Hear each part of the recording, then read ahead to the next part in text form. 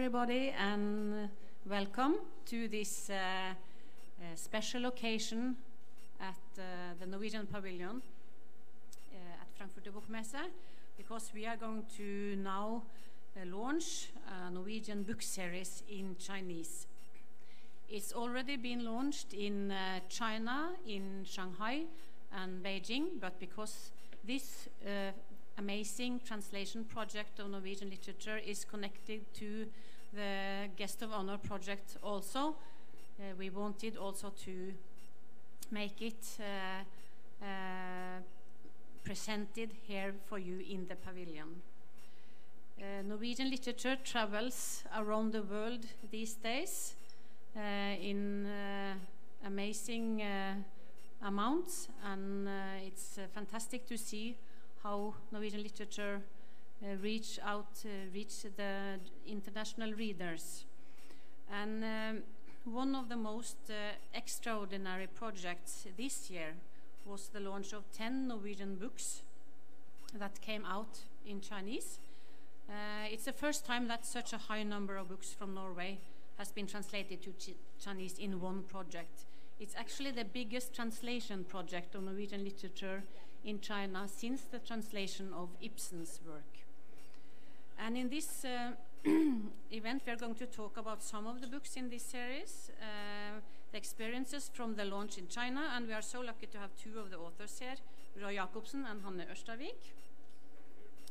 Uh, and it's um, uh, two very good uh, representatives of the project because uh, they have both written a whole range of novels they are great storytellers and uh, uh, they are among a very good list of authors in the series.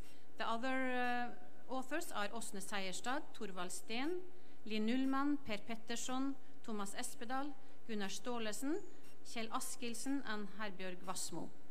So it's a, it's a great list, and this is due to the uh, selection of the Chinese publishing house, uh, Shanghai Translation Publishing House, uh, which we are so happy to cooperate with uh, on, from the Norwegian side. Um, we have also together with us the vice director from uh, Shanghai Translation Publishing House, uh, Mr. Chao Wu-ping, and we are delighted to welcome him, him first to uh, to say uh, some words uh, about the project from their side. Welcome, Mr. Zuping.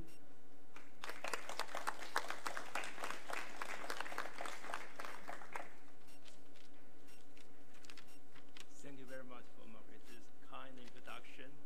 And uh, good morning, ladies and gentlemen. It is my great pleasure to join you today, together with Mr. Roy Jacobsen, Ms. Hanne Ørstavik, and our friend from NORLA to present this anthology of contemporary Norwegian literature to you. Uh, Shanghai Trans Publishing House was founded in the year 1978.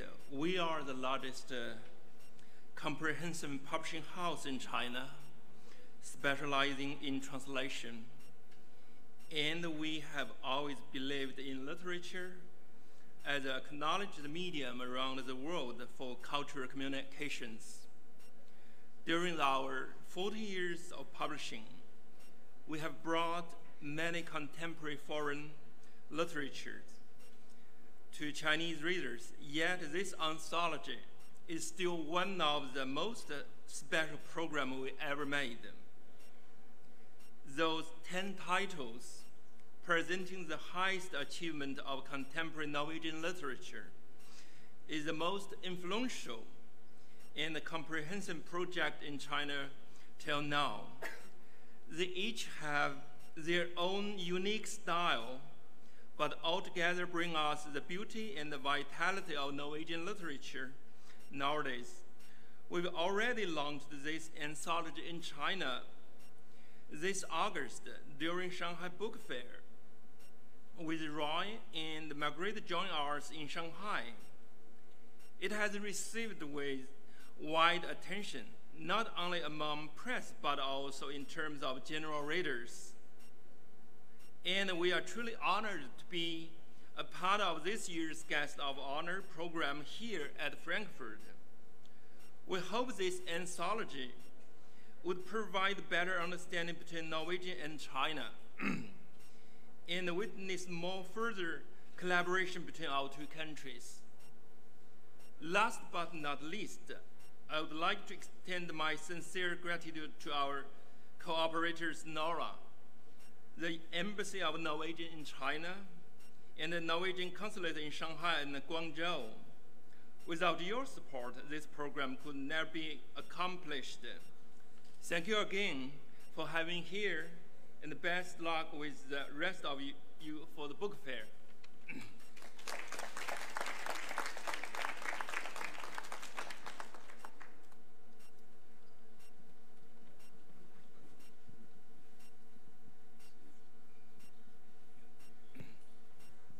Thank you. Thank you for your nice words. Uh, then we would like to uh, ask the authors about uh, their books, and you can see the whole series on display here on the tables. And uh, we also must admire the covers, they are really beautiful. So it's a great honor to be published by uh, your publishing house, I guess, and I would like to ask Hanne about that. Uh, your, uh, the title in this series is the book uh, Love that came out uh, some years ago. Uh, could you tell us a little bit uh, about the book and how you experienced to to be translated not only to Chinese but on a general basis? Yes, uh, the novel Love in Norwegian called Kjærlighet. Uh, it's here in this beautiful, this one. Isn't it beautiful? And um, uh, it's a novel about uh, a, mother, uh, a single mother, and her son. Uh, it takes place one winter evening and and and into the night. A very and it's at the very, very north of Norway, situated. And, um, and the novel follows mother and son uh, during these hours of, of, of, cold when they both go out into, into the night. And, and what I wrote this novel when my, my daughter was just a newborn child uh, 24 years ago. So it's it's an old novel, and I'm so grateful that it's still it's still alive. Uh, and uh, I the the question it's called love. The word love is never mentioned in the novel, and I think really. Uh, I wrote it when my daughter was newborn, and, and, and, the question I really took with me into the novel was the question I had with her when she was newborn. I mean, how can I ever be sure that she knows that I love her? Uh, what is love? Uh, and this book was an investigation of a mother and a son and their longing for love. Uh, yes. But and how is it to be translated? That is wonderful. That is just such big, such a gift. Um, uh, and and now it's uh, well, and how it has been. Margit wanted me to say something about how it has been received in in other countries. Um, in a way, you, you should think that it is such a, a because it takes place in the very far north and the coldest uh, part in in it's really a winter snowy book. Uh, coldness uh, darkness everything so you but but i really think that this novel uh, in its it is very simple. It follows this mother and son and i think it it's it is something that you can connect to wherever wherever you live. And I think the question of the novel is, is the question I think we all fear inside us. I mean, what if there is nothing? What if there is nothing? Where, we really longed for something and someone to be. So, so I think it's, it's and now it's out in Chinese. My father was born in China in 1935 by missionary parents, so I feel that the, no- the novel has come home. and I'm, very grateful. And, and I met my Korean, I just say this very quickly. I met my Korean publisher yesterday. The book has just come, come out in Korea. Uh, that for us is kind of close to China. you know, it's not. And, and she said that it's already kind of the first uh, edition is already sold out. And, and it has and, and I think that is uh, wonderful. It means that I mean people really kind of can connect to a book from, from far away and I think that is that is a great gift. Thank you. Thank you. And then we also asked the same question for Roy, uh, who was there actually to, to launch the, the book. And uh, your book was uh, Vidunderbarn, uh, Child Wonder. When uh, uh, when I listen to Hanne now, I think uh, I thought uh, I have written the same book. at, at least it's the same. Uh, some some similar settings about a boy and his mother, with different na- names, of course. It's a, a coming-of-age novel um, taking place in Oslo, a working-class suburbia of, uh, uh, the capital city of Norway, and. Uh, they um, they have to take care of a little sister that appears on page 16 in this novel. It's called Child Wonder, and there is something strange with this um, with this little girl, and she uh, uh, managed or. Uh, uh, what shall I say? She, um, the boy has to take care of her because of her strangeness, and through his um, his solidarity and his uh, misconceptions and his love to this strange little creature, he actually uh, managed to grow up too quick with all these different kind of uh, of difficulties that's connected to growing up too fast. It's about losing one's innocence, I would say. Uh, I was actually in China, and of course, it, there, there was there, this is a great honor. It was fantastic. It was it was. Uh, we were uh, spent a week in Shanghai with some beautiful people who did some amazing work, trying to spread this uh, uh, literature from this very very very tiny country on the other side of the globe to this very very very very big country and and uh, a re- readership like uh, I don't know uh, one, one uh, 1.3 billion or something like that. It was so amazing. I did not feel like coming home. I felt like coming to the moon, but. But, uh, but, but met uh, a lot of very nice and interesting people. And I also had the opportunity to sit on stage like this and talk to, to some Chinese critics. And I was really amazed. Uh, uh, first, they did uh, the, the sessions twice as long or three times as long as we usually do in Norway, so I was totally exhausted. Uh, but so many interesting questions, so so many interesting things to discuss on literature and uh, and uh, the different countries. When you do travels like this, you whether you want it or not, you you uh, serve as some kind of an ambassador for your own country because the questions turn up all the time. How rich are you? How much fish do you do you, do you export? Uh, how's the winter like? How about the northern light? And stuff like that, and, and vice versa. So the, I had I had a really, really great time communicating with um, with the Chinese um, uh, readership during this week, more than a week actually, and um, uh, I'm very honored, uh, and uh, I love it. Thank you very much. And uh, it seems uh, it's a common topic, yes, in uh, in the two novels. It's something Yeah, between uh, children and parents, and maybe this is uh, also something that is interesting for the Chinese uh, audience. Could you say something? Do you already have some uh, uh, response from readers uh, back to the publishing house?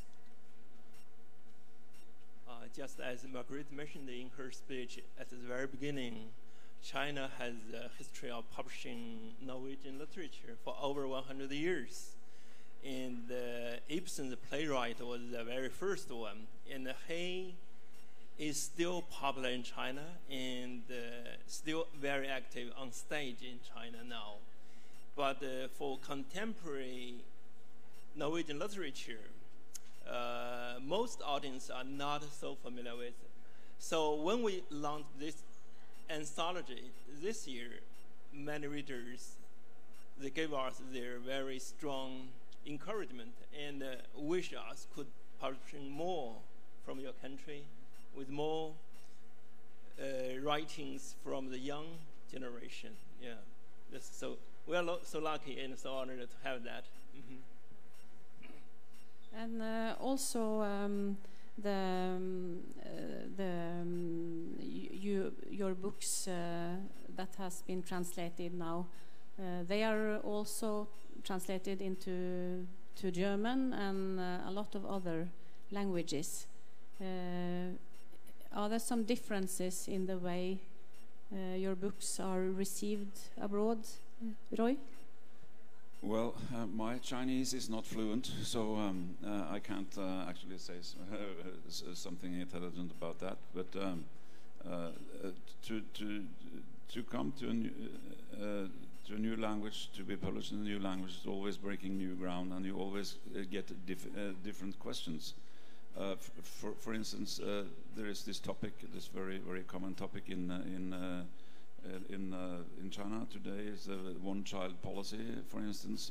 And I, I always got the questions from the audience and from the critics about the characters in my book because this is a single mother and uh, uh, living with her with, with her brother, and they try to make comparisons and allegories and uh, and um, the, yeah, the, the, there was a ve- you have very many interesting comparisons to to this uh, to this situation one, one, one, child, one grown up, and the communication and the misconceptions that's going on between them.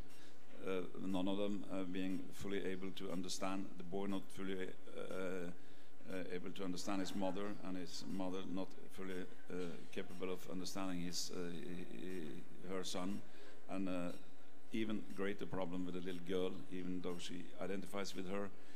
Um, and um, yeah, there, there were. Uh, uh, when I came, I, I looked at all the differences, but during this week, uh, I also uh, had an eye opener for, for the similarities, the conditions of being a human, whether you are chi- Chinese or, uh, or or Norwegian. There are so many.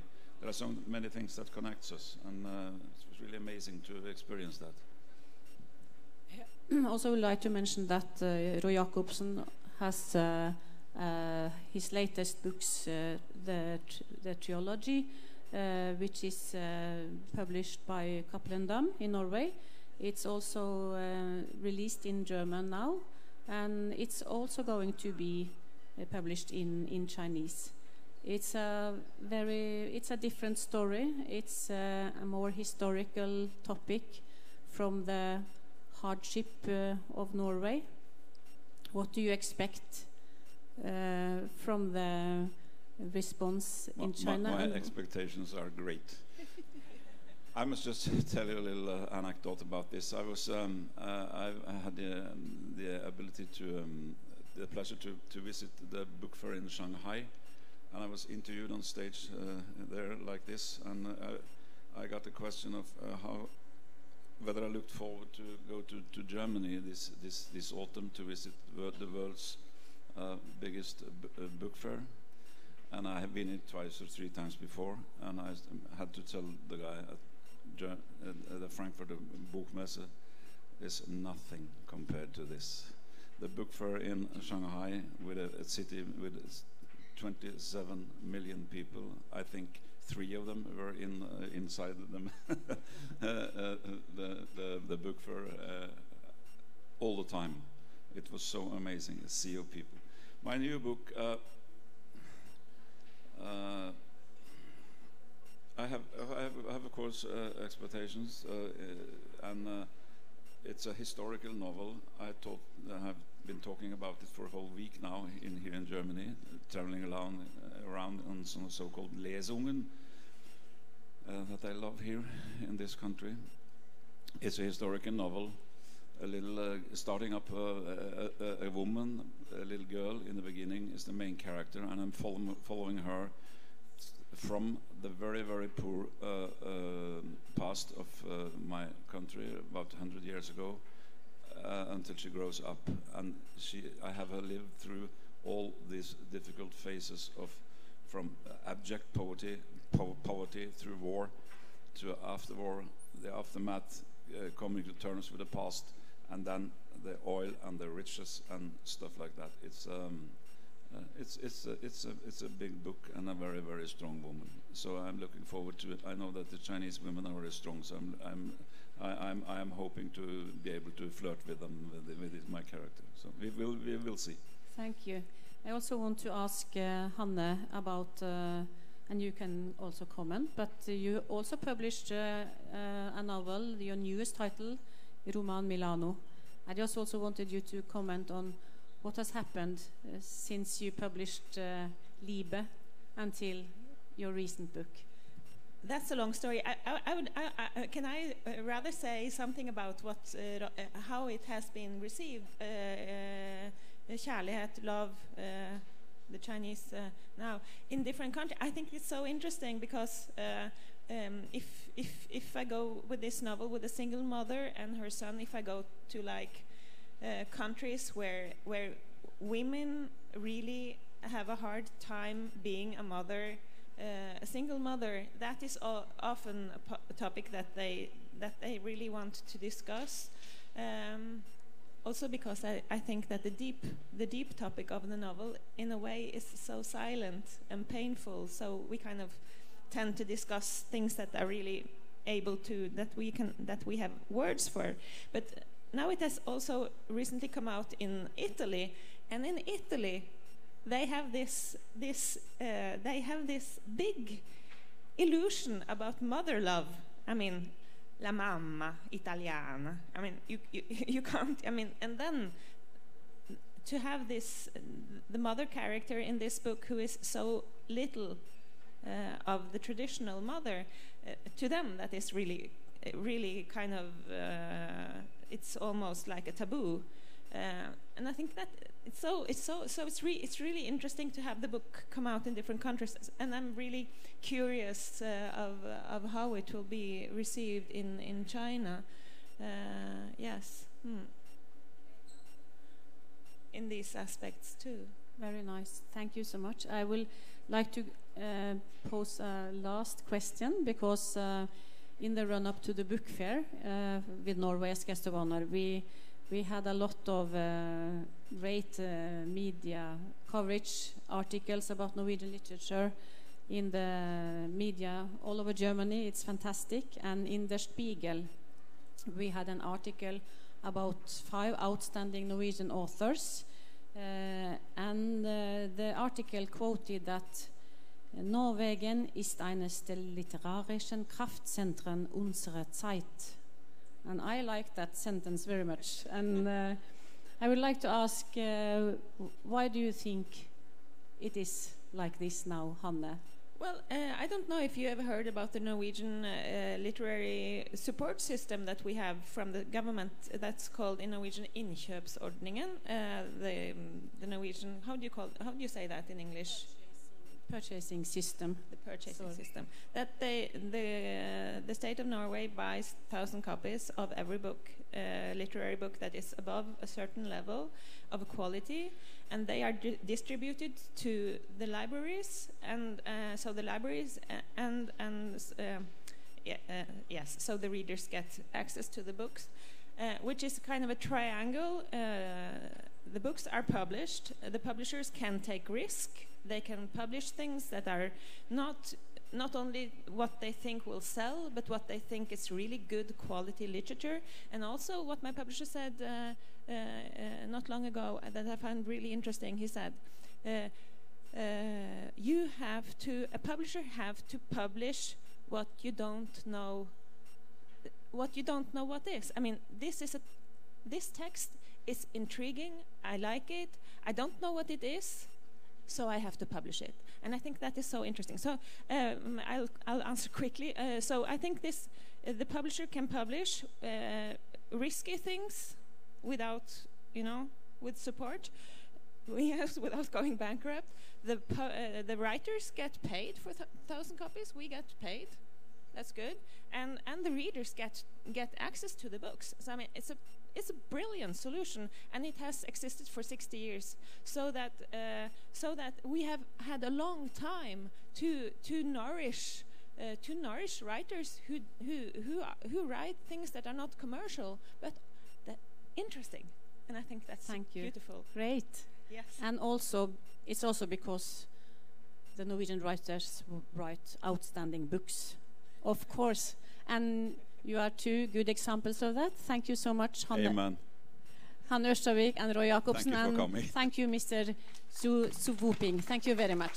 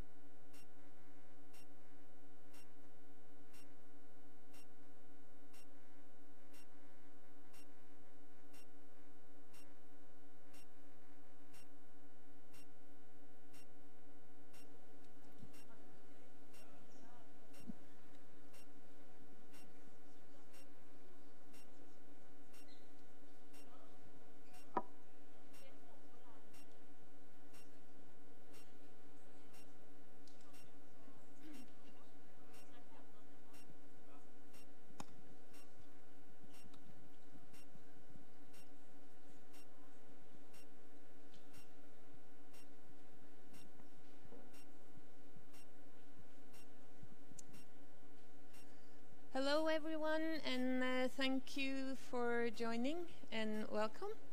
Uh, my name is uh, Taran Bjørnstad. I am the president of uh, the Norwegian Writers for Children and Young uh, Adults. And um, I am very proud and honored to be presenting for you today Øyvind Torseter.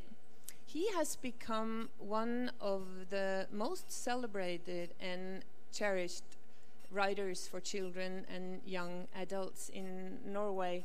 He's also an illustrator with the same very high standing. His books are translated, they travel all over the world, uh, winning prizes. And today you're here with us. Welcome. Thank you. Yeah, and uh, we will be uh, talking about uh, trolls and fairy tales and sailors. Yes. Yeah, and uh, text and drawings and uh, the graphic novel. and uh, the adventure of the very famous now, but uh, yet humble and maybe a bit shy or just very relaxed, maybe, Mulegut, also called uh, Hans, I believe, here in Germany. Yes. Yeah, and uh, he's quite a peculiar character. Who is he exactly? Yes, that's what I'm trying to find out. Uh, who is uh, Mulegutten or Hans? And uh, that's why I make books about him. And uh, I think of Hans or Mulegutten as a character that, uh, um, yes, he can he can be put into different roles. In one book, he's inside a fairy tale. In another book, he's out uh, on a sea travel. And I, I think, um, as you say, he's a bit quite relaxed character. He, maybe a bit shy, but also very curious. And uh, where I'm going is uh, I'm trying to find out what, where is he going this time, and I try to follow him. He can do almost everything or anything uh, with the same expression. He's just, all right, Yes, I'll he's go all right. sailing. Happy-go-lucky. Happy go lucky. Um, I want to ask you one more question before you start reading for us, because then you will lure us into the world of, uh, of the Mulegut or the Melusses. Um, because you're a very good illustrator and also you write, I want to ask you is it text or drawing, or drawing or text? What comes first for you? What carries your idea first and, and best? Well, for me, it is always the drawing that comes first, and uh, it has always been like that. And I think uh, some people think find that a bit strange that uh, I, make the stories with drawings, but think about it. We all did this uh, as a child. We started to draw before we started to write, and you have to draw before you can write. And for me, the fastest way to get into a story is drawing it, and then after a while, the texts start to pop up, and the characters start to speak, and uh, I follow up with text, but always the drawing first. So um, that's the easiest way for me, but for others it's different, of course. Uh, yeah. Yeah, we all did that as children, We and then we forget. Yes, and some You of us, some of us continued, and Yeah. uh, yeah. All right, I think we would just enjoy listening to you a little bit and uh, and get to know the the the Mulegut a bit better. Please, please read.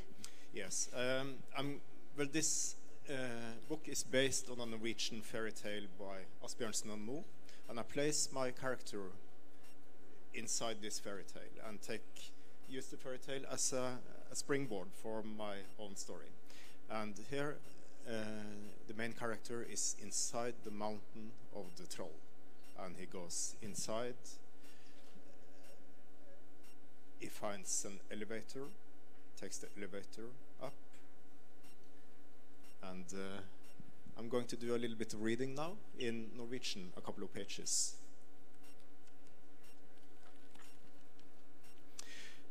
Vår kjære vene, hvem er du? Hvorfor har du kommet hit? Ta det med ro, vevre prinsesse. Jeg skal redde deg. Fra trollet. Ja, ja. Det er mange som har prøvd seg på det. Men ingen kommer levende ut herfra. Nei, det trollet som bor her, er det ingen som blir kvitt. Jeg kan jo vise deg rundt før han tar livet av deg. Hø, hø, hø. Du sier ikke stort. Jeg er sulten. Har du noe mat her? Vi har grøt. Skal si du likte grøten. Spiser nesten like mye som trollet. So in this scene, the main character meets the princess in the story, which is uh, maybe not a typical princess. And uh, you can see them here in the troll's kitchen. Of course, everything is very, very large in the troll's kitchen. And uh, it was quite, I quite enjoyed drawing inside the almost the apartment or the mountain of the troll and uh, come up with ideas of how it would look inside the troll's uh, uh, home, so to speak. Yeah. And this um, girl Yes. that shows up in, in, in all the books, doesn't she? Yes. And here she's a princess. Uh, in another story, she's a, a waitress. Yes. or, or, or a bartender or something like that. Mhm. And um, she's quite similar, and she's not a person that need to be rescued. No. Alm- uh, she's quite cool and She's- also the she's same cool, relaxed. Yes, and she's got uh, maybe more of a direction than uh, Mulegutten has, and uh, so they are good together, I think. And something happens when I bring them together, I think. So they continue in the next book. Uh, she got another role, and I think of my uh, my characters as uh, ac- actors that I can put into different situations and uh, see how they react. But uh, I think uh, Mulegutten and this princess they need each other in in the books. And when reading all all the books, um, when when seeing the Mulegut, he's kind of very neutral all the time. Uh, Yes. And the same actually with the girl or the princess. Mhm. Uh, and yet, all a lot of all the other characters are more complex and very detail drawn. Yes. Why is that? On purpose, of course, but uh, can you explain to us a little bit why, why you Yes. done it like that? It was not something I thought so much about when uh, creating the characters, but I can see that afterwards. That if you have a character that is a bit simple, you can, as a reader, you can put something of yourself into it, and you have to use your imagination more than if you have a very complex character. And uh, uh, also, yeah, something there I think which is interesting to to experiment with. And I want to talk to you about uh, the book as a format. Is it for you telling stories or making books? Uh, for me, it's telling stories, I think, because uh, uh, when I work on projects, I always start with the drawing, and sometimes it turns into a book. Sometimes it might turn into a drawing that hangs on the wall, but it's also a story. But then you tell stories in a different way, because in a book you have some rules that you follow. If you have a painting or a drawing on a wall, you will read it differently. Uh, but it's about the same thing, but uh, but in a different format, which decides a little bit of how you read and how you create it. I think. And also, uh, your books is kind of, uh, to me at least, a mix between a graphic novel and a picture book. Some of your spreads are like beautiful picture books, and and the next one could be almost like sketches to uh, Mhm. to um, a, a, a more um, a comic book or, or graphic novel. And Yes. it's a mix all the time. Is that also something? Is that the form that you play with, or does it just happen as you? I think that's so good with the picture book that you could put so many things into the picture book, and you don't really have that many rules. Uh, you can play with other, uh, with cartoons, for example, or with graphic novels. You can put that into it, and um, I think with the graphic novels, it's a different way of reading. Maybe uh, you are more effec- effective in the way of reading, while picture books you can dwell more with the images, and I like both of those. Sometimes you need a bit more speed when you're reading. Sometimes the reader can dive into the pictures, and I like to combine the two. Uh, And when you show us uh, some of the spreads are almost you don't have them here, I, I think, but some of your spreads are just like sketches. Uh, is that Yes. to show us? Why why do you do that? Why do you use a page on on very? it has very much to do with the process, uh, how I am drawing, because I don't really sketch before I start to draw. I start on the original and I draw, and I use, either use it or I don't use it. So I make a lot of drawings, and then I put them together and uh, see what fits together. And uh, I like to see the uh, how, how shall you call it? This you can see the traces of the hand. I like that uh, because uh, it creates some sort of illusion also that this is something that is made, but you have to believe in it. Uh, you have to put something in of yourself into it as a reader to believe it. And for me, it becomes more genuine when I when I, I get to know you better when Mhm. I, I can see your sketches in the book. Yeah, there are mistakes and there are things going in different Yeah. directions, but I, uh, I fi- find that interesting as well to use uh, chance in the creative process. Yeah. Um, Here you can see um, uh. Uh, there's a, uh, I sometimes like this in books when something which is very banal almost happens, and of course this never happened. You never see this in the fairy tales that the main character is going to the toilet, for example. But here I used five, six pages to tell that Mulegutten is going to the troll's toilet, so you can see him sitting there, uh, because he's a bit ner- nervous before they're going to confront the troll. Uh, and here we can see the troll. And um, this is the way I'm drawing. Yes, this is a very different troll from what's, what I'm used to.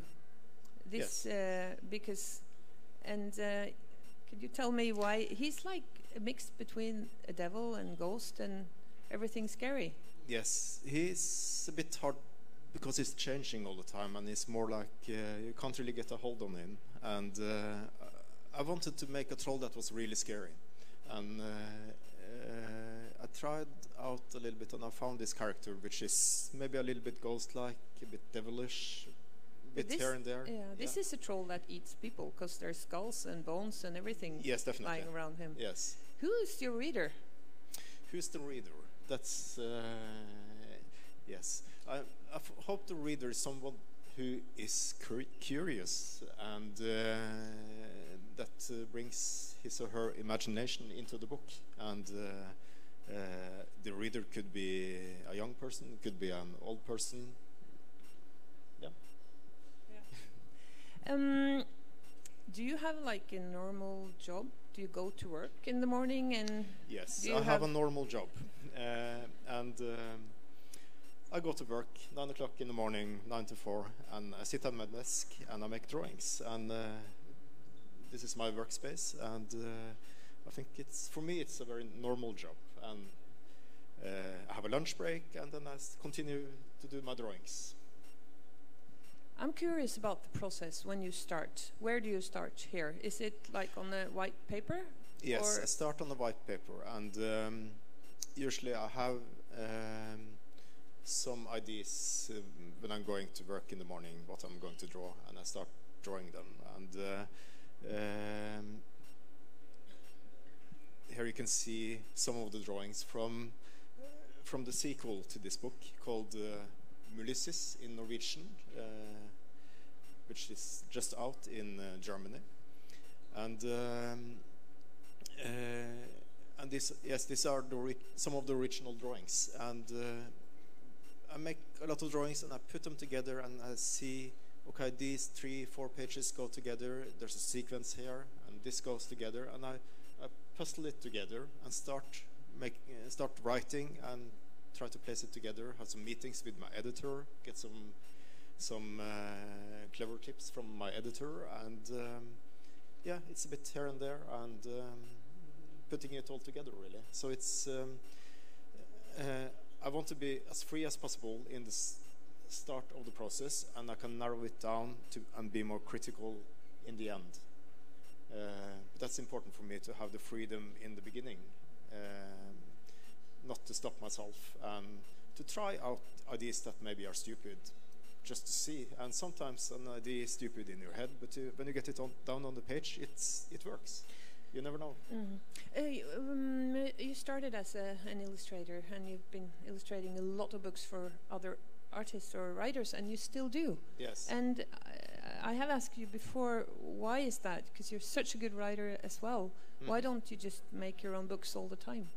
I think when I've finished like with a big project like this, it's uh, nice to continue drawing, but go into something else that uh, a world that I couldn't create myself, but uh, that I can be a part of, and uh, it's nice working together with good writers. I really enjoy that, and um also it's a bit different doing my own books and uh, doing illustration for my own books and for others because uh, when I work uh, with uh, other people's text uh, I can work with the images a bit different because sometimes I can even experiment more with the images because the text is already there and the story is almost there. So uh, with my images, I, I find that the storytelling is so much in the images, which uh, sometimes decide very much how the images could be to tell the story.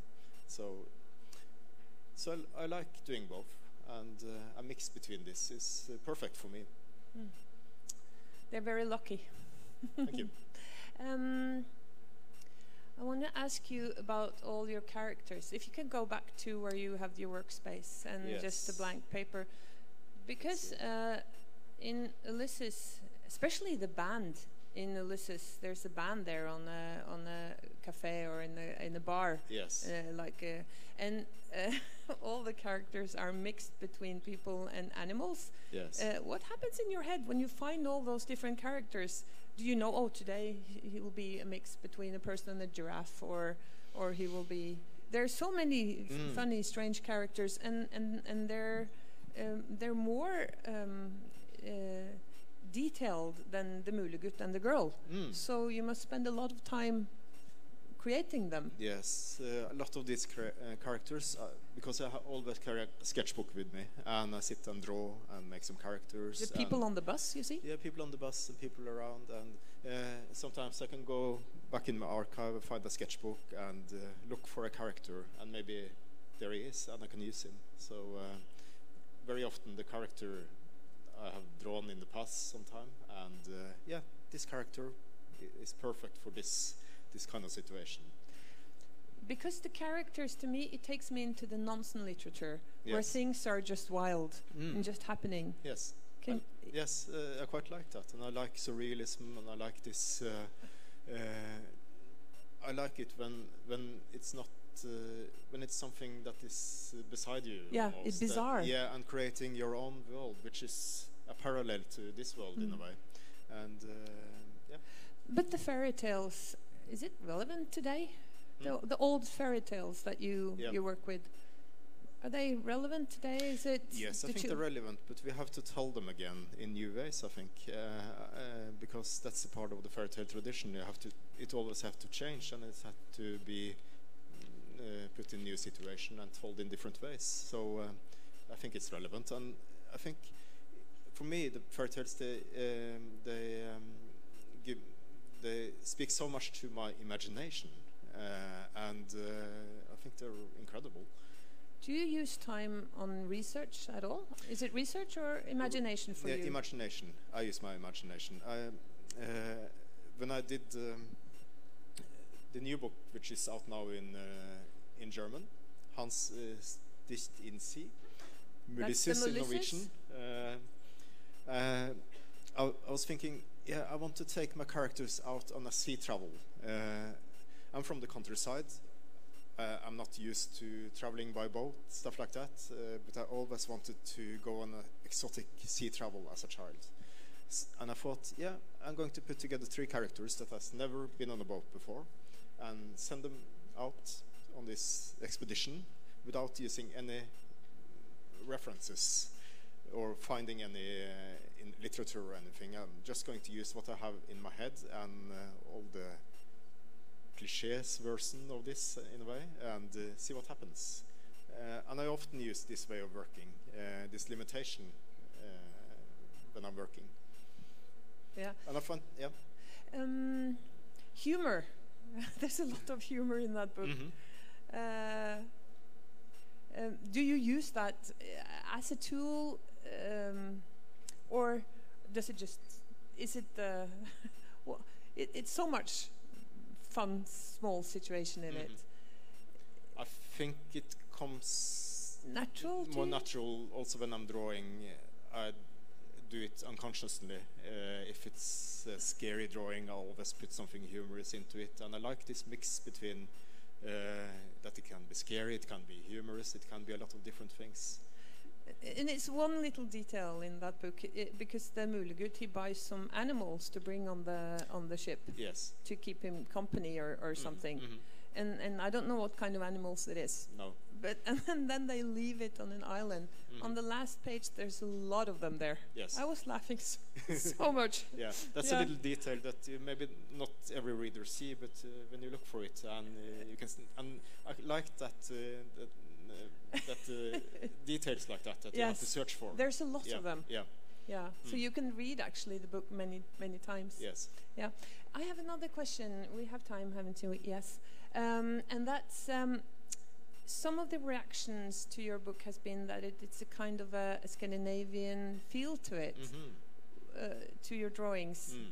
What, what do you think of, that? It's, that's interesting. Um I, I wouldn't think that myself because my background is uh, I did my illustration uh, education in England, so I was more inspired by maybe English uh, illustration and a lot of European illustration and art. And uh, uh, but I guess that's also if you look for something, you maybe find it, and maybe there are some uh, some traces that I don't think about uh, from my background, growing up on the countryside. Maybe uh, there are some things that I unconsciously maybe put into the drawing or the mood, or I don't know. Uh, but uh, yeah, it's interesting to hear that. Yeah. Mm. I didn't see that so much. Maybe in the first one, the troll one, because Yes. that's, uh, but not in the No. Ulysses so Mhm, much. Maybe, mhm. maybe. Do you work digitally as well? Do Mm. you you you you work with the pen and pencils, and you can see that in your drawing. yes. Do you also work digitally? Do you? Yes, I work digit- digitally and I edit a little bit. I put the book together because I do when I do my own books, also when I'm illustrating, I'm doing the whole book. I'm also doing the design and the typing and stuff like that. And um, uh, but usually I work with my hands. Most of the work is by hand, so 80 90 percent is by hand, and uh, mostly the editing is done digitally and putting it together. Um, so, uh, but I'm quite like doing both, but I really enjoy drawing with my hands and using my hands as tools. Uh, one question about the Mule Gut or Hans. Uh, where did you find him? How did he come to you with the big nose and the Mule means the the the horses or the cow's uh, nose. Uh, the Mule boy is Mhm. then he's a bit kind of a sad character as well. Yes. Well, um, some years ago, I made a book uh, called uh, The Hole, uh, which is a book uh, with a hole poked through the book. And I needed a character for this book. And I tried first with a human character, and it didn't work. And uh, I found in an old sketchbook, I found this character. And I, fo- he spoke to me. And that's usually how I find the characters. There have to be something with them that is interesting. And uh, yes, I want to see place this character into this situation and see how he reacts Mm. and get to know him. And um, yeah, he's um, still an interesting Yeah. character to to draw. So I'm continuing to. yeah, does that mean that we will have Yes, another book? there's, uh, I'm working on a new book that uh, hopefully will be out uh, next year, Ah. and uh, this time uh, he's uh, kind of uh, working uh, with the dinosaurs as a curator for dinosaurs, and right. uh, he's going also this time on a trip. We are looking uh, forward Thank to you. that. Thank you so much, and uh, I believe you will be signing some books over at the Yes. table there with Mhm. the with the light Yes, for the one that's uh, interested. thank you. And thank you so much. We could talk about this all day. Thank you for having me. Thank you so much. Thank you for listening.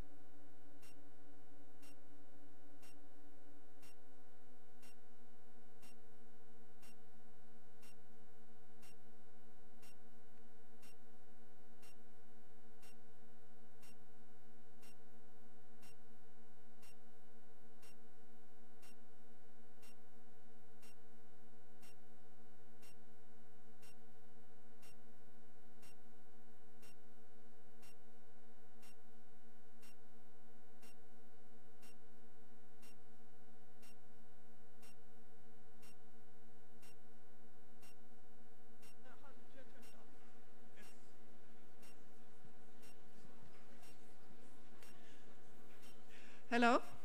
Welcome to this session of uh, slam poetry and short stories. One of the goals of the Guest of Honor project has been to bring forward new authors, new voices of all genres of the literary field. That's why NORLA started up a cooperation with the Foundation Talent Norway. This is a foundation that facilitates various programs to help young artists in the beginning of their career. And through their, their projects, they offer a unique laboratory to develop new talents within all parts of culture. The three young artists that you'll meet today have been taking part in various programs supported by Ta- Talent Norway. The first author or the first artist you will meet today is Anna Kaisa Partapuoli. She was born in 1994 and is a Swedish, Norwegian, Sami slam poet. She was awarded the Young Artist of the Year scholarship at the Riddu Riđđu Festival in 2018, and she'll read a poem to us in Sami. So please, Anna Kaisa.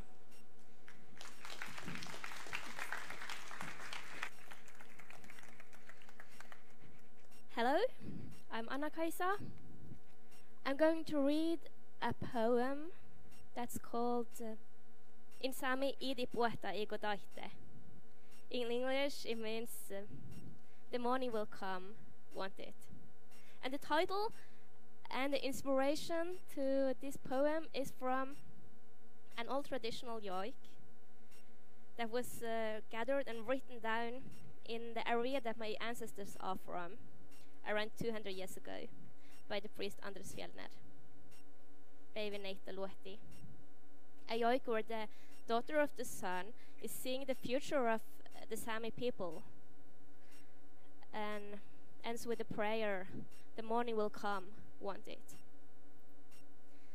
And I got inspired by this because I was thinking, here we are, and we are the Sami future. And I don't know, I think I might still be waiting for that morning.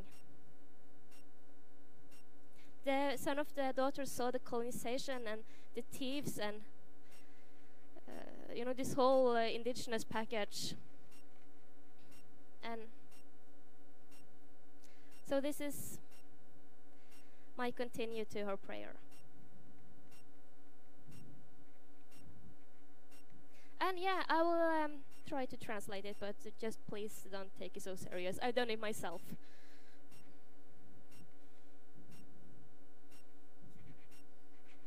Manne baby isa paitte. Baby luitan, gumpe vuitan, talet iitan, viisu siitan, viisu valdan. Ikke giitan. Iidi pueta. Igo taitte. Tuus li roktoton jakket. Otuko staalut algi siisa bakke paggi jedu eri chaaput iku teke. Sikalka huksi keirui ja kaappi ko siin matte. ja siin lahti jääb võrre muusad ja minnet ihme meetige, vette päre farre juose, mis eilen tantsa muusad, teil laagede me reedi ja likka, teete kui toon, mis ei väärne takki. Tegu tuon, lyhitä siis pakki, tegu tuon, että ohtaviset ovat nattimi ja luntu kattimi, kun reikotihtaan tuntari, kun tuon itchaaga vaikka min leima tas ouda kun siin oba huomede laaga tal min chuchu tas varra naaga ja okto. Ja tuarjaga haaga estä suollakat, ei tu huolasa, tjakkihi pullimit, purtikita vollanat. täällä farri min tuetta riittää. Ja aina me sinne varren min sittalet mochit ja ahat. Ja pitsijun vaahat, jappimat, vaahat, mille tappujun, lappujun. Slaavat, helvähä haavit ja kuorus kiehtokaavat. Märkon kardi tjaatjuvalde, viisupalde, viisupolde, viisupalde, tievainalde kärkelei, lavussei suolatuvun, asfaltheerijuvun, botjuppagun juvun, juvun, vaimotjuvun, kolepuvun, kielamet. jätame kartside pohtuga olmut haritsijat, eetlased, paatsid eetlased ja mobadžan. Imastet, alma, kalma, kirku, eana, kalla, haavitahu, salma, verten, paajil, oppa, koskaga loppad ja koos kõigi muu väljad ja oppad. Vonjastit. Siis olete valdi mun iskai. Ja pohjastit. Kun tuolla sama avekkitas, kun javkahit mun äättämi, kun sin haaliti mun havkahit, mun ruftu paukahit, vaikka mun takas sinne kuldan mun saukasit, sinne kuldan mun tiftai, sinne kuldan mun ruokkosit. Det står stallolle jo märridan pohtosit, ta puttis pursa kalke jursat, tai kuottamit. Teit ei saata kuassike tuuttadit. Min ätnamat kalke siin ruuttadit.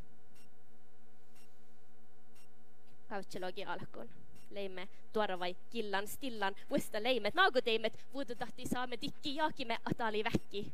Mitside saamme tiki saada unna härva tärva hit ministerit, muhti päässä jätnudit, no kuka kun vuostalaise staata jätnusit ja attikalke vallimasta viisut, min ätnumit ja aikikalke rivitot ja vaarikalke teevetot pegga milloin kun ne vuomet iveres ville kun laavutalit neidon, niekutalle pillihun. Staata olmoiden mallasin miljoon. Päivä loihta. Staalut pohtet. Saamit sohtet mut staalut Ville kohte saapme latsai staalu salli. Staalu aski, tuotu paski, ja min suoti kaska, neämme chaskit, kaskit, nuppi nuppit stallu paitsi chauke saala, minä chaga. Alki konti veljei däämet, ätki huomet, ahteroomet, stallu suolata min oomit ja min kootit Ostata luento mätsi. Iile min äätä mit siiveni tähti ja stata. Iile min pohti kätsi. Iike suotsi ja rikkaradsi. Iile min adji aatja arran nuskan. Äänan nuskan. Meitä kuskan. Sanda ruskan. Ja mun suskan etsin vaimo, Ponjan siis turita aimu aimo, mille mirko huvon rifti rivon pohjon juvon äätna mitä huksen parti vuodi mego millo parkan koivun alkan tuottajalkan ruuhkida ja masin palkan koivun vuonna tuot vuodessa vuonna potkon hiilat potkon suonat. Tämä ei pahtsa mitsi tähän. lekonat. Dos li doktorn jacket. Musta allolle teke farren, varren, ätna mit allasi. Så kaga atn tiet tiinemi ja suhta stallami Ja stallolle ossamen olmu mallasit, soni maate visa gossige gallalit, saamit villigit, vaisi ballit, massimista allu, litnas hallasit. Ja meite. Josi botsi piinedet, teha lämmusleha sin ruudi tiinedet, rifti palkisit ja rihtui alkahit la alki, kun mannil saata etjas palkahit. Ja heiti vaita lämmes, mitä mittoon, kalkalit. Moko jehtnja, tarra, sparra, märra, marra, arra, itä rikärra, riepan cherru, arran, varra ja arran varra ja olmoskarra. Olmosi äällä. Päivä loittaa. Kumpe pohtet, stalo ite suota kohtet, stalo valde, stalo aitet, jota vallet eikä hoite, jota porret eikä heite, jota kasket eikä luitte, joku tuolut soidi vuitte, joku päivi isä paitte. Ili puhtaa, iko taitte.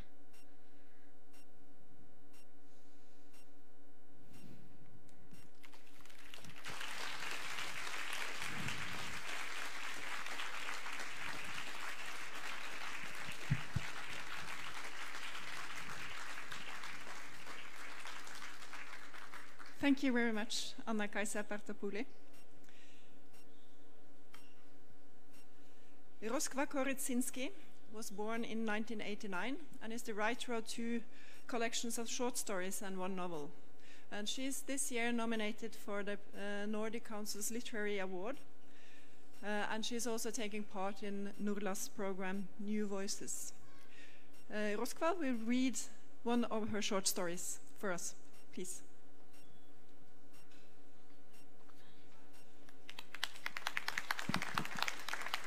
Thank you.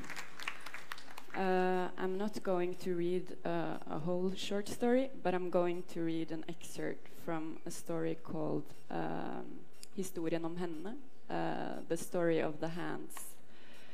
Uh, and this story is the longest one in this book, Ja, ennå ikke sett verden. I have not yet seen the world. Uh, and it's about a middle-aged man uh, who leaves his wife and his small children uh, when he falls in love with a young girl who is a drug addict, and that he, in his work as a drug counselor, uh, was supposed to help. Uh, and the story is told from his oldest daughter's perspective, uh, as she kind of investigates his life, trying to understand who he is. Uh, and I'm going to read in Norwegian, and I think the text is going to be in English on the screen. And the book is also in German, like you can see in front of me. Når julaften glir over i første juledag, sitter du sammensunket i skinnsofaen med tunge øyelokk. Du slår an dårlige vitser, snubler i ordene. Stemoren min sender deg dels bekymrede, dels Nei, nå har jeg begynt feil sted. I started the wrong place. Ok, sorry. Um, ja, ok, sorry. Det er vinter. Du er 47 år gammel. Dagen før julaften inviterer du en av klientene dine til å feire med oss. Hun er 21, fem år yngre enn meg. Hun virker hjelpeløs slik erfarne mennesker uten språk for sine erfaringer gjerne virker hjelpeløse. Hun har to farlige ekskjærester og en liten datter. Nå er det høytid, og hun trenger et sted å være. Hun sitter taus ved bordet. Hun spiser lite. Du og stemoren min får en rødvin i gave. God jul og takk for alt, står det på kortet. Vinen er av dyrt merke og kommer i magnumflaske. Klienten smiler med reguleringstenner, skamfull over sin egen stolthet. Vinen har en slags lås på seg, en treleke som utfordrer mottakerens logiske sans. En stor ring skal gjennom en smal sprekk. Det er noe spesielt som Vinmonopolet har stelt i stand i forbindelse med julen, og som ingen av oss klarer å løse. Vi åpner en kartong vin i stedet. Etterpå står du ute på trappen. I lyset fra lampen over inngangsdøra synes, snøfyll, synes snøfyllene å vugge fra side til side på det samme punktet i luften. Du holder rundt klienten din mens hun røyker. Du har bestandig hatt så store vinger. Når julaften glir over i første juledag, sitter du sammensunket i skinnsofaen med tunge øyelokk. Du slår an dårlige vitser, snubler i ordene. Stemoren min sender deg dels bekymrede, dels iskalde blikk. Klienten sitter med beina opptrukket i en av lenestolene og smiler usikkert. Hun har opplevd verre. Hun tåler dette. Jeg spiser mer kake. Alle har sluttet å drikke for å kompensere for din tvilsomme atferd. Du som bestandig har vært så profesjonell, som har kjørt ut om nettene og forhindret folk fra å skade seg selv, du som bestandig har tatt på deg litt mer ansvar enn arbeidsbeskrivelsen tilsier, men aldri så mye at det har virket som en overskridelse. Omsorgen har aldri virket suspekt. Nå er du dritings og må hjelpes til sengs. Klienten skal overnatte på sofaen i stuen. Før du legger deg, mumler du fram en beklagelse. Du sier at du nok var mer sliten enn du selv hadde forstått. Du ser på henne. Hun ser på meg. Jeg kikker opp på bildet som henger over sofaen. Det framstiller oss barna liggende oppå hverandre i en stabel. Du ligger i sengen om natten. Du svever like under taket. Du er flammen som brenner for å kvitte seg med oksygenet. Du er mennesket som spiser for å se tallerkenen tom. Du er elsket voldsomt for å bruke opp kjærligheten. Du raller som en blind dranker gjennom ligg og forelskelser og kjærlighetserklæringer, gjennom barnefødsler og giftermål, for en dag å bli fri. Du vet ikke fra hva. Bare det å bli fri. Du vil også et annet sted. Det er om våren. Du er 17 år. Du ligger på magen i gresset. Foran slottet patruljerer gardistene. Du tar et drag av sigaretten og blåser foraktfullt mot de pinnerette ungguttene. Du kjenner en dyp misnøye ved alt som heter systemer, rutine, alt som heter vane og orden. Du har forsøkt å skrive om det i en skoleoppgave, men det ble så banalt. Et slags angrep på hverdagsmenneskene, på konformiteten. Språket ligger bestandig så langt unna følelsene dine, så langt unna alt du innbiller deg at du egentlig forstår. Du hadde villet skrive om hvordan du som barn, etter å ha ryddet rommet ditt, kjente deg lykkelig. Det lå en lovnad om forandring i synet av dette rommet som plutselig var et annet liksom du allerede hadde beveget deg videre mot noe nytt. Men allerede etter noen dager slepte alt seg tilbake mot sitt utgangspunkt. Bøkene veltet ut av bokhyllen. Lekene lå strødd utover gulvet. I vinduskarmen sto glass og kopper, bunnfall. Du ville skrive om hvordan det hadde vært da du fremdeles spilte fotball. Den sviende følelsen i lårene etter at du hadde løpt oppover bakkene i byen tidlig om morgenen. Hvordan kroppen din var stram og tynn i speilet. Tilfredsstillelsen i det. Men likevel en fornemmelse av hvor lett alt sammen kunne glippe. Musklene glippe. Leddene stivne. Kjøttet blir løst. Du måtte fortsette å løpe. Oppover bakker, trapper, i sirkler utenfor kombihallen. Men hvorfor løp du? Hvorfor spiste du når du igjen skulle bli sulten? Hvorfor vaske deg når du ikke for alltid kunne være ren? Du ville skrive om hvordan du av og til så for deg å lukke deg inne på et rom. Slutte å rydde, slutte å klippe håret, slutte å bevege deg.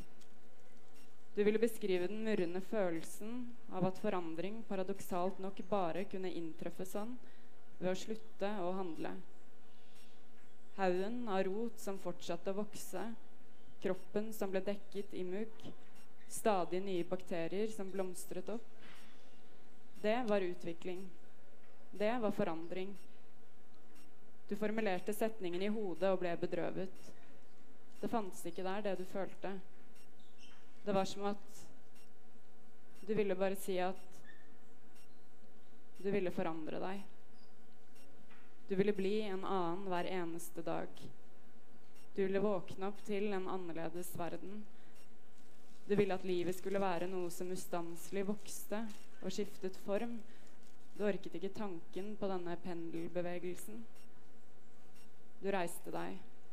Du tente en ny sigarett. Det var varmt i været. Over Slottsplassen lå luften tung og dirrende. Du vandret nedover mot sentrum. Du hadde hull i olabuksene og langt hår.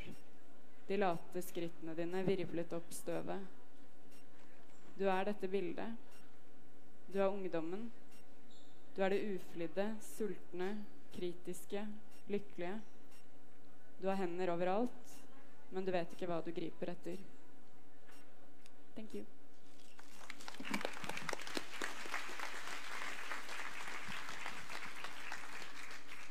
Thank you very much, Roskva. That's very nice.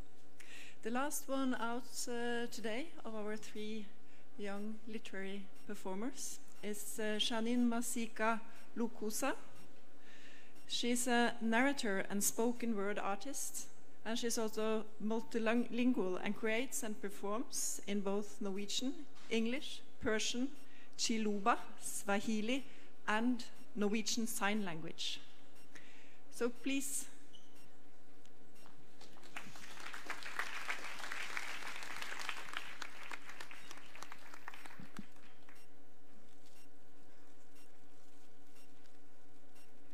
when you when you have run out of places to hide and to store your pain. Take my hand. When all your holiness have drained i will read you poetry as honestly as i can. I will let all the cracks in my voice reveal that i have been and certainly am exactly where you need me to be. And when reality gets really real, let my words swoop you off your feet into a world where heroes are made, with sobbing as a superpower. And when you begin to go towards your last hour, I will meet you there as if it was the corner store with our favorite candy constantly on sale. And I will tell you that this is how love is made. Yes, I will tell you that this is exactly how love stays. Now, I have um, a bit of a dilemma that I hope that you guys can help me with afterwards. But I'm going to tell you a story. You see, I have a friend, And one day she came up to me and told me that she was in an abusive relationship with life. It keeps beating her up and pushing her down from heights. And despite the constant beating, she tells me that she can't leave him. You see, his fists helps her breathe in. They are like oxygen. But then again, I cannot start to comprehend how her worst enemy could at the same time be her best friend. But she laughs and tells me that ever since their marriage, his leverage has been that her body was a bongo drum. She's gotten so used to the rhythm that she feels numb. She laughs again and tells me that whatever his soul is made of, his and hers are the same. You see, you can't have love without a bit of pain.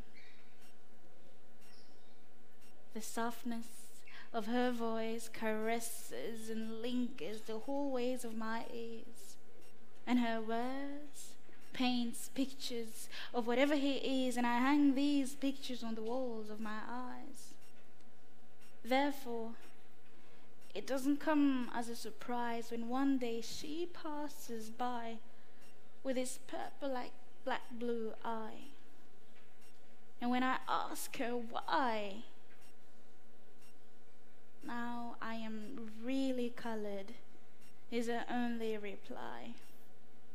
And then she tells me to relax, relax. You see, his slap sounds like African symphonies, and he gives her wings, and he sets her free.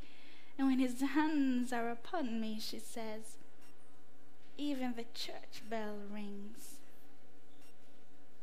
And how love is supposed to feel for all of us. You see, what he feels for her, it's more than lust, it's desire. And I envy her. But then, then I remember that she is in an abusive relationship with life. It keeps beating her up and pushing her down from heights, and her lipstick might be bold, and she might lash it up with Maybelline. But I truly believe from deep within that with her, there's no in between. She loves unconditionally. You know that phrase, until death do us part? She lives that literally. So if you dusted her heart looking for fingerprints, you would only find his fists. Now you tell me this. Since she is in an abusive relationship with life, if I asked her to leave, would that be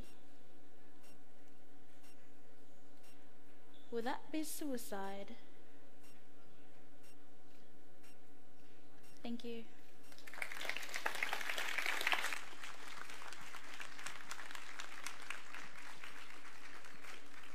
Thank you very much.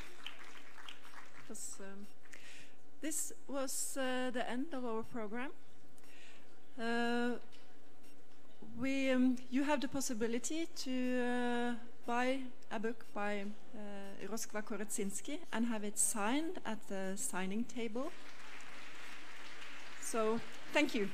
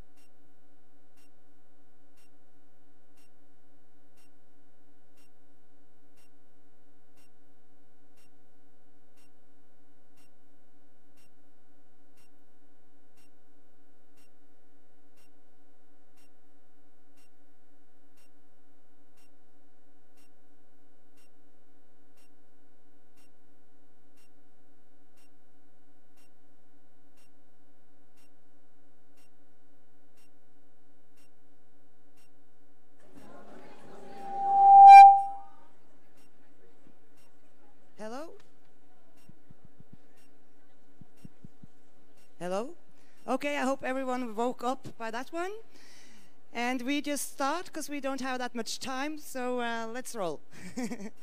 I'm so happy to be here with uh, two of Norway's most accomplished writers, Vigdis Hjorth and Helga Flatland. Yeah. Uh, I'm just going to introduce them uh, shortly for everyone who doesn't are not that acquainted with their work.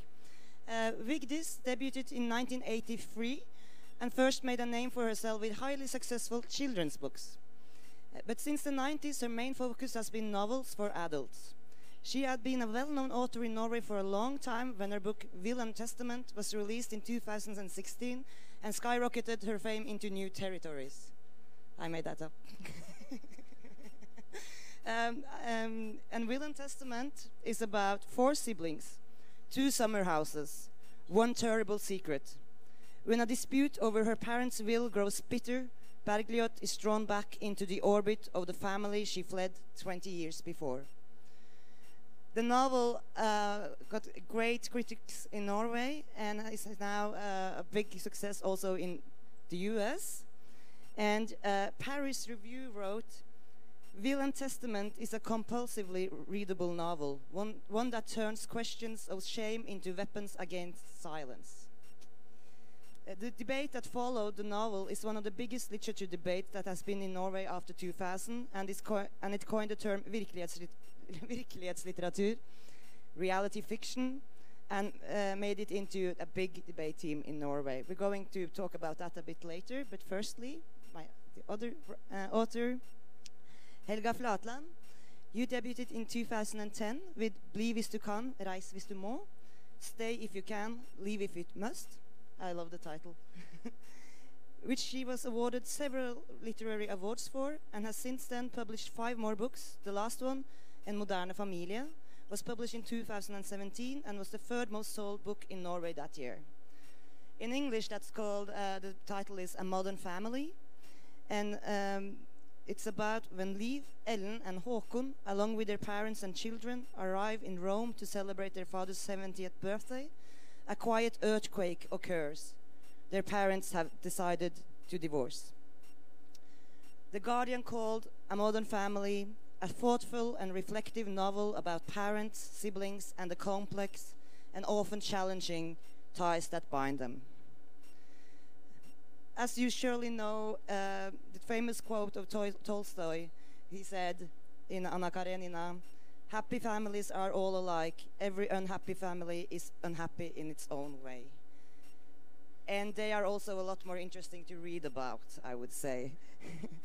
um, Helga, uh, what made you? Uh, what was the reason you wanted to write about a family in such a big conflict?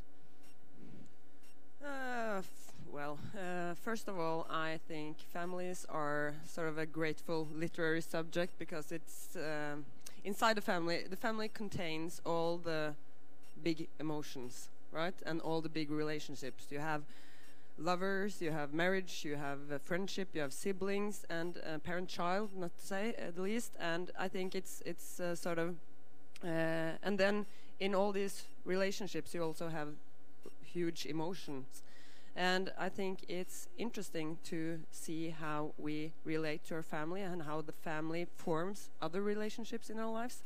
Like um, the early attachment style uh, in the family, for example, to your parents or to your siblings, forms the way we relate to other people later in our lives, lovers or friends. or uh, And so for me, that's probably the reason why, because I'm interested in how we, uh, in, in human relations actually, and, and in reactions to that. So that was um, my uh, starting point, and then I wanted to, first of all, A Modern Family is a novel about siblings first, uh, foremost, and and for me the sibling relationship is very interesting and complex. So that's uh, my uh, my yeah, I think we're going to talk a bit more about the sibling complex because uh, Vigdis also has a lot about that. But firstly, Vigdis, um, why did you write this story now? Uh, what was it that made you feel that this is now what's burning? This is the important, or not now then, in I've 2017? writing about um, uh, this kind of topics before, mm.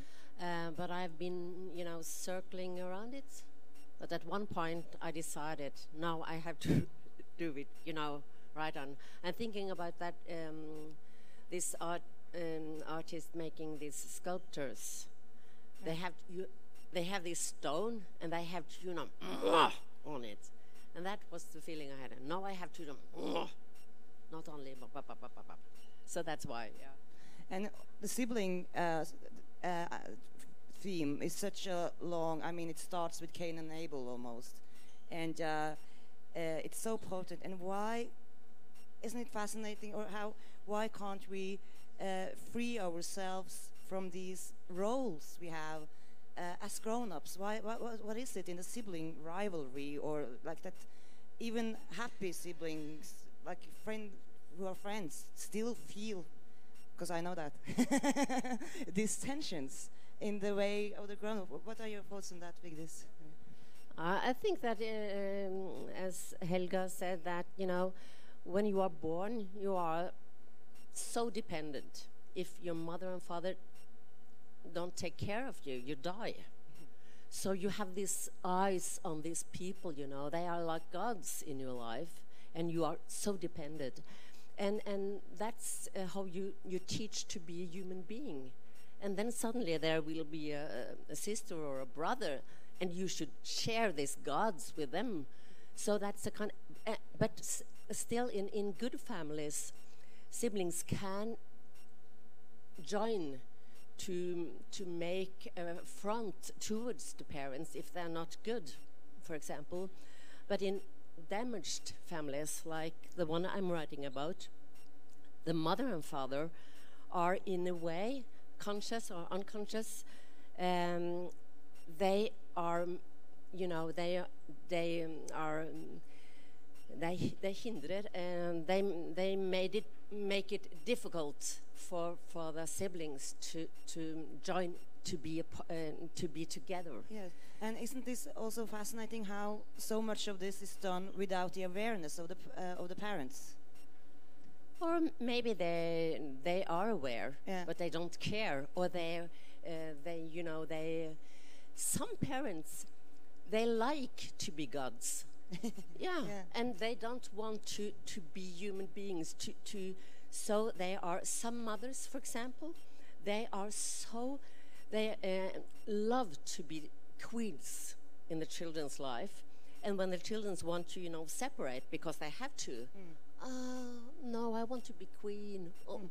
So they, they try to be, be king and queen all the life, and that's difficult. It makes it very difficult for the for the children to to be free, as you're talking about. Yeah. Uh, Helga, do you have um, are you do you have any thoughts on this? or about what, what what's the most important thing about the sibling theme for you? Like Well, I, I think Vigdis uh, said it uh, the best. I, I, I think you, you sort of are born and, and you have to compete for the same attention, the, the attention to survive, actually, and that forms how we relate to our siblings, of course, in later in life, and then you can be more grown up and more intellectual uh, in towards it, but but you still have that competing sort of role in in between your siblings, and I think it's interesting because you're also sort of um, sharing the same references, the same framework, the same uh, genes, and and you turn out to be widely different human beings, and that's also uh, in- interesting to me because I have three siblings myself, and we are widely different, and we are competing a lot, but we're still very close friends. So I, I think that's an interesting relationship. have you read each other books? Yes. Yes. Yeah. uh, I what- love Vigdis book. yeah, I, I love Helga. And what what could you get out of the other one's book? Was it like themes because you've been working so intensively with this, both of you? Was it still like things? Oh, that's the thought I haven't thought about, or how did you read the other one's book?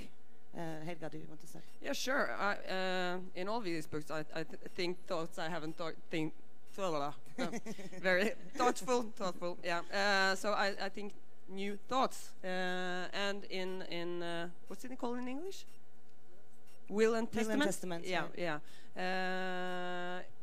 I thought about the the family in a different way, and also the sort of um, grown up uh, look on yourself as a child and and how you um, can sort of step out of your childish role and but still uh, be in it sort of? Mm. can you say that? Yeah yeah Yes, we say we can say that. Now, uh, what's interesting for me in, in Helga's book is that, you know, uh, in my book, um, my last novel, uh, Wills and Test- Will and Testament, um, it's about a damaged family. And the family has been damaged for, Yes. for, um, for 20, 30 years. And, but, but in Helga's book, there's, you know, it's a kind of happy family. Mm. It's a kind of, they are, you know, uh, but this earth earthquake uh, mentioned the, that the parents suddenly want to to divorce. It it's um, it's probably more difficult to describe a happy family's earthquake Mm. than a damaged family. So it's very, it's a very intelligent uh, work. Um, it's very interesting for me to have this experience reading about a happy family. Yeah. Yeah, sure. Happiness is always uh, hard to write about. Actually, happy people don't make that. Uh, it's not as entertaining, and it, you don't have anything to sort of survive. No. So, so happiness is, is almost And it impossible to describe. And it can be super annoying. Yeah, That that as well. Yeah. Stop being happy. um, as we uh, talked a bit about um, your book, Vigdis, starters this uh, great debate in uh, in uh, Norway about what are you allowed to write in a book. Um, this is too close to reality. Um, this shouldn't be allowed, or should it be allowed? Can you do whatever you want in a book? All these questions, and then have been like, we're still debating them. Um, but you gave your characters different names. It's not Vigdis, it's Bergljot. And wh- were you, how surprised were, were you of uh, this? I was very surprised, and I think that you know people that uh, was on the other side in the debate, they don't know their his uh, literary history. And the novel has al- always been very close to, to reality. Dante in Divina Commedia, he's you know he's uh, places his enemies with uh, real names in different. Uh, um, um, stages in in the in the um, In hell, hell, yeah. yes, and and you have the letter novel in, in France. You, it, it's always been that, but maybe because now we have everybody can write, everybody can write about their own life. They're blogging, but a novel in 400 pages can't tell this whole story of a whole family. You know, from this meeting here, they could be, we could write thousand novels. Six volumes is not enough uh, to, to, to, to write a life. Of course not. When you want, even if you want to write about your life, if you have, when you start have written one sentence, uh, you have you know you have so- Already lied in Yeah. So so yeah. so, so uh, a novel is form and language, a literary structure. So you know, I'm just ah, don't you know this? Can I just have one example? Yeah. Each uh, talking about Karl Ove Knausgård, um, who is uh, who mm, does something that I don't use names of existing people, but you know, in Norway we are four, five hundred um, writers, and they are divorcing all the time, and you know, uh, uh, regularly after one year after a divorce, they are writing about the divorce. And of course, there are uh, Great a lover or a mistress or a wife or a husband that, you know, ah, you're writing about me. But because these novels are selling in 200x, nobody cares. So when Knausgård does what he uh, does, Yeah, he's a Norwegian writer. yeah, yeah, you know. uh, it's because of the, the voice, the literature. It's, it's the power. It's not det er i- det er ikke grepet. It's not uh, the uh, it's not the literary uh, grep. Yeah, Uh, what do you say? yeah. it, it's it's how the uh, emotion he he managed to And it's not a thing us. that he re- he writes about rea- uh, real characters. It's uh, it's the way he does it that makes people I- i- interested. It's the way, yeah. What do you think, Helga? And uh, I would also like your book about the family was then uh, released two years or just one year after uh, Vigdis. Um, Uh, I- you were uh, the year after. Yeah, 2017. Yeah, so I guess you were already long in in writing your book when that debate started. But how has that kind of? Did you think about this? Oh, what, how are people going to read my book now? No, I don't think about that because people can read my book any way they want, and and I think I I'm I'm very sick of this debate, uh, and I'm tired of it, and I think it's sort of uh, not that interesting anymore. Um, but I. I, d- I don't think, as Vigdis said, it's not the writers who have changed their subject or uh, their way towards the literature. It's the landscape around us that have changed. And and uh, I can't do one single interview with Norwegian press uh, launching my my novel without people asking me, "Oh, are, are your parents divorcing? Or is this you? Or how much of this is your story?"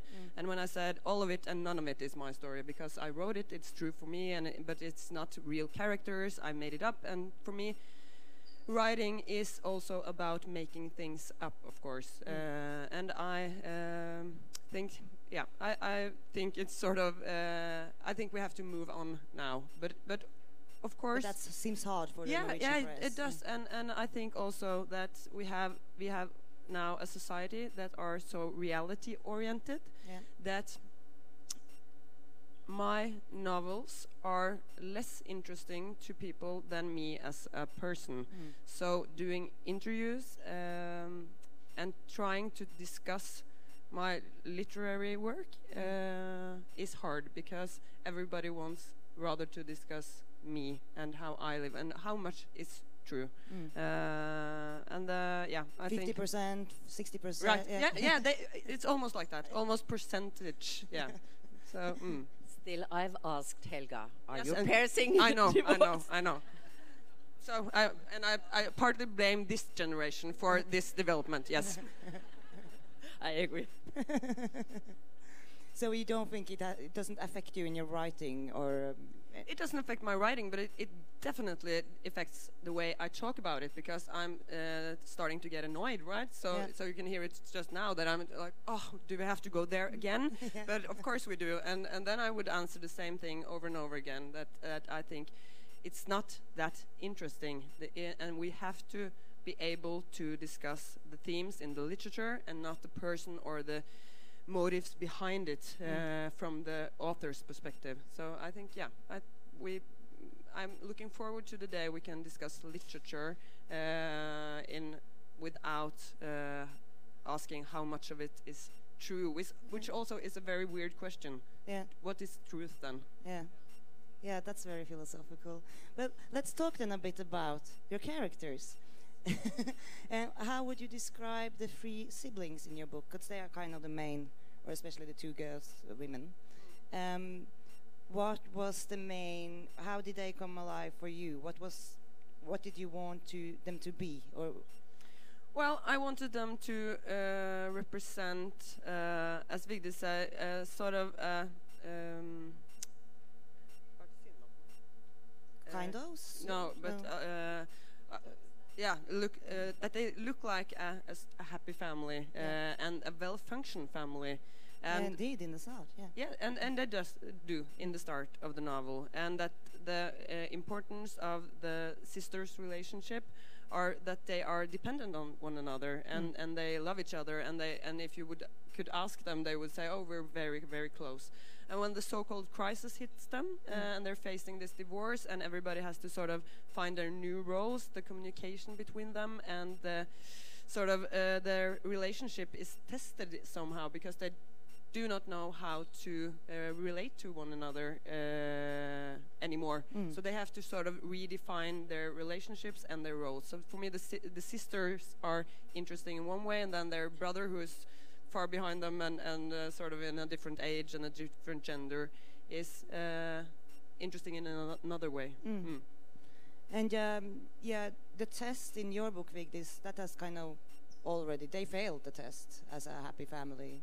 And uh, so, what was the main um, with the siblings there? It's already ruined. How uh, uh, how could you bring them together? If it's of course the will, but what what does that stand for? What what's the thing that's like burning here in your novel? What's No, it, it, it's, you know, um, uh, Bergljot, the main character, her father has abused her as a child. And uh, you can imagine when she's, uh, she's, she's uh, uh, confronting her, her mother and father with this, uh, she doesn't talk with, with her siblings about it, but her mother and father are, of course. And, you know, how to deal with that. Mm. You can't be a happy family after that, even though if you believe her or not believe, believe the father, it's ruined all. Uh, so, so um, uh, Bergljot is, um, it's, you know, uh, she's a kind of alone uh, Mm. when the novel starts. Yes.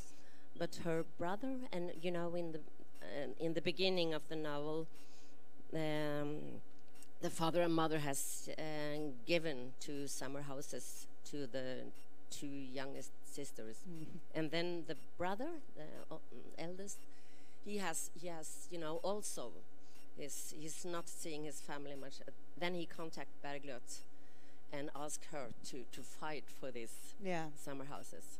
he Yeah. asked her to fight Yeah, his and fight you know, too and she has always said, "I don't want anything." Mm. But after a lot of uh, anxiety, she's you know going out with him on the battlefield, and from that on, it's fight, not tea party. I was wondering when I read your novel too. Did you do a have you done a lot of research, like in the psychology field, about family, or read a lot of? Because I think it's so uh, smart in that way. It's telling so much about the psychology of families, or or how or repressed memories, all these things. It seems so knowing. Oh, I'm 60 years old, you know. yeah. So, uh, uh, but what has what was for this book? You you love to write about, or you write very well about other writers, um, like Bertolt Brecht. We talked about to mention here, and um, uh, who did you have an inspirational writer, or who did you re- read while writing this book, if you remember? Uh, I no, I, I- I don't. I don't read. Um, I read and I, I write, and I, I that's two separate. Mm. Um, still, of course, when I'm writing, all my readings are, you know, it's in my hands uh, Yeah. and in my my head, but I don't have a kind of model. No, no. and n- n- Another mo- uh, ram- novel as a model, Mm. then I wouldn't. Why should I do that? Why should I write a new one? Yeah. there already is. Uh, but do you do you do not write uh, read as much when you are when you are in writing mode? Yeah, and I read when I don't write, and Yeah. I write when I don't read. Ah, it's yeah. Uh, you too, Helga? Yeah, same for me. Yeah. Yeah. oh, nice. um, yes, this is very short uh, times, but uh, do you have, would you um, add anything further to about your book, something that we haven't uh, discussed? Or? Well, there's a lot of things about my book we haven't described in 25 minutes, but uh, no, I think we're we're good.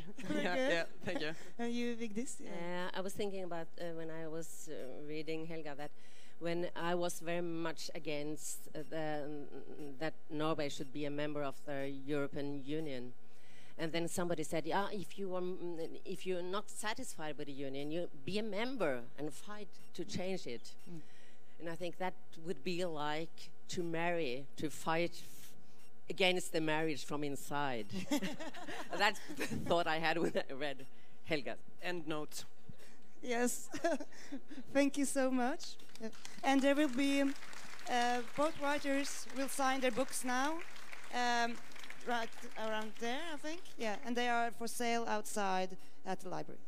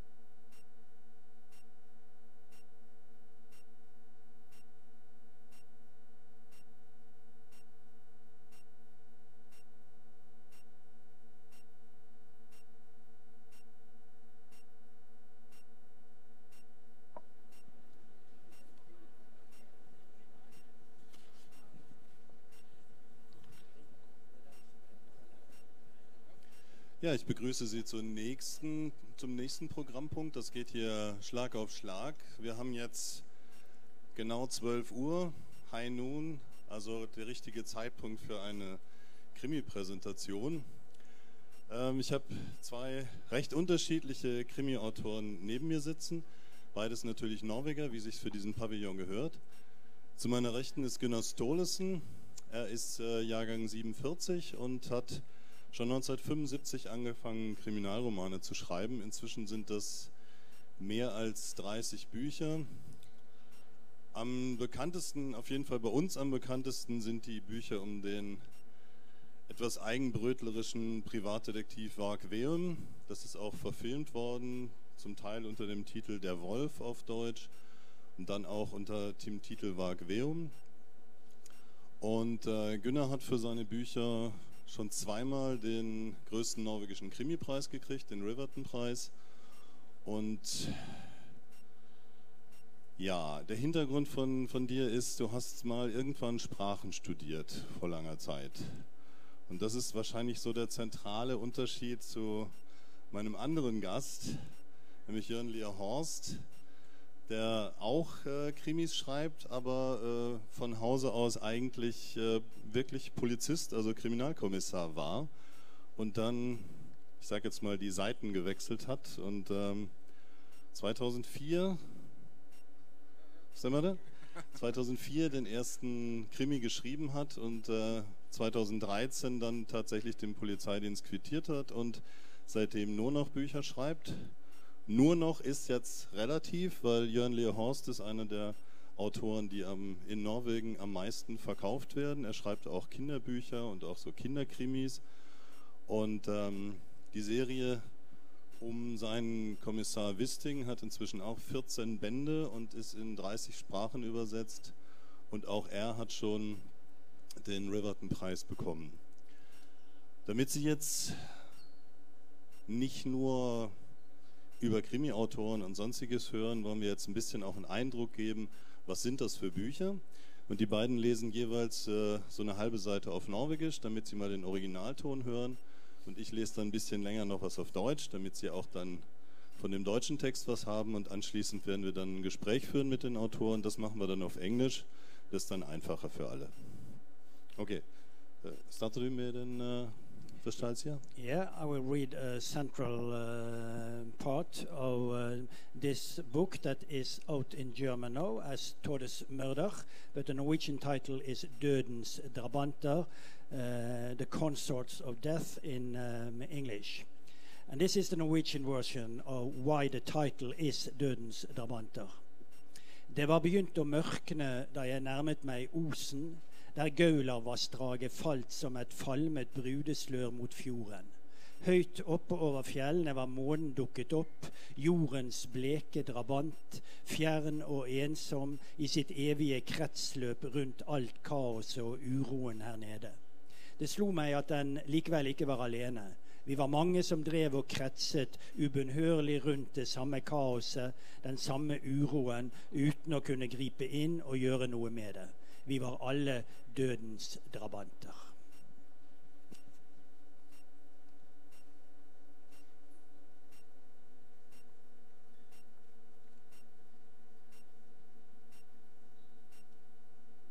Ich lese jetzt nicht die gleiche Stelle, sonst wäre es ja langweilig, sondern ein bisschen was vom Anfang, dass so die Einführung von dem Buch klar ist.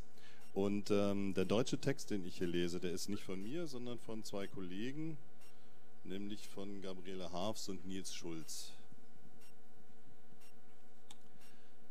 Erst bei dem grün gestrichenen Transformatorenhaus gleich oberhalb von Sandwigslien sah ich sie. Sie kam auf mich zu, in Jeansjacke und Hose, mit Sonnenschein in den Haaren und einer Schultertasche, die an ihrer Seite baumelte. Als sie mich entdeckte, blieb sie stehen und wartete auf mich, während sie kurzsichtig hinter den ovalen Brillengläsern die Augen zusammenkniff, wie um sich davon zu überzeugen, dass ich es wirklich war. Ihre Haare waren kurz geschnitten und dunkelblond, mit einem grauen Firnis, der bei unserer letzten Begegnung noch nicht vorhanden gewesen war.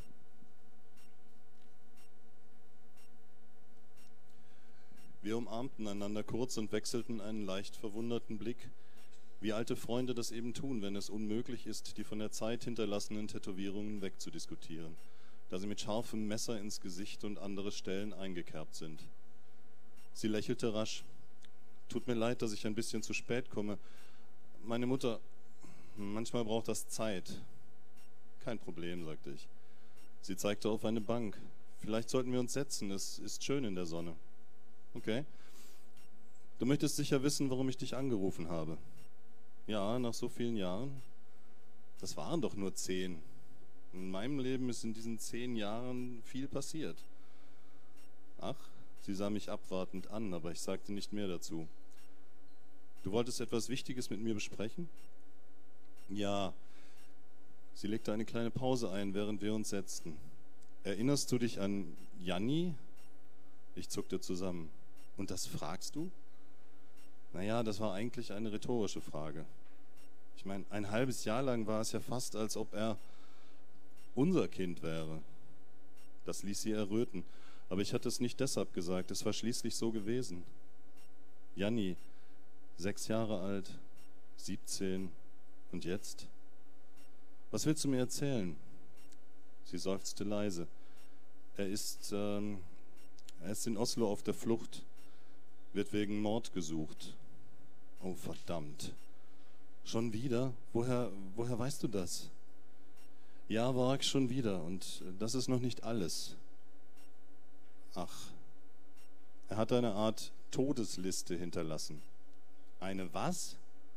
Oder jedenfalls hat er einige Namen von Leuten genannt, an denen er sich rächen will. Hm? Und einer davon bist du. Was? Ich? Ja. Ich brachte kein Wort heraus, ließ meinen Blick langsam wandern hinüber zum Büfio und ein Vierteljahrhundert zurück in der Zeit. Vage merkte ich, wie die Sonne mein Gesicht wärmte und aber innerlich spürte ich Frost, den Frost, der auf irgendeine Weise immer da war, der niemals ganz losließ, den Frost aus dem vergeblichen Jahr. Soweit zu dem Buch und jetzt switchen wir zu Jörn Lehorst, der liest uns auch ein Stück aus seinem und dann stelle ich das dann auch auf Deutsch vor. Yeah, got, well, the Katarina Code is called uh, Wisting unter Tag der Vermissten, I believe, in, in, in Dutch. Um, and this is the first novel in what I call uh, the Cold Case Quartet. This is the first story of a total of four cold cases that Wisting is going to solve. And it starts like this. Pappheskene sto i bunnen av klesskapet. Det var tre av dem. Wisting dro fram den største. Den var i ferd med å revne i det ene hjørnet, så han måtte bære forsiktig mens han bar den med seg ut i stua. De fire klaffene i lokket var tredd over og under hverandre. Han åpnet dem og tok ut den øverste ringpermen. Den var svart med en falmet merkelapp på ryggen. Katarina Haugen. Han la den til side, tok ut en rød perm merket vitner 1, og to andre permer merket vitner 2 og vitner 3 i samme farge. Så fant han det han ville se på. Permen merket Kleiverveien. Pappesken inneholdt alt som var skrevet og gjort i Katarina-saken. Han burde strengt tatt ikke hatt uh, sakspapirene hjemme, men de fortjente ikke å ligge nedlåst i et arkivrom. Der de sto i bunnen av klesskapet, ga de ham en påminnelse om saken hver gang han hentet fram en ny skjorte.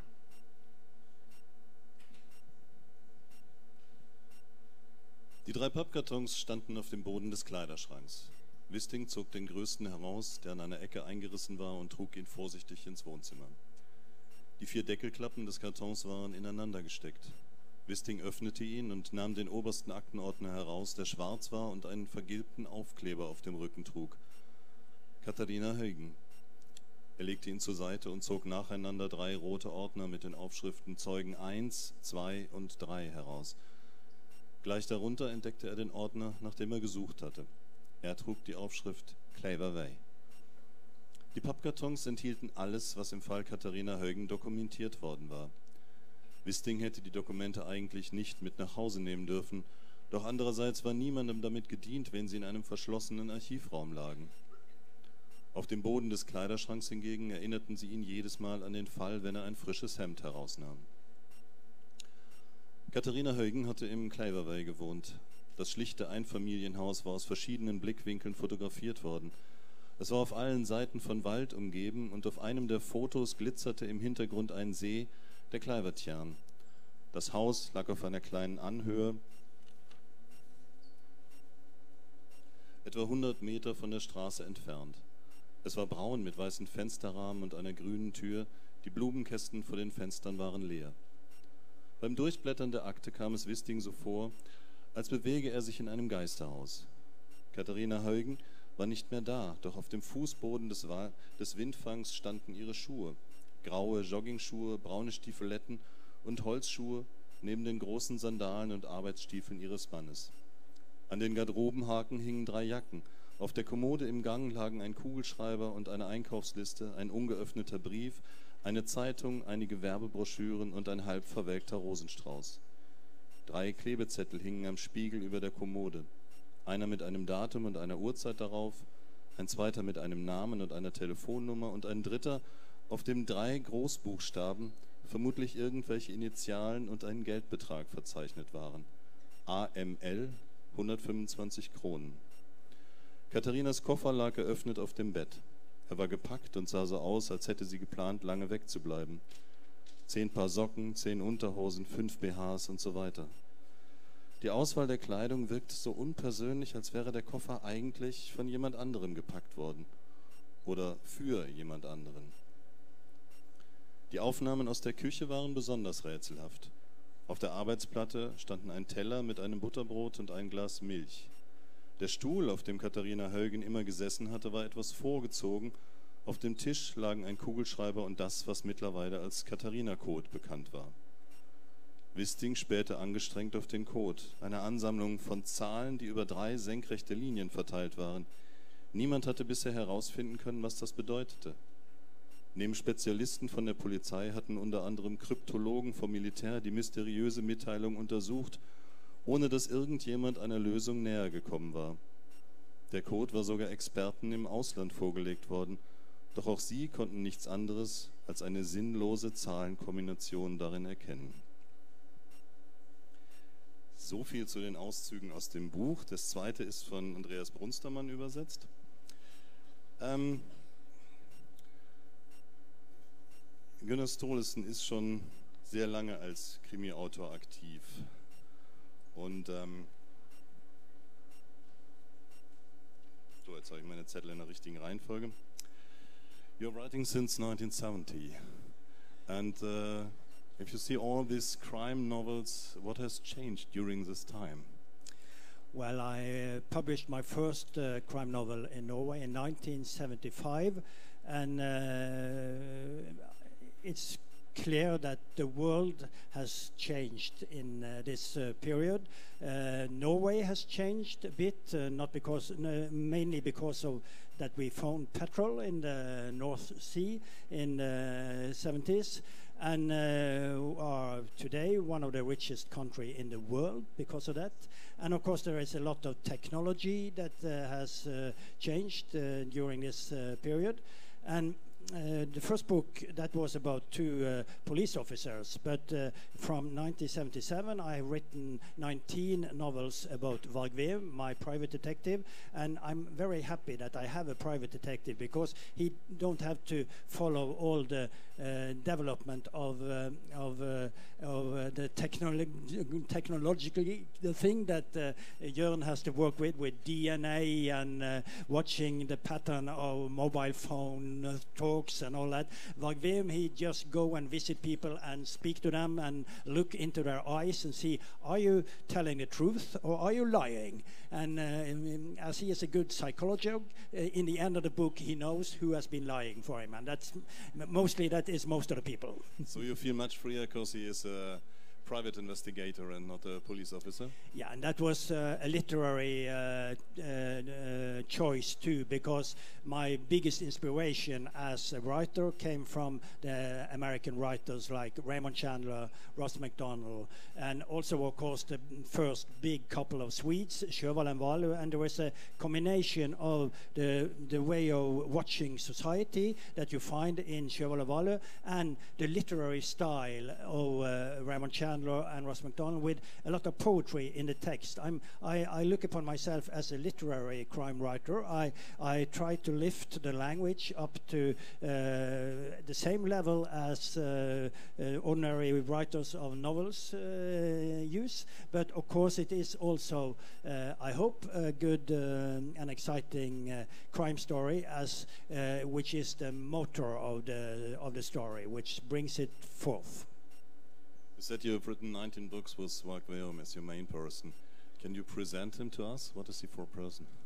Well, the, he is inspired by the American uh, detectives like Philip Marlowe and Lew Archer, but uh, I thought it would be too much of a copy if I made uh, gave him the same background. They have been working as a police worker on the district attorney work, uh, so I looked around in the Norwegian society in the 1970s, and I saw a new uh, sort of people growing up, and that was the social workers.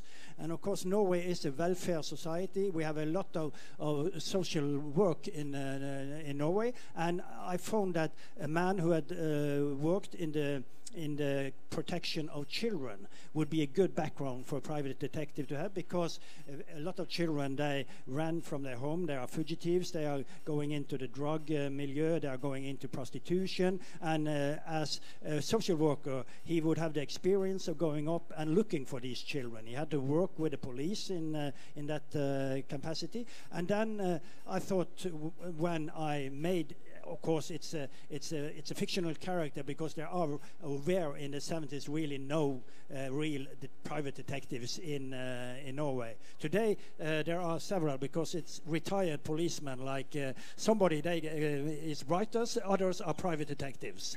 But, but um, at that time, it was a clearly fictional form of presentate detective, but it is a long tradition, and crime fiction is a traditional way of writing. We go into a style and into it. I very often compare it with being a jazz musician. We are playing the good old tunes in a new way every time.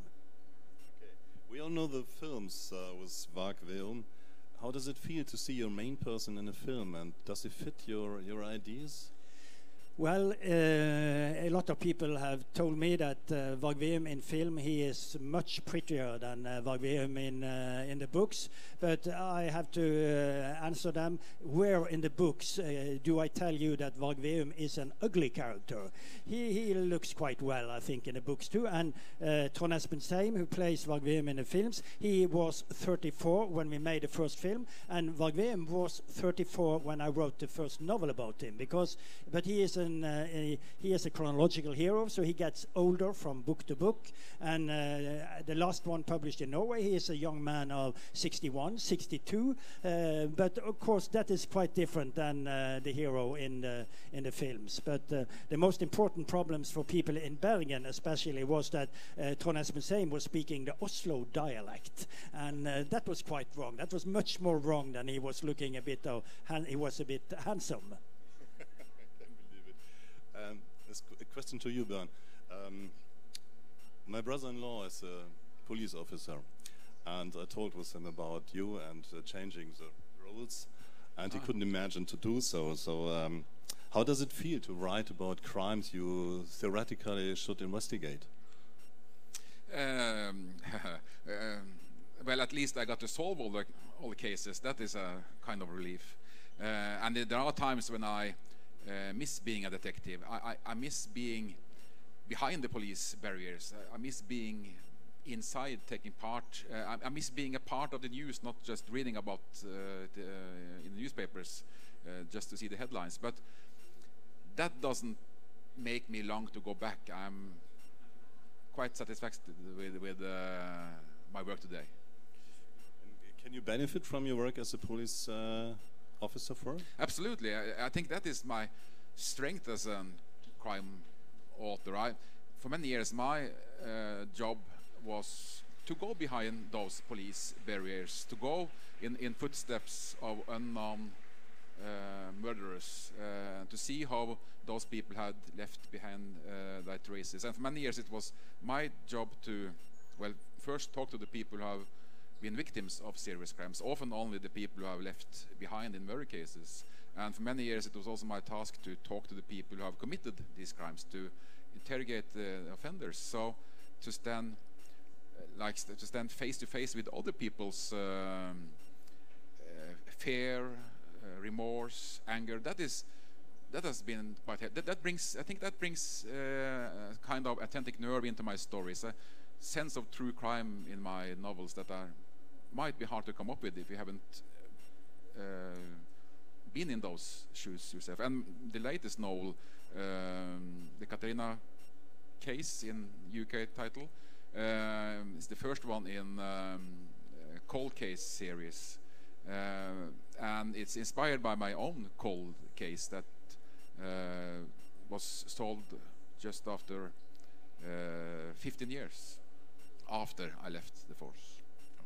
And um, I think William Wisting is much freer as you has been as police investigator. Well, I'm, I'm not sure I agree with you because uh, being a detective in the Norwegian police force is quite different than being um, uh, policeman in, in Germany. Uh, I think the Norwegian police det, uh, detective are freer. Of course, in in my novels, uh, Wisting he is traveling out to crime scenes and uh, out in the field. My real job was pretty much inside uh, in my office. So, so in that case, uh, in that, that way, he's more free than a normal detective. That is true. And uh, what about the reaction from your ancient colleagues? Well, um, this series now has a total of 40 novels in, in Norway, and for the first three or four novels, I didn't hear anything. Nobody was saying, at least not to me, uh, they were saying anything. But this is uh, well, this is on strange in somehow, but because when you are a success and a success, especially abroad, then uh, your colleagues, th- then the Norwegians, they, they want to be a, they, they are proud of you, and then they are stepping forward and, and, and saying good things about you. But today, uh, I get good feedbacks from police colleagues and also from even the the Minister of Justice is one of my readers uh, because in these novels uh, I'm writing true police procedure, uh, the way the work is done, and that is somehow building up the trust to the Norwegian police. And a question to you both. Um, can you explain before there are so many crime novels from Scandinavia or from Norway? Well, there is uh, several answers to that. The first is that we have a very long tradition of crime writing in Norway. Uh, we uh, used to say that uh, the first uh, modern crime novel was written by a Norwegian two years before Edgar Allan Poe wrote the murder in the Rue Morgue. Uh, and, uh, and we had a, a big tradition around the turn of the last century with uh, Stein Riverton, who was very popular in Norway and all the Scandinavian countries, and even here in uh, Germany. And then, of course, it started again with Sjöwall and Wahlöö, the Swedish couple, writing from 65 to 75, and my generation, which is the first generation who really started to write modern crime fiction in uh, in Norway. We were inspired very directly by Sjöwall and Wahlöö, and you can see in most of the world, it has been Swedish writers who has been the front runners. It was Sjöwall and Wahlöö, it was Henning Mankell, it was Stieg Larsson, but in, when you look upon upon Scandinavia from other countries, it looks more or less the same. So today, uh, is perhaps the, the biggest name uh, selling from the Scandinavian countries. So we have a uh, we have a long tradition in writing this uh, fiction during the last 30, 40 years.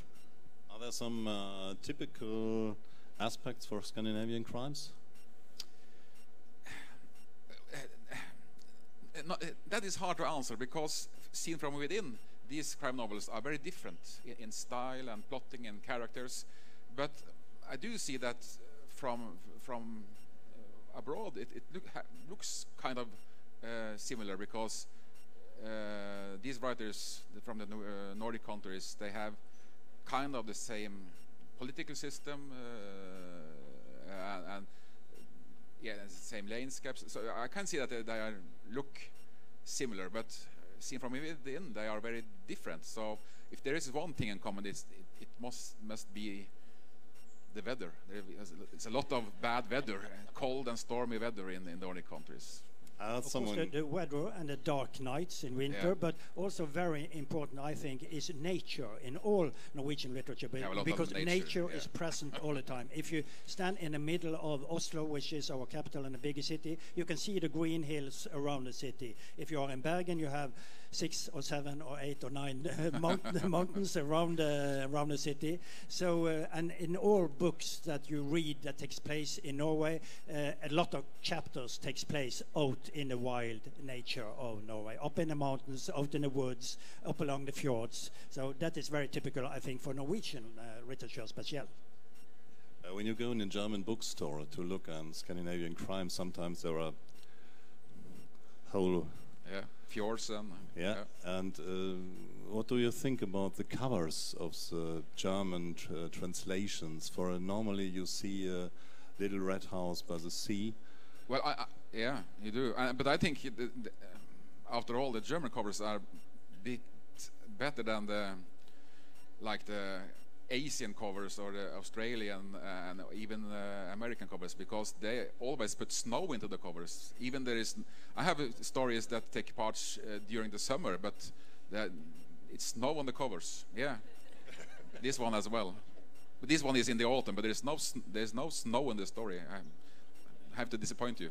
It's a cold, cold, cold cover, but uh, no snow inside. But a, lo- a lot of the covers in Germany uh, looks like tourist pamphlets for Norway, and Yeah, I yeah. have I have a very good uh, colleague in Bergen who has written several crime novels about a lawyer. Takes place in Bergen, and we he, his first, first book was published in uh, in Germany. It was a reindeer on the front cover, and he, he had never seen a reindeer in his life. Yeah, um, I want to mention that um, the books you can you can get there over at the um, outside. There is a um, stand, and uh, the two authors uh, will uh, give you a signature there at the table. And um, last information: this one is published by Piper Verlag in Germany, and this one at Polar Verlag. So um, I hope you will have fun reading this book. And uh, thank you for now. Thank you for us. Dankeschön.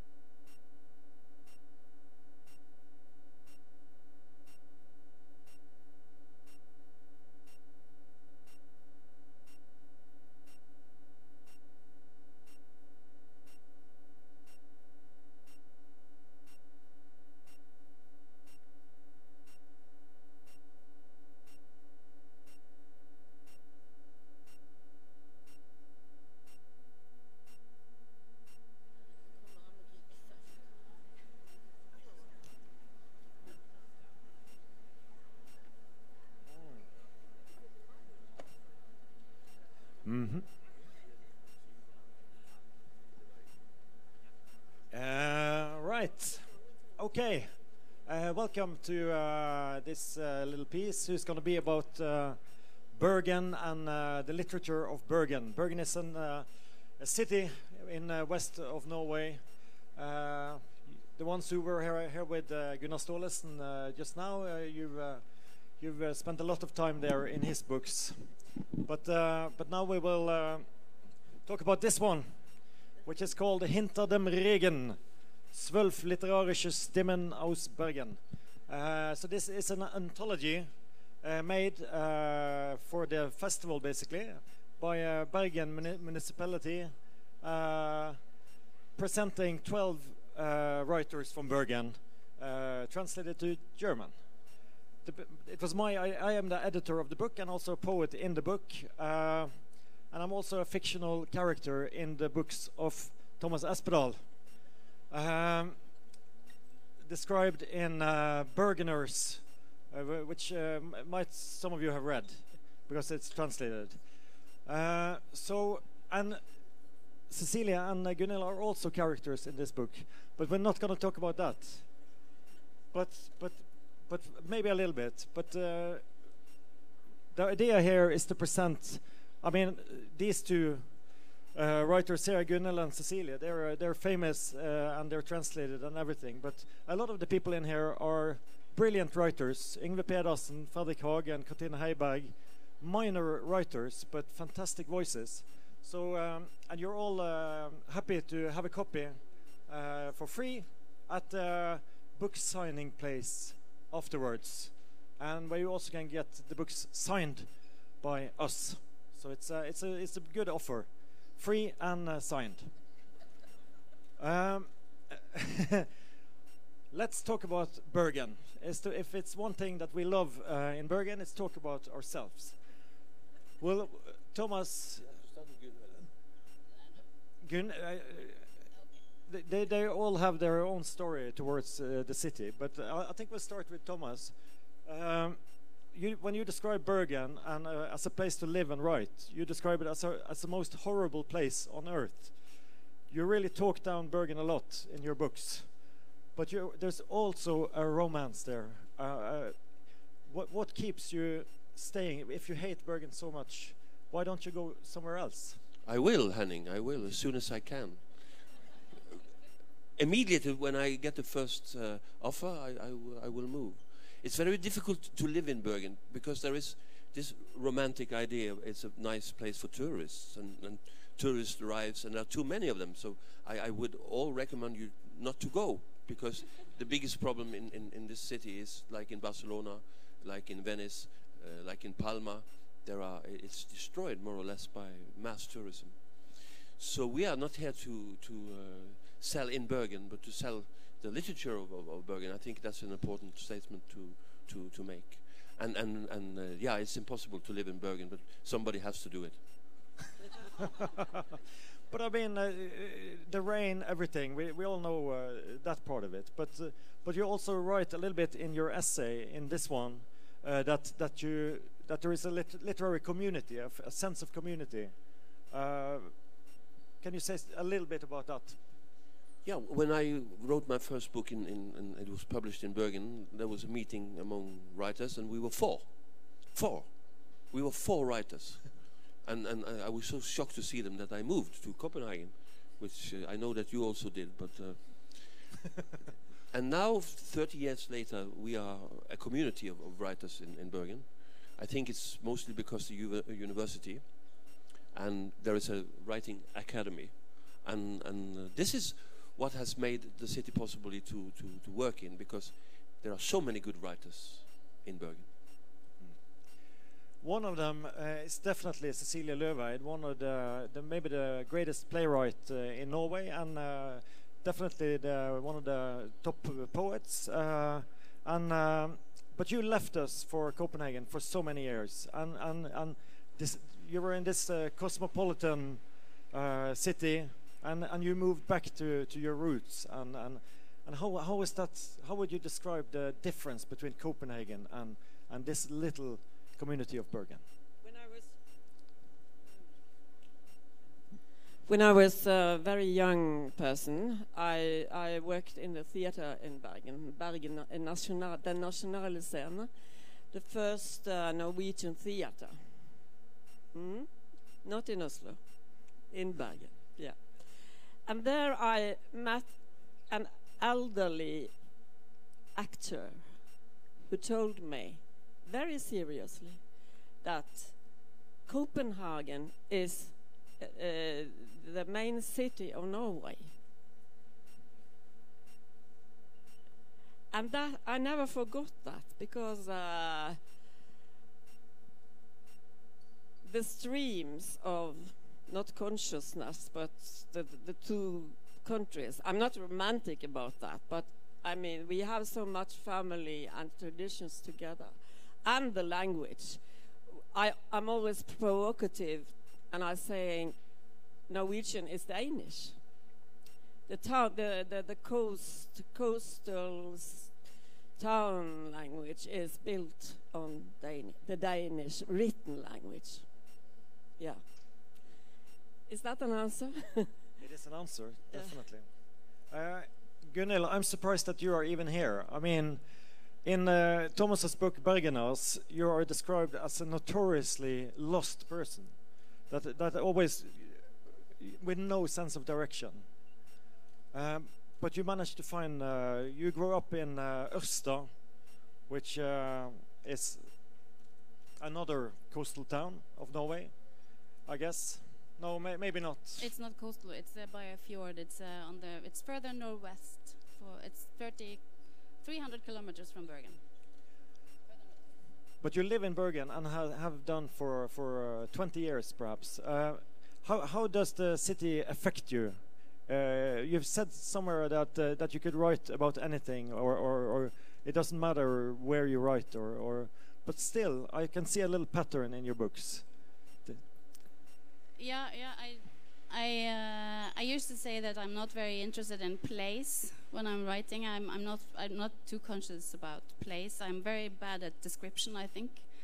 Um, but I tend to write about either Ørsta, my hometown, or Bergen, where I live now. So they kind of creep into my literature no matter what I do. And I think that's also something that has to do with I don't have to think. I, I don't have to imagine or invent anything. I'm just uh, in these places. But also, it's something to do with um, writing about something you know. Uh, and I think my hometown is something that I really know, but something that keeps puzzling me. There's something I don't understand about it, and I'm very drawn to it. Um, and the same thing I think is with Bergen. Is, uh, it's it's it's something that's uh, kind of rooted in me, uh, having lived there longer than I have lived in uh,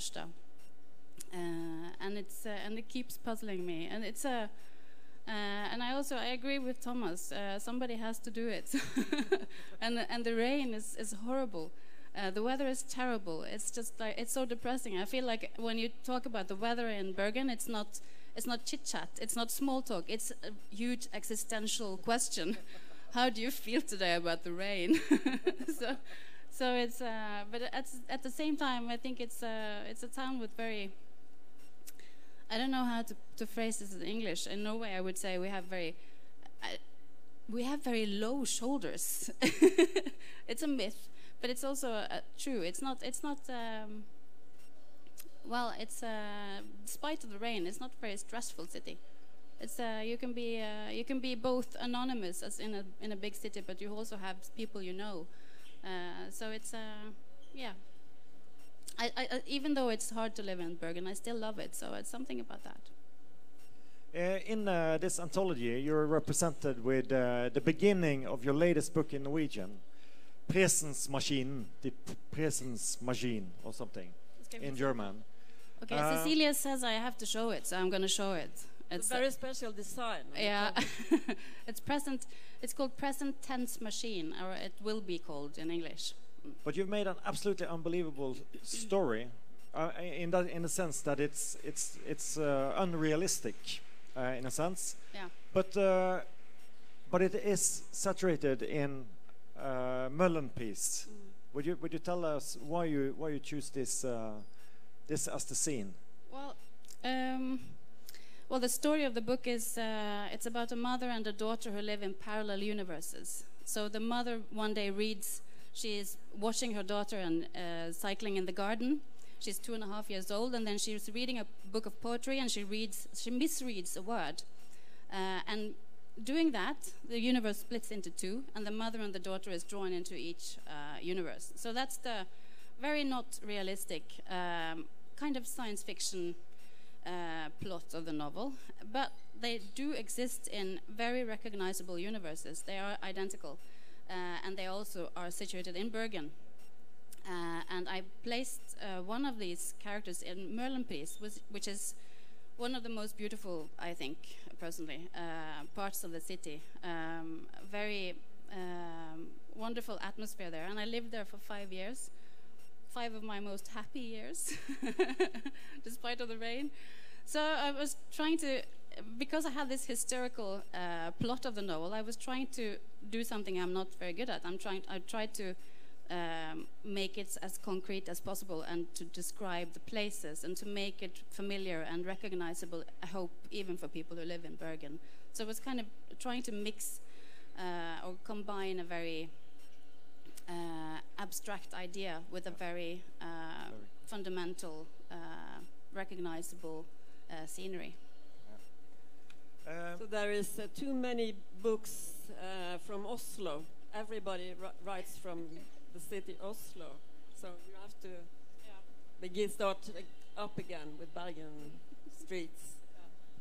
Cecilie, you live in a in a quite particular part of Bergen. I mean, you live in a, inside a museum. Yes, I am uh, part of a big uh, the Old Town Museum. That's So true. It's true. It's true. It's called Yeah. the Old Bergen, which is a museum uh, with with uh, old wooden buildings from from. Yeah, my house is uh, on the on the list. Vad heter det? Sån konserv, konserverings... Uh, on the on the on the um, not not UNESCO, but but uh, you don't have you, you cannot change it. Yeah. Oh yeah. But you live there with your with your uh, with your cats. Uh, Well, I uh, uh, I have only one cat left. You the lost- image is fade, fading away. but but, uh, but They are uh, so old. After you uh, came back to us, uh, your productivity and the quality of your writing, uh, uh, everything is just exploded. The whole thing. Well, that is your words. Well, yes. Didn't I write a great, good enough before? no, no, no. But no, um, no. The thing is that I, I started out as a as a poet and novelist, um, so-called experimental novelist, and then I changed because I had a great success with a novel, Zug, that was also in German as Zug.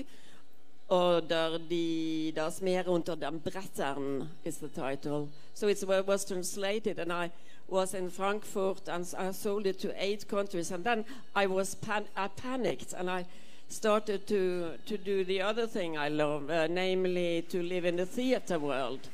And I've written a lot of lot of plays. Mm. So, uh, but when I went to Copenhagen, I, I, I, immediately started to, to go, go into a kind of uh, geriatric or childhood uh, phase. So I, I started to, to write poetry again. And that is five, that is five volumes in one book. And some of it is in this uh, yeah. hinter dem Regen, Mm. because uh, maybe because it's a little, it's about the moval, the, the moval from Copenhagen. So maybe it has something to do with Bergen also. Yeah. moving home. And after uh, after those, I, I wrote this, and that is uh, poetry around prose po- poems around uh, my love of visual arts, the visual arts. But these two books together is um, six volumes of poetry written since year 2000. And and uh, the purple one there, uh, Vandreutstillinger, uh, also got th- the book award. circulating, circulating exhibitions, maybe in English. Yeah. Yeah. But it also got the, the Brage Prisen, uh, I mean, the, the biggest prize, literary Those- prize in those Norway. So- is uh, the Brage Prize is the biggest uh, prize, diploma. Yeah. Mm, And uh, the other one is as big as that because it's the critics uh, award. And it even got the, the award before it came out. So that's. oh. So it's, it's to just a rumor of the book. Uh, It is just the text. It's not the, the carton Yeah. that got the prize.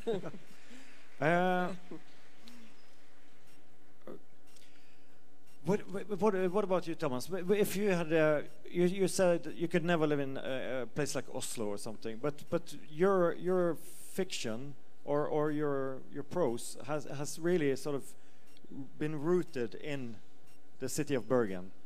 I- is there any is there any chance? Uh, would you what would happen with you if you if you if you uh, moved to Austria and and, and, and, and sat there uh, the rest of your life? Would it would it? I, I, don't I don't know actually, but the thing is now, for the last 20 years, my writing has been uh, collective. I used to write my books uh, alone, in Copenhagen or, or different places. It's it's always a part of a writer's work to find the right place to write a better book than what you are able to write.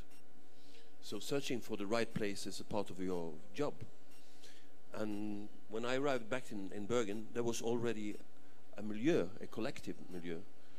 And you introduced it to me because you, you were used from the uh, writing academy to work in, in, in, in, uh, in communities where writers read each other, criticized each other, came with readings that were on a very high level. And I was invited into a group. And then I learned really how to work in a, a collective.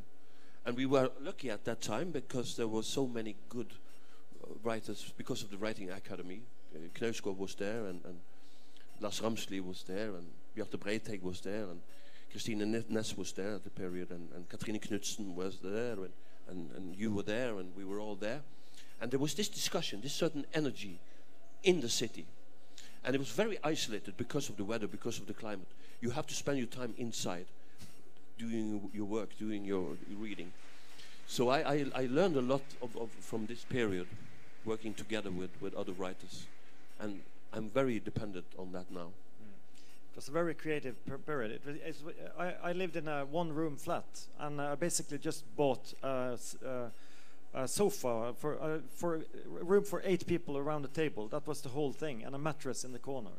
So so that was so the whole my whole room was filled with with writers uh, every week, and uh, it was quite a quite a. I, uh, It, it changed the writings. It, it changed my writings.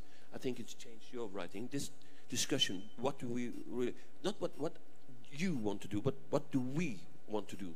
What can we do with literature in, in, in, in, in Bergen first and afterwards Norway? And it seems to have been succeeded because they read us in, in Germany. Gu- Gunnhild, you are sort of the the a mystery. You're the joker in this in this uh, literature milieu because uh, we never see you. You're you're a, you're a, all all the we, we meet in bars. We we we we have uh, all these chats, but but you're never there. You're you're you're No, I like to be very mysterious, and uh, and also I'm lost all the time, so that's why you can't see me. no, but it's uh, Bergen is. I, I have I have uh, children now. I don't. Uh, I'm uh, I'm at home with my children, so that's why I'm so mysterious. Uh, so and Bergen has in that way changed for me. I have kind of two two different cities. The one where I studied and I moved to Bergen to study literature. We had one of the greatest um, uh, academies of uh, comparative literature with fantastic professors and and um, and a fantastic uh, student group. People would move to Bergen actually from from Oslo to study there, which is everyone in Bergen. "Ooh." we have the best uh, institute. I don't know how it's now. I think they're still pretty good. and we have also the the Academy of Creative Writing, where I actually teach now, and Cecilie has also taught for many years, which also draws people to Bergen. Yeah. So it's uh, I think it's a very dynamic and uh, and vibrant environment for, for young writers actually uh, still Um, but for me, as a, I moved out of the city when I had children, and uh, kind of show up sometimes when the weather is good. yeah, but Uh, I don't. I don't intend to be mysterious. It's just uh, part of my nature. Well, um, Tomas, uh, Bergen has almost no publishers. For, for a city of that size, it's, it's quite incredible. Uh, all the publishers are in, uh, in Oslo, so we just send our manuscripts. So you even take, take, to take the train to, to hand them uh, the, your manuscript from your old typewriter. Um, but but, but this is a, there's a distance there, and we actually live free of uh, the publishing world. Do you think that has something to do with uh, with the atmosphere? I, I think so because we learned a lot from the music scene. The music scene in, in Bergen is very different from that in Oslo. We've been told because people help each other. So there is a lot of competition. You will, in, I, will, I will guess it will be in, in all big cities that there are when there are seven or eight publishers, there is seven or eight collectives, and, and not always a mixture of, of, of writers from these different publishers, which we don't have to, to, to consider in, in, in Bergen. So it's, it's my uh, feeling that everyone helps each other, so trying to promote each other and having these discussions and, and, and taking care of, of, of, uh, each other. So when, when the young writers come now, they come from Oslo, some from Copenhagen, some from Sweden even, to go to the academy. I think they are very well taken care of. We, we give them cigarettes and a lot of alcohol, and, and we learn them to fight, and, and, and, and, and, and, and then they become uh, good writers, most of them. Mm. Yeah, it's. Uh, it's I, I, give them carrots. the healthy but you choice. Also, I have to say, you also provide them with a scene. I, I, if, if, I'm allowed to say that, you have this poor sea dig which Yes. is which is very open to young writers who can come and, and read their uh, Yeah. material, which is also very important. In Bergen, uh, 150 people show up to hear a poet that nobody has heard about. It's, it's that kind of place. And, uh, and uh, so I, I do this poetry uh, nights, and uh, it's wildly popular with the younger crowds also.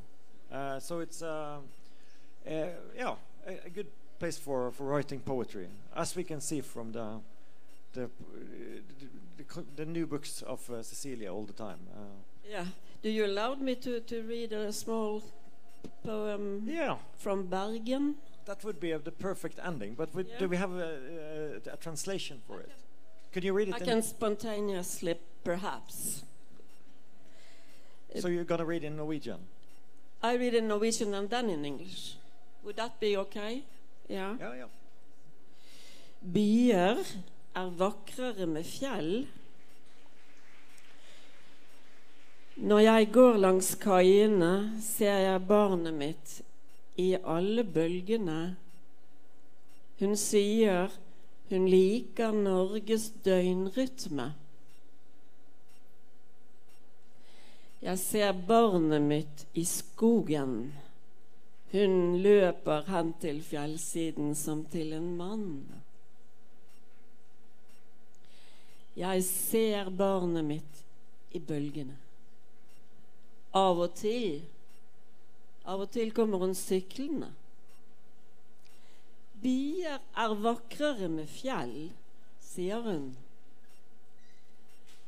Eh, I will try and Uh, I'm not sure. There is a new thing coming here now in uh, two minutes. So I think we have to actually.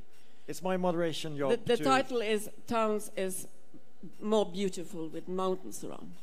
Yeah. That is That Bergen. i- that is the perfect ending. Yes. Thank you, thank you, thank you. And um, and uh, believe it or not, this book with uh, the writings from these people and Tomas's essays, my essay and poetry, is free, and you can get it at the bookshop. And uh, and uh, they will even uh, the famous ones of us will sign their books also. Yes. Thank you.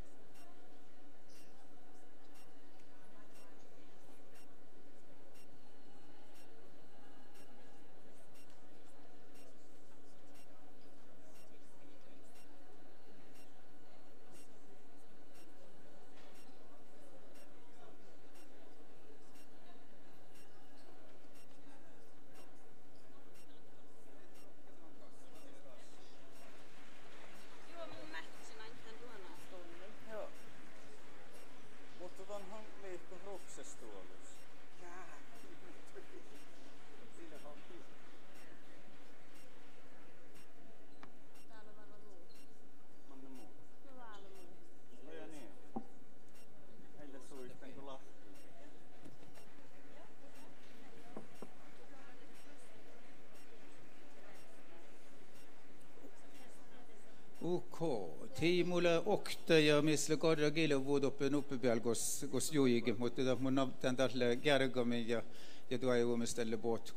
ei.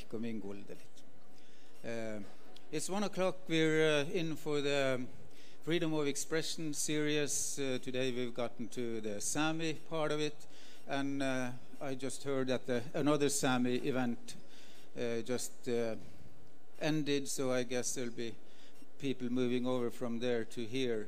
So, uh, so we'll. Uh, I think I'll do it the way we do it, used to do it in the radio. That we just keep small talking till people find their places and and can talk about the weather in Frankfurt and how nice it's been here and how happy the Sami are for the huge turnout and the interest we feel for for for our literature and what we're doing. Uh, but but talking like this also steals away with uh, the time we have. So, so I guess we, we just uh, we just start our program, and uh, and uh, what we're going to to uh, do is uh, I have a brief, very brief introduction, and then we're having a conversation here on on freedom of expression seen on Sami terms. I want to start with a myth and a very brief myth, uh, a very very brief retelling of a Sami myth. Because when the great creator created the ancestors of uh, what were to become the ancestors of the Sami, uh, he or she knew about the hardships that the people would uh, endure. So, in order to give the Sami something to believe in, some comfort in life that uh, would ensure them that, uh, that there still is a future for the Sami people, he or she, the great, the great creator, put a living and, living and beating heart of a two year old reindeer cow in the middle of the earth. So every time the Sami felt their existence threatened, we could just lay our ear to the ground and listen from, for the heartbeats from below. And as long as we could hear the heart still beating, we knew there would be a future for the Sami people.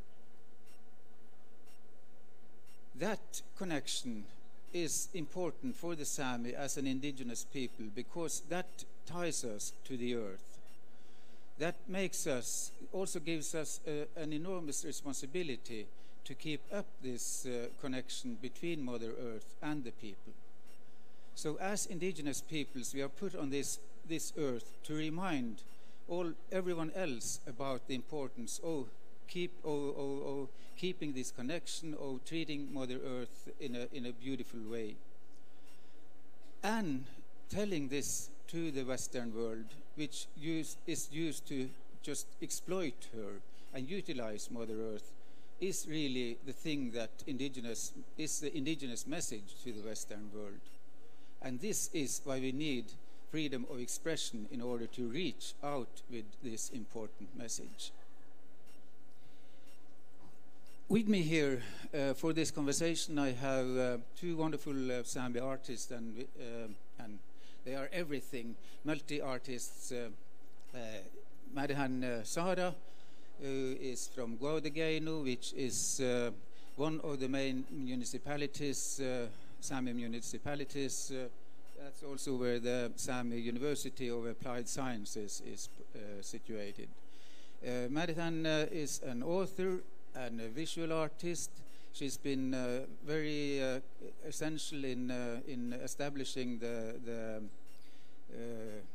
Taita Tallu, the uh, uh, artist collective in in Guovdageaidnu, and she is an activist, and uh, we'll get into that later in the conversation. Why she turned into an activist. Niillas Holmberg is from Ohcejohka, uh, which actually is on the Finnish side of the river Deatnu, Tana, which is the border river. In the majority of society, it's regarded as a border river between Norway and Finland. In Sami connection, it's a way of communication between uh, and over across the river. So, uh, so he lives in Ohcejohka, and uh, and uh, that's then on the Finnish side. But uh, he is represented by a uh, by a Norwegian publisher. Uh, Niillas is an is a musician, a poet, an actor, and so on and so on, and definitely also an activist. So, um, uh, in comparison, or, or just to continue from what I for, from this myth and and the, the necessity of, of explaining this important message to the Western world, how do you feel uh, in in your work that we, we do we manage to get across to get the message across to the Western world, and do they listen to us, Máret Ánne? Ragvaldi. Uh, so Harald, um, first of all, I just wanted to make a brief comment about uh, the labeling. Uh, you call me an activist. Uh, me, I don't consider myself an activist, but my work, which I see necessary to bring forward in the different ways I do, are very often considered activistic from the viewer's point. So this is just something I wanted to clarify because I don't do this just to rebel or um, it, this is an, a language of the heart and the soul and how it becomes is a product of circumstances, political and practical daily circumstances. Now, having that clarified, you asked, hello? Yeah, you asked me if um, if we manage to get our messages through through our um, artistic practices. Uh, well, um, I think it varies and it depends. Um, with my last project, I definitely feel that the message has gone through quite clearly and loudly. But the question is um, is anyone listening? Is anyone reacting? Or is it just um, somehow glorified in, in a visual or artistic sense? So, this is uh, a quite difficult situation, I would say, um, in terms of practicing uh, freedom of speech, uh, but where does it lead us? Yeah, exactly, because um, already back in the uh, late uh, 60s, early 1970s, a very famous Native American uh, author and professor, uh, Vine Deloria Jr., wrote, wrote a book uh, meant for the white American audience, where he put the title of the book, We Speak, You Listen. Uh, he, uh, he sold more than a million copies of the book, so it probably was also read. But, but still, the U.S. didn't change any of its politics towards, uh, towards uh, Native Americans. And is that what we are experiencing in, in Norway as well? That we have the freedom of expression, but, uh, but what about the authorities? Do they pay any attention to what we are saying? Yeah, and um, me and you, we were talking very briefly about this the other day, and you asked me, um, "What is, what's, what's the help in this freedom of speech if no one is listening?" And I've been thinking and, and been quite frustrated about that for a long time. And every time I go into, you know, investigating the answer to that, I have to say, I'm going to jump a little bit from, you know, the literature uh, into the visual arts uh, in terms of my work. But the freedom of speech, um, yes, we are working towards changing something, but until that happens, um, I feel more and more that the freedom of speech is important for protecting uh, a sanity, basically. Because if you're screaming and screaming and everyone allows you to scream but no one listens, then, um, yeah, I, I tend to art um, sort of as a therapeutical uh, way of dealing with a very difficult situation in my family against the Norwegian government. And um, and on many occasions, I've been thinking, what would I have done if I didn't have this freedom to express myself through uh, visual arts or words? And, and then I of, oftentimes think about my colleague, another very talented artist uh, from the Swedish side of Sami, Anders. He's made a lot of work addressing this um, general oppression on people, on human beings, that if he said on some occasions that wonder if I didn't have my art, how would my reactions have come out? And I very often think about, um, you know, minorities or um, smaller populations, indigenous or no indigenous, but when you are under severe oppression uh, and there is no way out, you can have uh, quite dramatical and dangerous effects. So um, for me, it's very important to, re- to remind of the many important aspects of having this liberty, despite the fact that no one is actually listening in Norway or I think in in the rest of the Sami countries. Yes, because that is the, the curse of, uh, of a minority that, uh, that uh, you, you are still depending on the understanding of the majority. And you need to reach out to the majority in order to get the support that, that is needed.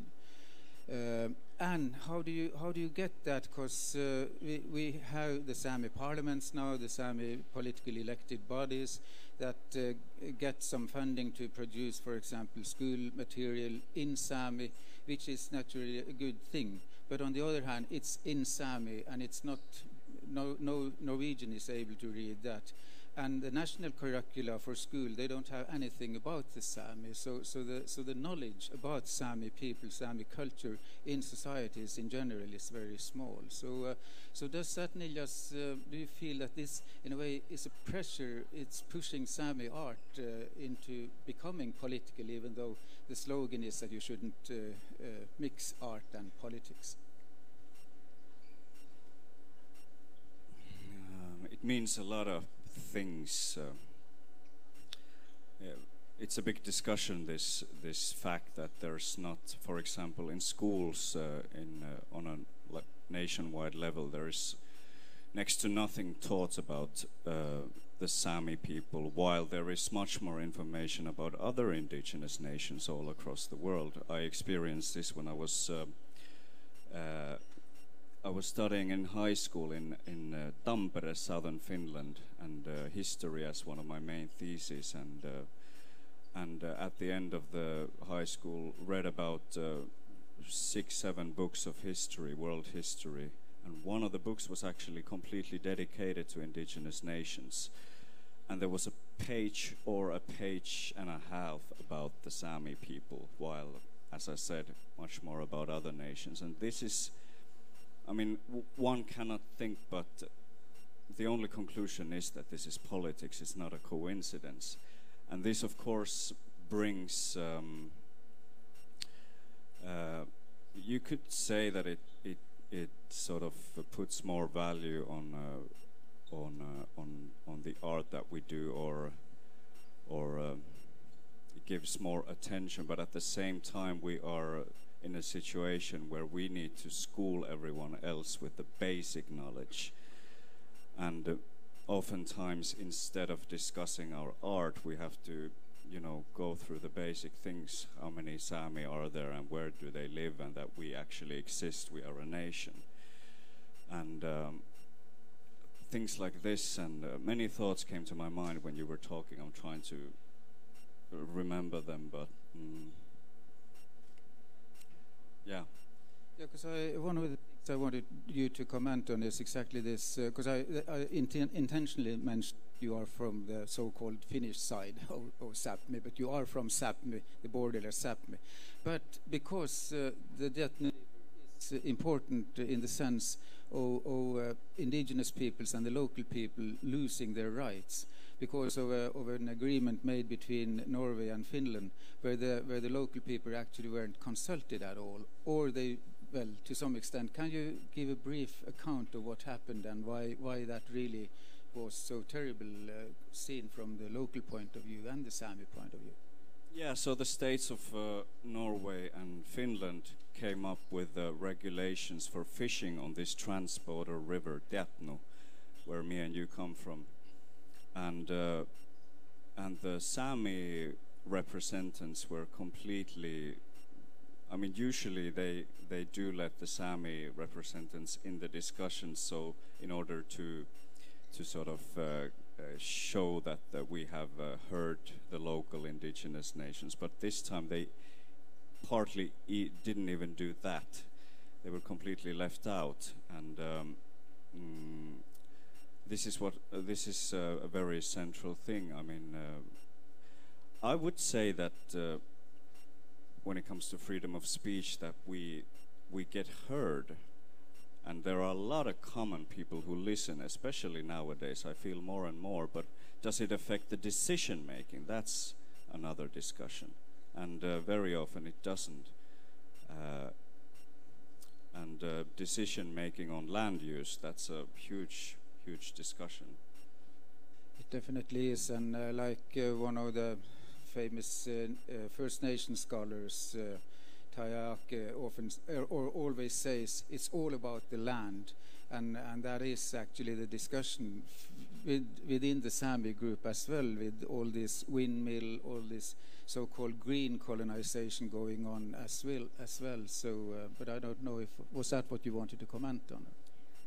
No, I just wanted to go back a little bit to stressing the importance of um, liberty of expression, not only speech, but um, my latest project, the Pile o' Sápmi, um, you know, it's not without reason that I I traveled with 200 bloody heads to the district court in Tana. Um, it was basically I had to use this expression to even get a voice in the public platforms because as a minority um, your local issues are not really interesting in a, na- a nationwide or global debate. Maybe in many cases a global debate might find it more interesting. but um, but yeah. For I, I feel that from a Sami perspective that we have to use freedom of speech or expression on so many levels. Just to pierce through uh, a public silence um, to present realities and facts from from the Sami perspective. And starting like Pile o' Sápmi has also been so much uh, educating people because uh, education has been sort of lacking at all levels in society. And my uh, experience has been that as long as people are informed or that they know a story from both sides not only the um, the one presented from the governments uh, through, you know, mass medias, then um, then there's very much um, uh, how do you say it? Um, alltså folk bryr sig. People care. They engage. If but you know, how can you care or how how can you go into uh, any debate or engagement without information? So I think um, Sami arts and expressions, artistic es- expressions, have have helped not necessarily on our political issues like the, the, forced slaughtering of our reindeers, the land grabbings for for financial profits, um, the the loss of fishing rights, but we are forcing through information and understanding, and I think this is a starting point for any change anywhere that you need to have a basis of information. And this is where i feel art is very powerful despite the fact that we are a very small population uh, and uh, what is um, what comes through the art is uh, that i mean one one interesting thing is that when uh, a sami well, people who are culturally active uh, keep on uh, expressing the the the needs and the, the oppression that we face daily, we often get comments like, "Well, what are you complaining about? You have all the you have equal rights to, to, to the other other people in in the Nordic countries, all the all the rights, including freedom of speech." But uh, the question is, I mean, it is true that we have we have the the the equal uh, theoretically equal situation to, to to the Norwegians or the Finns, for example, if we want to live as Norwegians and if we want to live as Finns. But when we want to live as Sami people, then we get to places where our traditions are criminalized. So we, we, we don't get to yeah, that's when it becomes different. That's when uh, when equality is not really the word that I would use to describe our situation. Yes, because you mentioned that um, that uh, you don't reach uh, the politicians. Uh, so, uh, of course, every time we have uh, talks like this and panels like this, people already who have a positive attitude already will, are the ones showing up. So, so, so the people we really needed to speak to, they aren't. They are never present. so, not complaining about the, you who have turned come here, but we're very happy for you. But anyway, because that is that, that's what, that's also one of the problems that uh, that we the, things are changing. The, lots of the Norwegian institutions that work with art and, and literature they, they are very positive to Sami representation. But then to uh, to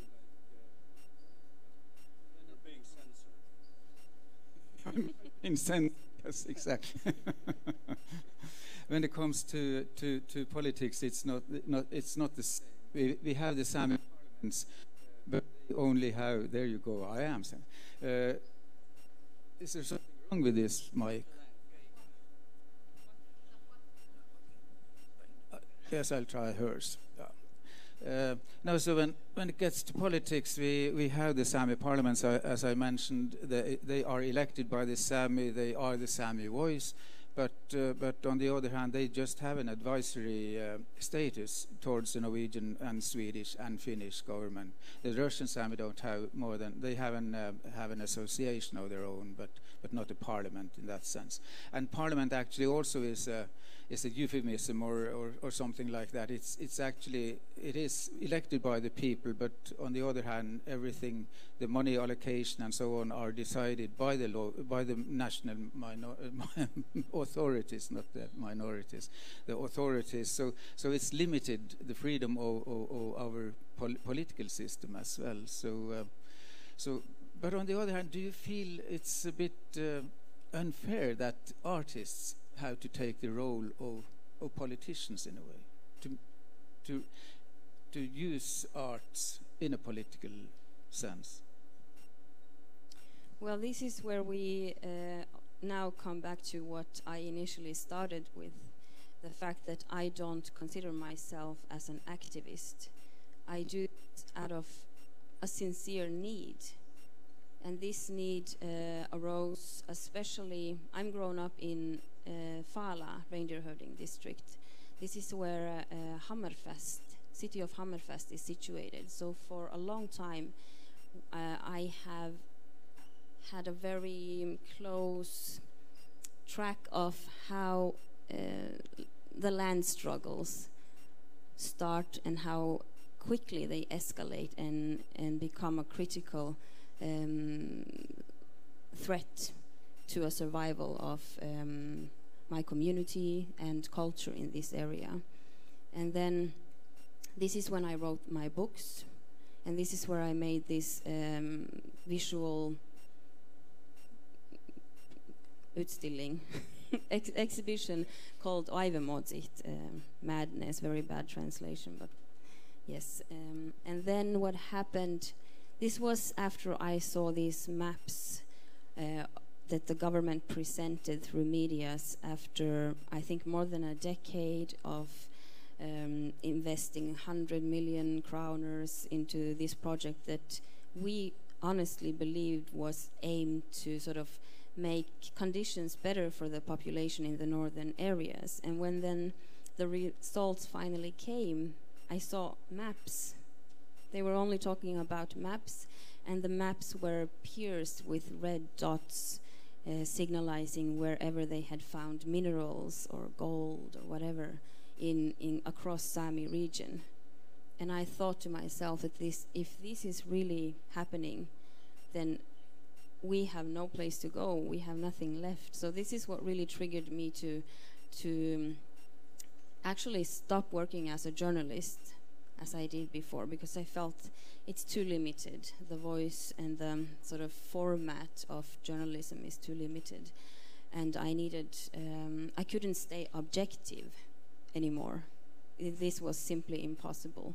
So, um, being working for years with these thematics of battling to to you know protect the land then all of a sudden we have the forced slaughtering of our reindeers on top of this argumented by uh, us being the villains in the story and destroying these same lands so the government was arguing that they are doing this for the benefit of us in order to protect a future for us as Sami reindeer herders.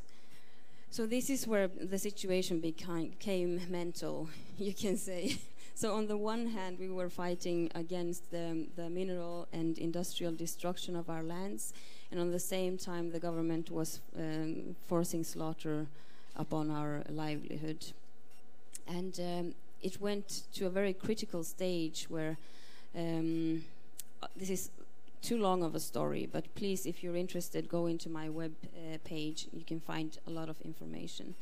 But my point was that these are sort of the situations. When I was telling you about the 200 reindeer heads, bloody raw reindeer heads that I traveled with to the to the court where my younger brother, he was then 23 years old, he went to court against the Norwegian government to protect his livelihood and to protect his rights and our collective rights as Sami reindeer herders.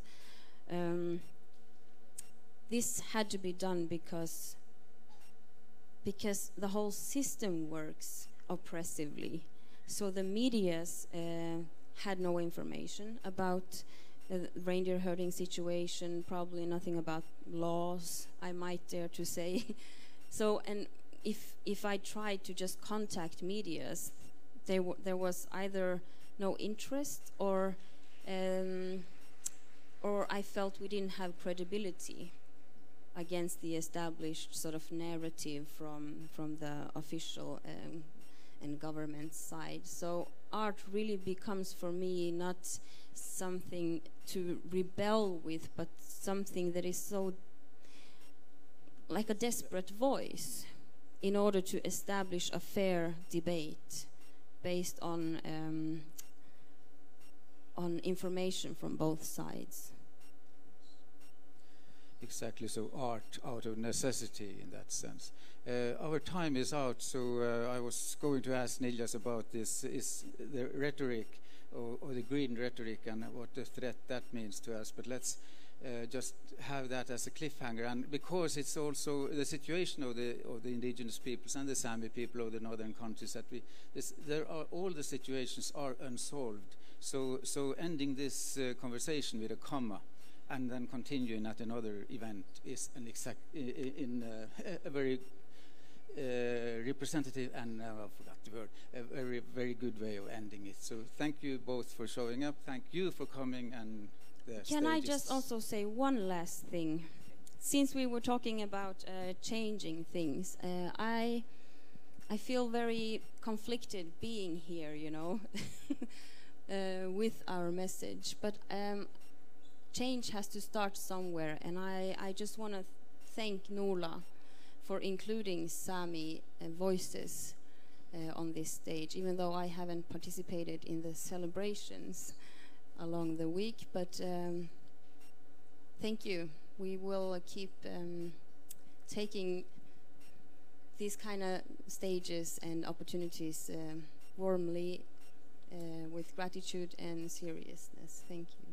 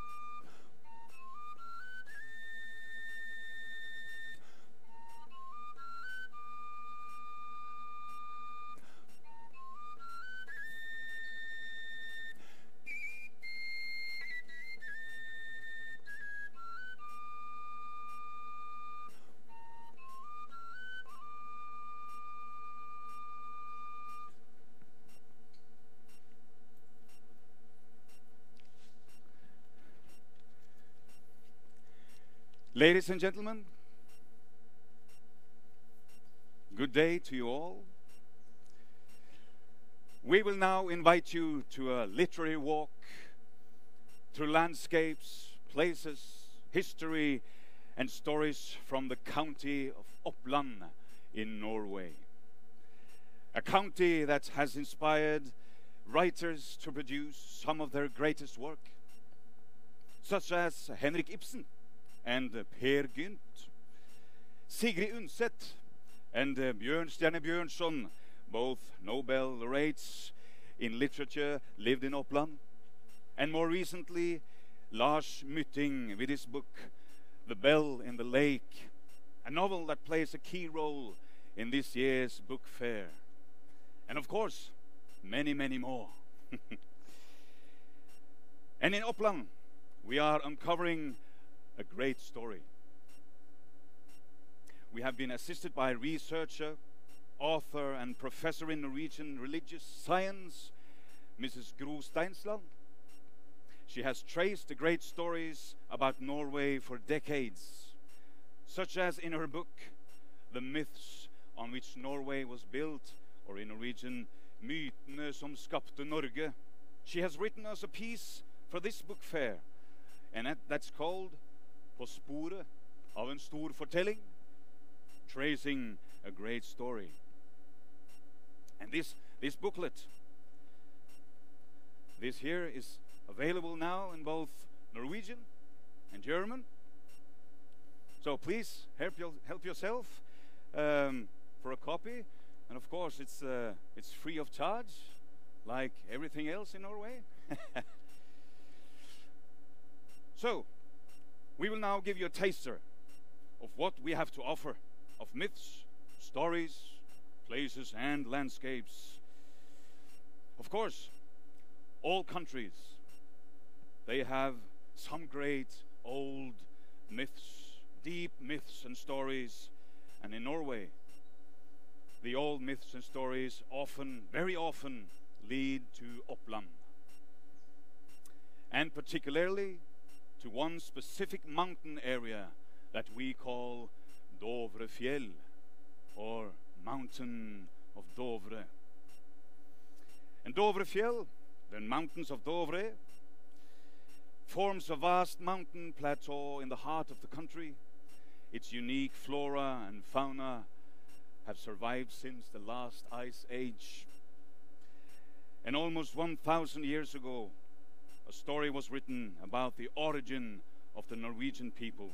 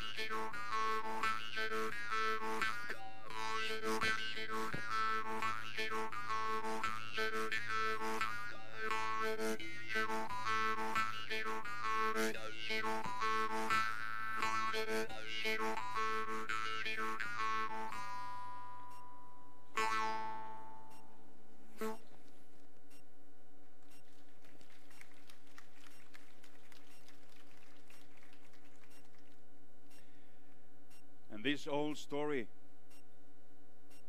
it goes like this. In a far, far north, where snow, ice, and coldness ruled, there lived a mountain king, a Jotun. His name was Fornjotr. And in Norse mythology, Jotuns are nature spirits with superhuman strength. Fornjotr, he had three sons ocean, wind, and fire. And one of his sons had three children the daughter Gue, and the sons Gur and Nur. One day Gue disappeared, and her brothers set out to search for her. Gur manned his ship, and he searched along the coast. And Nur, he waited until winter and set out on skis. He followed the inland from north to south. He searched high and low for his sister Gua. And finally, he found her. Of course, in the mountains of Dovre. She had married a Jotun, the original inhabitants of the mountains. And also Nur, he settled and married a female Jotun. And according to this myth, this is where the Norwegian originate from. So uh, is it any wonder that, uh, that skiing is Norway's national sport when we all originate from a skier? Hmm? Well, the myth about the skier Nor is the overture in the oldest known historical text about Norway, a remarkable work that was written in the late 1100s and has the title Historia Norvegiae. And it's remarkable because everyone in Europe was in agreement that history and culture had originated in the south, in the antique and biblical areas around the Mediterranean. And this author, this anonymous author, he swapped the Mediterranean for the Arctic Sea. It is the outermost north that forms the backdrop for the creation of Norway and Norwegians at the mountains of Dovre. The Norwegian Icelandic history was first put in writing in the 1100s, 1200s, and 1300s. And that is such as Fagrskinna and Flatøya Bok. And last but not least, Heimskringla, a collection of sagas of the early Norwegian kings written by the Icelander Snorri Sturlason. And that is one of Norway's most important literary works.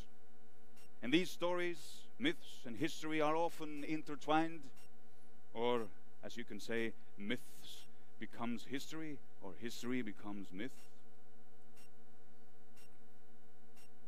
Such as the story about Harald Hårfagre, Harald the fair hair.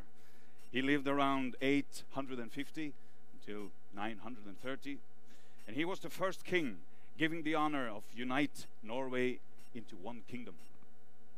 It is said that Harald, who lived in the very south of Oppland, as a five-year-old was dramatically taken by the Jotun Dovre to live with him in the mountains of Dovre for 10 years. Harald learned how to ski, survive in the harsh mountains, and fight off dangerous animals and creatures. He learned how to take care of himself and he became stronger. But one day, the Jotun told him that his father was dying. And he said to Harald, You are going home now. You will take over the kingdom. And I am telling you, you shall not cut your hair until the country is fully united and under your control the Jotun said. So Harald went home. He let his hair grow until the country was united, just like the old Jotun had commanded. And this gave him the name Harald Hårfagre, the man with the long hair. So this is a hero myth about how the first king came to power.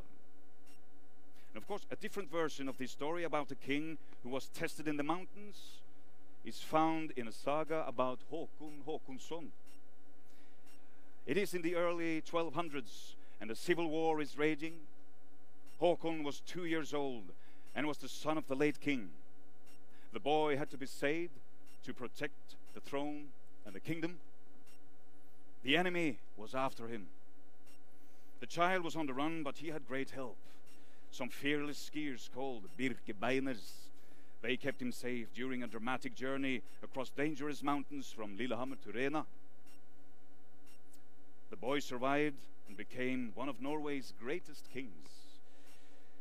So, is it any wonder that Norwegians are a people of the mountains, always turning to the mountain and nature for adventures and, and growth? Well, but of course, we are not finished with the Harald the Fair Hair. In a different story, we read that Harald was back at the mountain of Dovre after becoming king, he celebrated Christmas at the king's estate. And in the evening, a Sami knocked on the door. His name was Svose.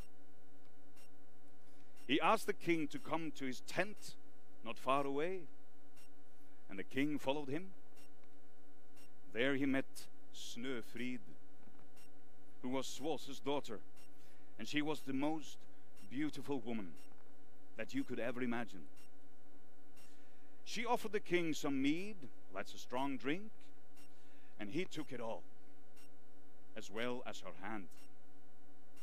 In the sagas, it says that a fire ran through him and he wanted to sleep with Snøfrid immediately, the very same evening. But of course, Svose, her father, said no. They first had to get properly married, and this they did. Harald and Snøfrid got married and had four sons. This is a symbolic story about how Harald Fairhair included the Sami people in his efforts to unite Norway. And so, in the 1400s, Norway became a part of Denmark, a union called Denmark Norway. The old literature about Norway and Dovre was left to collect dust, but they lived on in local storytelling and folk tales. Norway left Denmark and entered a union with Sweden in 1814, and Norway now has got its own constitution. And the constitution was sealed with an oath. And then the old stories were dusted off, and the wording in that oath is united and loyal until the mountains of Dovre crumble. So Dovrefjell, the mountains of Dovre, was again a symbol of Norwegian identity, and throughout the 1800s was of great importance in the world of art and literature, particularly in the years leading up to 1905, when Norway became an independent nation. And that was a period of strong national consciousness, both in Norway and in Europe.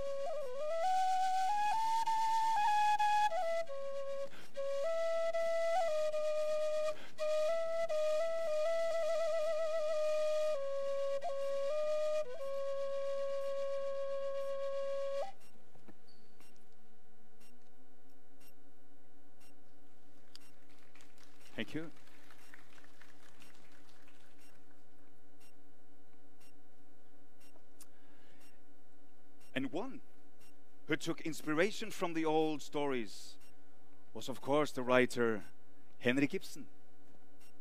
In his world renowned poem, Peer Gynt, he makes full use of local storytelling and ancient legends. Ibsen suffered several setbacks on home ground, and it was with a sense of bitterness towards his native land that he moved to Italy to write. And, well, there is, there is one scene in uh, Peer Gynt that, well, probably is the most famous part of that work, and that is the scene, the wedding scene in the Hall of the Mountain King, where Christian morals are turned upside down, good is evil and evil is good. In a high spirited moment, Per has entered into a relationship with a woman in green. That's the Mountain King's daughter. He is to be crowned emperor of the mountain, will marry the king's daughter, and will be giving half the kingdom. Well, yes, with Peer Gynt in the hall of the Mountain King, Ibsen, who himself was a national romantic in his younger days, he breaks mercilessly with national romanticism and the self praise he feels characterize the Norwegians. Yes. His revenge was Peer Gynt, which wildly ridicules the national Dovre symbolism. The drama makes fun of the Norwegians and displays the weaknesses of national boasting. And what is peculiar is that the Norwegian audience, who were the victims of this satire of every Norwegian, embraced the drama as a significant national work of poetry without taking the writer's irony into heart. So the premiere was the start of, of a national romantic Peer Gynt tradition that may have continued ever since, probably. okay. We have had a look of our great stories. We will now show you what Oppland has to offer of experiences and attractions.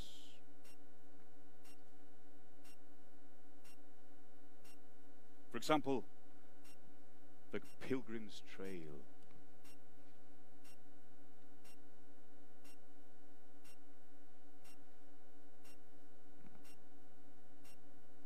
The Pilgrim's Trail with St. Olaf's Way to Nidaros. Across the mountain of Dovre in the end.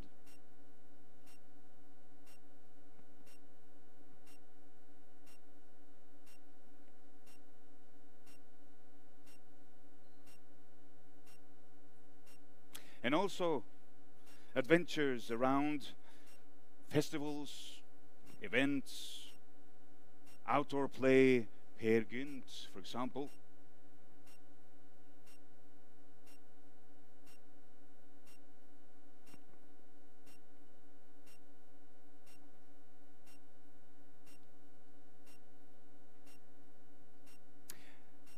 Lillehammer, the UNESCO City of Literature, and the annual Norwegian Festival of Literature with authors from all around the world. So now it's, it's fitting to, to end our journey where we started at the mountains of Dovre. But still, it continues to inspire. Most recently, via spectacular viewpoint towards the Snøhetta mountain. The small structure is designed by the Norwegian architects Snøhetta, a global player. Among their designs are the library in Alexandria in Egypt and the Oslo Opera House. Yeah? well, maybe I have uh, unreservedly boasted about who we are and, and what we have. So maybe I have fallen into the self praise trap that Ibsen wanted to put an end to with Peer Gynt. Well, but still, what about the old stories today? Are they relevant beyond their heritage status?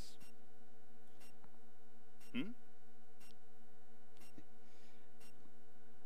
Well, we think a sense of belonging and love for a community is a good starting point to create unity. And all of this we want to share with you.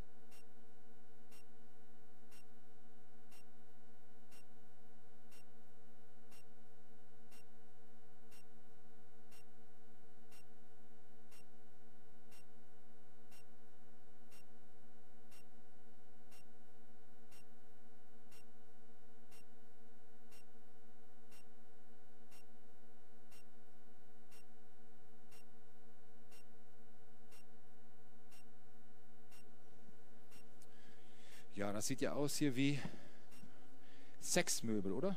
Ist das Mikrofon jetzt schon an? Den mache ich jedes Mal. Herzlich willkommen, meine Herzlich willkommen, der Herr und meine Damen und Herren. Am äh, Dienstagabend um 18 Uhr wurde mit einem Hammerschlag von Kronprinzessin Mette Marit die Frankfurter Buchmesse eröffnet. Es hat allerdings zweieinhalb Tage gedauert bis zum Freitag um 14 Uhr, bis die Wikinger endlich angekommen sind in den Roman von Jan-Ove Eckeberg, den ich hiermit herzlich begrüße. Danke dafür, dass Sie uns das wahre Norwegen mitgebracht haben. Jan-Ove Eckeberg. Vielen Dank.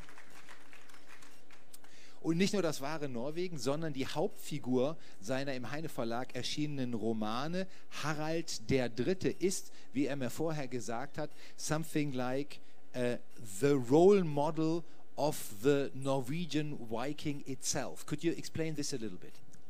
Yeah, Harald's person and his life kind of um, is the essence of the Viking age. He, he, he lives an extremely adventurous life, and he's also caught between the heathen and the Christian era, you might say.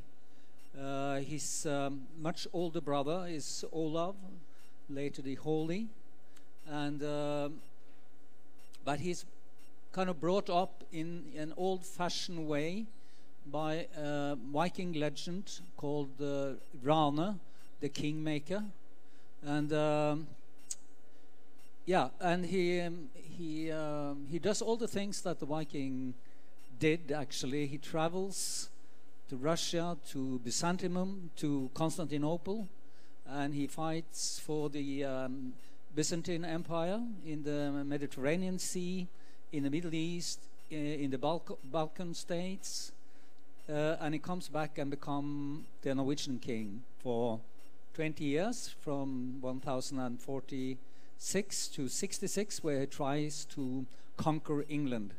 And when he um, he, he uh, dies at the Battle of Stamford Bridge, uh, the Viking era is over for Norway. So he's the last Viking king of our country, and he um, he lives an extremely adventurous life, I think, and and his life contains all the elements of the Viking period. Uh, and uh, when I read, I reread the saga about him. Snorri has written a saga about him, and he's also mentioned in his brother's saga. Uh, I thought, why haven't anybody used this life to to make novels, to make uh, suspense novels? So I found out I would try to do that. Uh, so I did. Mm. Mhm. So there is three books so far, and it's two more to come. I hope. Mm. hoch erfolgreiche Bücher in Norwegen, eine begeisterte Leserschaft, auch äh, von, von, auch von Seiten der Kritiker hochgeschätzt, aufgrund der historischen Akkuratesse der Darstellung dieser Romane. Äh, das sind jetzt nicht irgendwelche billigen Krimiromane, sondern die Details sind äh, äh, wissenschaftlich fundiert. Darauf werden wir später noch eingehen. Äh, und äh, Jan Over hat gesagt, äh, das ist sozusagen dieser, äh, dieser letzte große Wikingerkönig steht für all das, was das Wikingerzeitalter ausgemacht hat, äh, wie es in den Isländer-Sagas ja dargestellt ist. Zudem gehört ja eben auch die Besiedlung Islands, wo dann die Isländer-Sagas aufgeschrieben worden sind. Und einer der Autoren war Snorri Sturluson. Wir kennen ihn als Autor der Edda, also der, des Buches über die nordische Mythologie, ohne dass wir sozusagen die nordische Mythologie nicht kennengelernt haben. Und er hat eben eine eigene Saga über Harald III. geschrieben. Ein fantastischer Stoff für einen, äh, für einen Roman.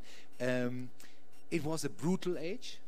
It was, but I think, I think, uh, um, uh, you know that um certainly the, the people 1,000 years ago lived different lives from us, uh, but they were human beings uh, with the same kind of feelings that we have. So for me, it, it's it's also uh, necessary to explore the personalities uh, of uh, the people in my books. It, it can actually be read also as a family saga in some way. Uh, between these two brother, the one the king, the older, and their common mother, uh, which is a very strong person, and she is also exceptional in Norwegian history. Uh, she's the mother. She's the only uh, uh, woman in Norwegian history who is mother for two kings with two different men. That's some achievement, right? So um, um, for me, it was also um, yeah. I took I, I took time to explore the family and and the relation between uh, the re- relations between the different family members because all history and all books are about human beings. Mm. It's not about battles or weapon or killing, but it's about human beings. And what interests readers and what interests human beings is other human beings Mhm. and their life and thoughts and their experiences. Und Yeah. das ist auch eben, woran man sich äh, festliest bei diesen Romanen. Äh, die Lebensgeschichten von Harald, von seinem Bruder, von der Mutter. Sie haben ja gerade gehört, äh, die, äh, die einzige Frau ist, die zwei norwegische Könige geboren hat mit zwei verschiedenen, äh, verschiedenen äh, Männern. So, um, on what kind of, um, or what you you had the saga, and now you have to turn it into a novel. Yeah, there are several kind of sources uh, for my books. The sagas is kind of uh, a bottom, uh, um, what you can call the most important, maybe. But you have archaeological findings, uh, and you have the places. I go to all these places, and I try to also feel myself on, for example, how does it feel to be very tired on the horseback? How is to sail in a windy storm and do these things to experience and try to not live a Viking life, but try to experience how they endured uh, these uh, situations and um, try to get under the skin of my persons like mm. Harald. And mm. I look for, you know, acts, uh, human acts that can describe their personalities. Mm. For example, in the saga, there is a story about Harald and his two brothers. He had two older brothers. And Olav, the king, came, and all these three kids were quite small, were like five to ten years old, something like that.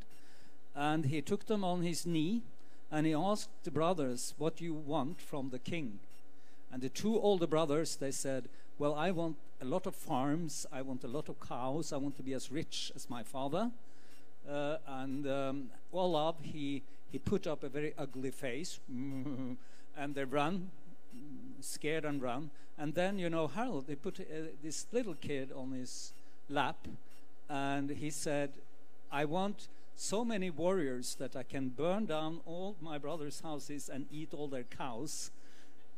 And then Olav put up his ugly face and he took his beard and, and did like this.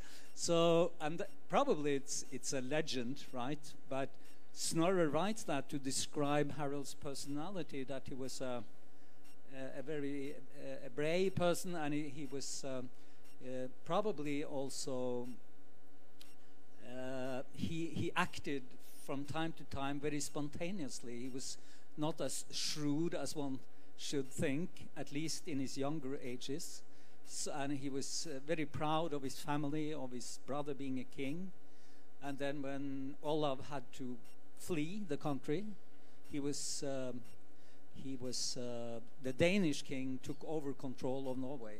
That's actually the uh, case for many of the decades in the Viking era. The Danes are ruling, especially the southern part of Norway. Uh, he was very disappointed with his brother. And one, what happens between two strong personalities? Is one 15, 16 years old, and the other one around 35, 36. And he was so disappointed. Uh, he broke with his brother, but then eventually he's going with him into this big battle at Stiklestad, which is reckoned to be the start of Christianity in Norway then. He was 50 years of age, wasn't he? When What? He, he was 15 years of age. 15 years of age, and he was heavily wounded in that battle. And he, but he was Uh, he was taken into safety and was hidden for probably several months. And then he flew through Sweden and came to Russia first. He proposed to the wrong woman there, the, the, the, the princess of this Kiev empire, the first Russian empire. And he, uh, the father kind of laughed of him and he got angry again because he was a very hot tempered person.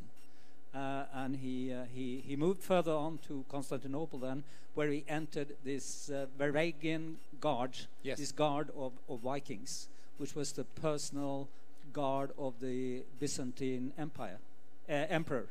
So, and this is actual history, and we know a lot about this guard. So, Sie merken, meine Damen und Herren, wie sich hier sozusagen eine Zeitreise in die geschichtlichen Zusammenhänge ähm, diese äh, Figur, wir, wir gehen mit ihm, er ist 15 Jahre alt, Harald der Dritte oder Harald der Harte, wie er auch in Deutschland genannt wird, 15 Jahre alt, als er mit seinem Bruder Olaf, dem, der später dann der Heilige genannt worden wird, 15 Jahre alt, in, als er in die erste Schlacht zieht, schwer verwundet wird, äh, verbo- äh, versteckt wird. Ähm, Sie merken, wie auf der einen Seite sozusagen geschichtliche, tatsächliche Ereignisse verbunden werden mit dem, äh, was gerade gesagt worden ist, mit psychologischen Darstellen. Wie war das Verhältnis der Brüder? Und allein aus dieser äh, gerade geschilderten Szene, wo Olaf der Heilige diese drei Brüder auf den, äh, auf, den, äh, äh, auf den Knien hat und die fragt, was sie werden wollten, da zeichnen sich ja schon so herrliche Konfliktlinien ab. Da äh, kommt man schon, da sieht man, was für Games of Throne da äh, äh, äh, in, entsta- im, im Entstehen sind. Um, but this was, this is, in, on one hand, this is a brutal uh, part of time, but you refer to this time also as, as an enlightenment age. For Norway, it's an uh, it's an age of enlightenment, um, the Viking Age. It's uh, 250 years, which changes Norway forever. There is um, it's a technological breakthrough uh, around uh, the year of 16700, um, uh, which is the longship. It's a sailing boat which can cross open seas. And with this ship, the Vikings sail first to Iceland, Greenland, North America.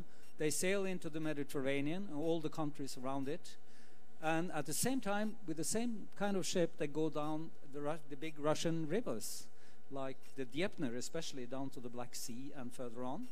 So uh, they go out, the Vikings go out and explore the world, and they bring back home, um, you know, uh, new uh, instrument tools. But most of all, the most important thing that happens is that Christianity comes to Norway in these times, and with it, uh, uh, um, uh, you might say, a competing ideology, the ideology of humanism and um, of Christianity, and, and with also with um, Christianity, the modern language, the Latin alphabet.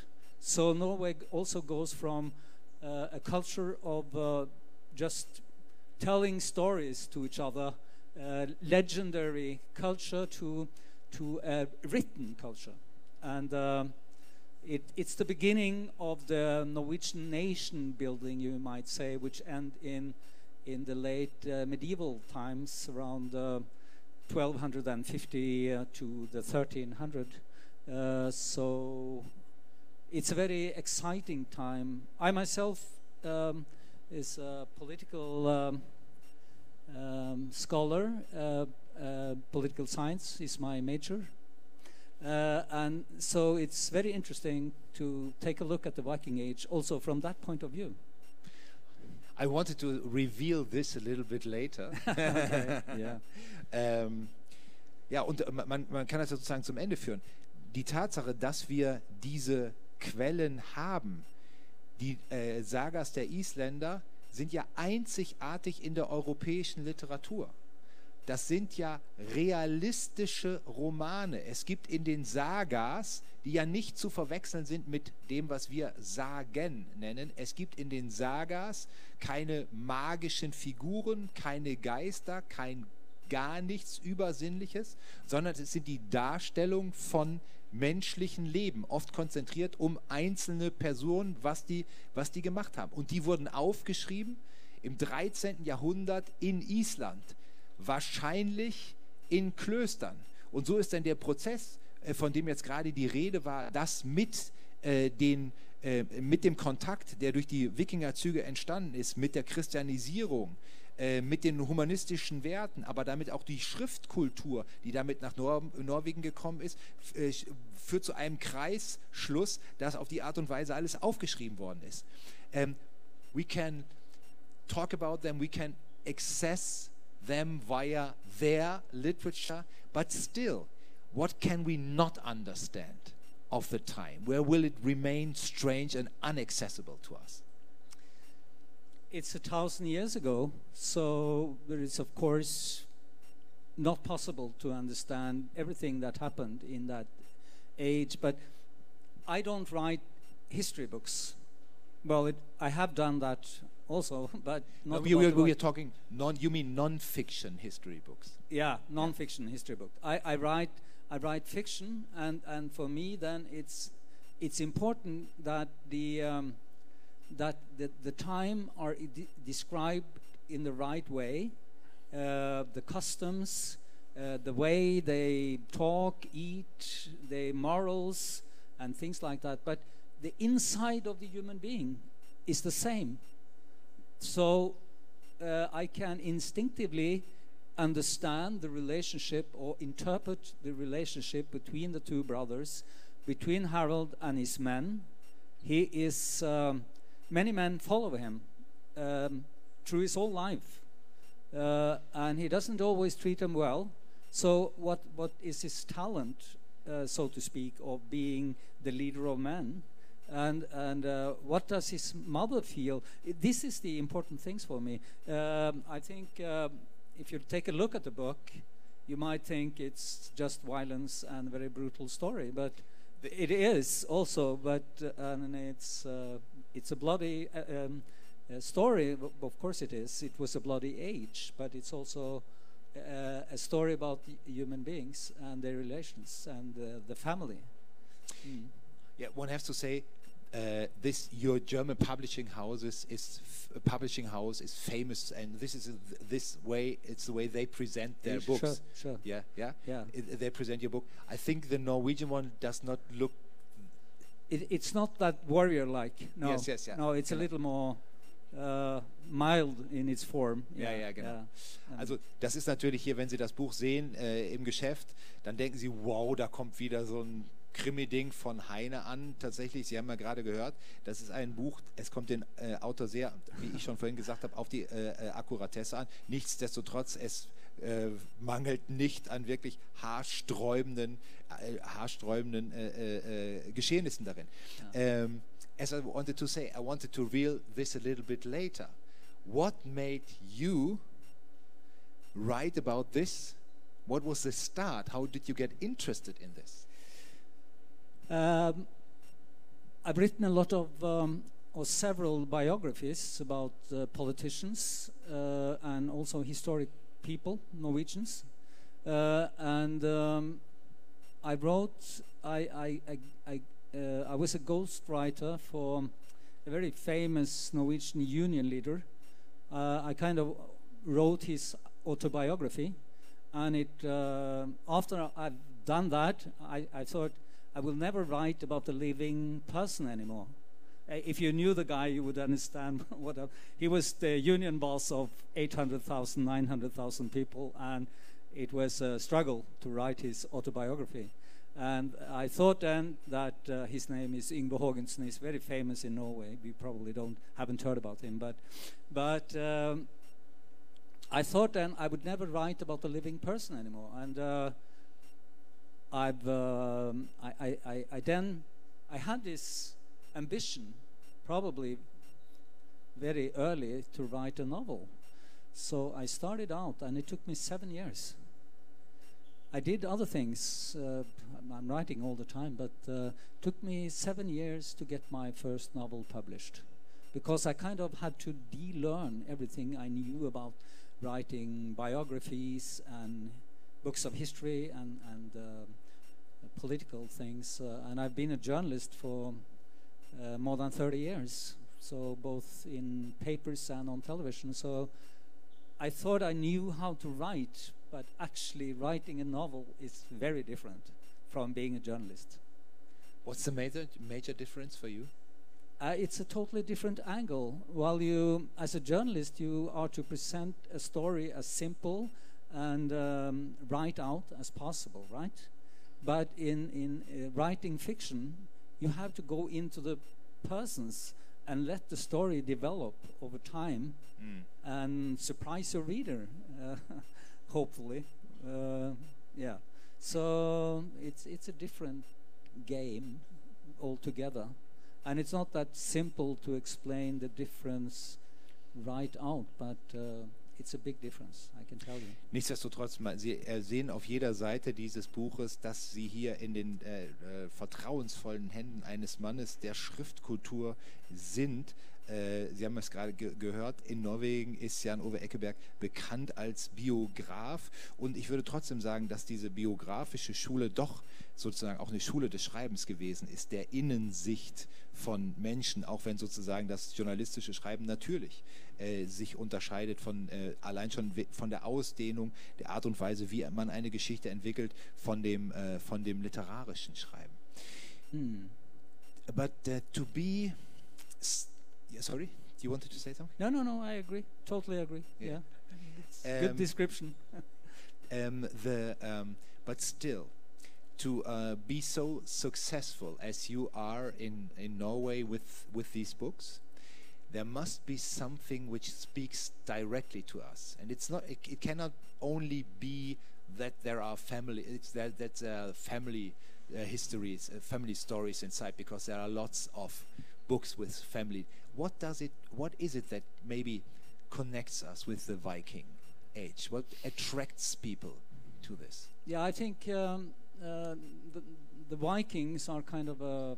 Um, uh, it's a lot of interests in the Vikings now, and uh, especially maybe in the entertainment industry, we see films, TV series, books, etc. I think it's something about um, the the way they they challenged life. Uh, if you talk with a person who's been in a car accident or something, uh, and they nearly died, they will say, "I never felt so alive," and and that was what uh, we are intrigued by by the Vikings that they they sailed uh, over open ocean without knowing what was on the other side. They took enormous risks. Uh, and they explored the nature. They they learned how to use the nature. So they they didn't always fight the nature, but they used it. For example, they were uh, how, how did they find their way over open ocean? Well, they they they found they found actually a stone. Um, it's um, it's a quartz which collects the light, so they could uh, even if it was gray weather, rain, gray weather, they could uh, actually find the sun and have a picture on in which direction they went. And it's a lot of example. That's only one example how they they developed technology actually to to travel over open seas. That's one thing we're intrigued by that, and uh, I also think if I am as to be a little free, uh, that I probably many here have heard about Sigrid Undset. She's the big storyteller in uh, uh, among the Norwegian authors, and she says, "I know I, I, I never remember that quote uh, exactly, but what she said is the human heart is internal. It's never changes, and I try to to have that that as you know my ideology when I write that human being is the heart Mm. of the human being is Mm. forever.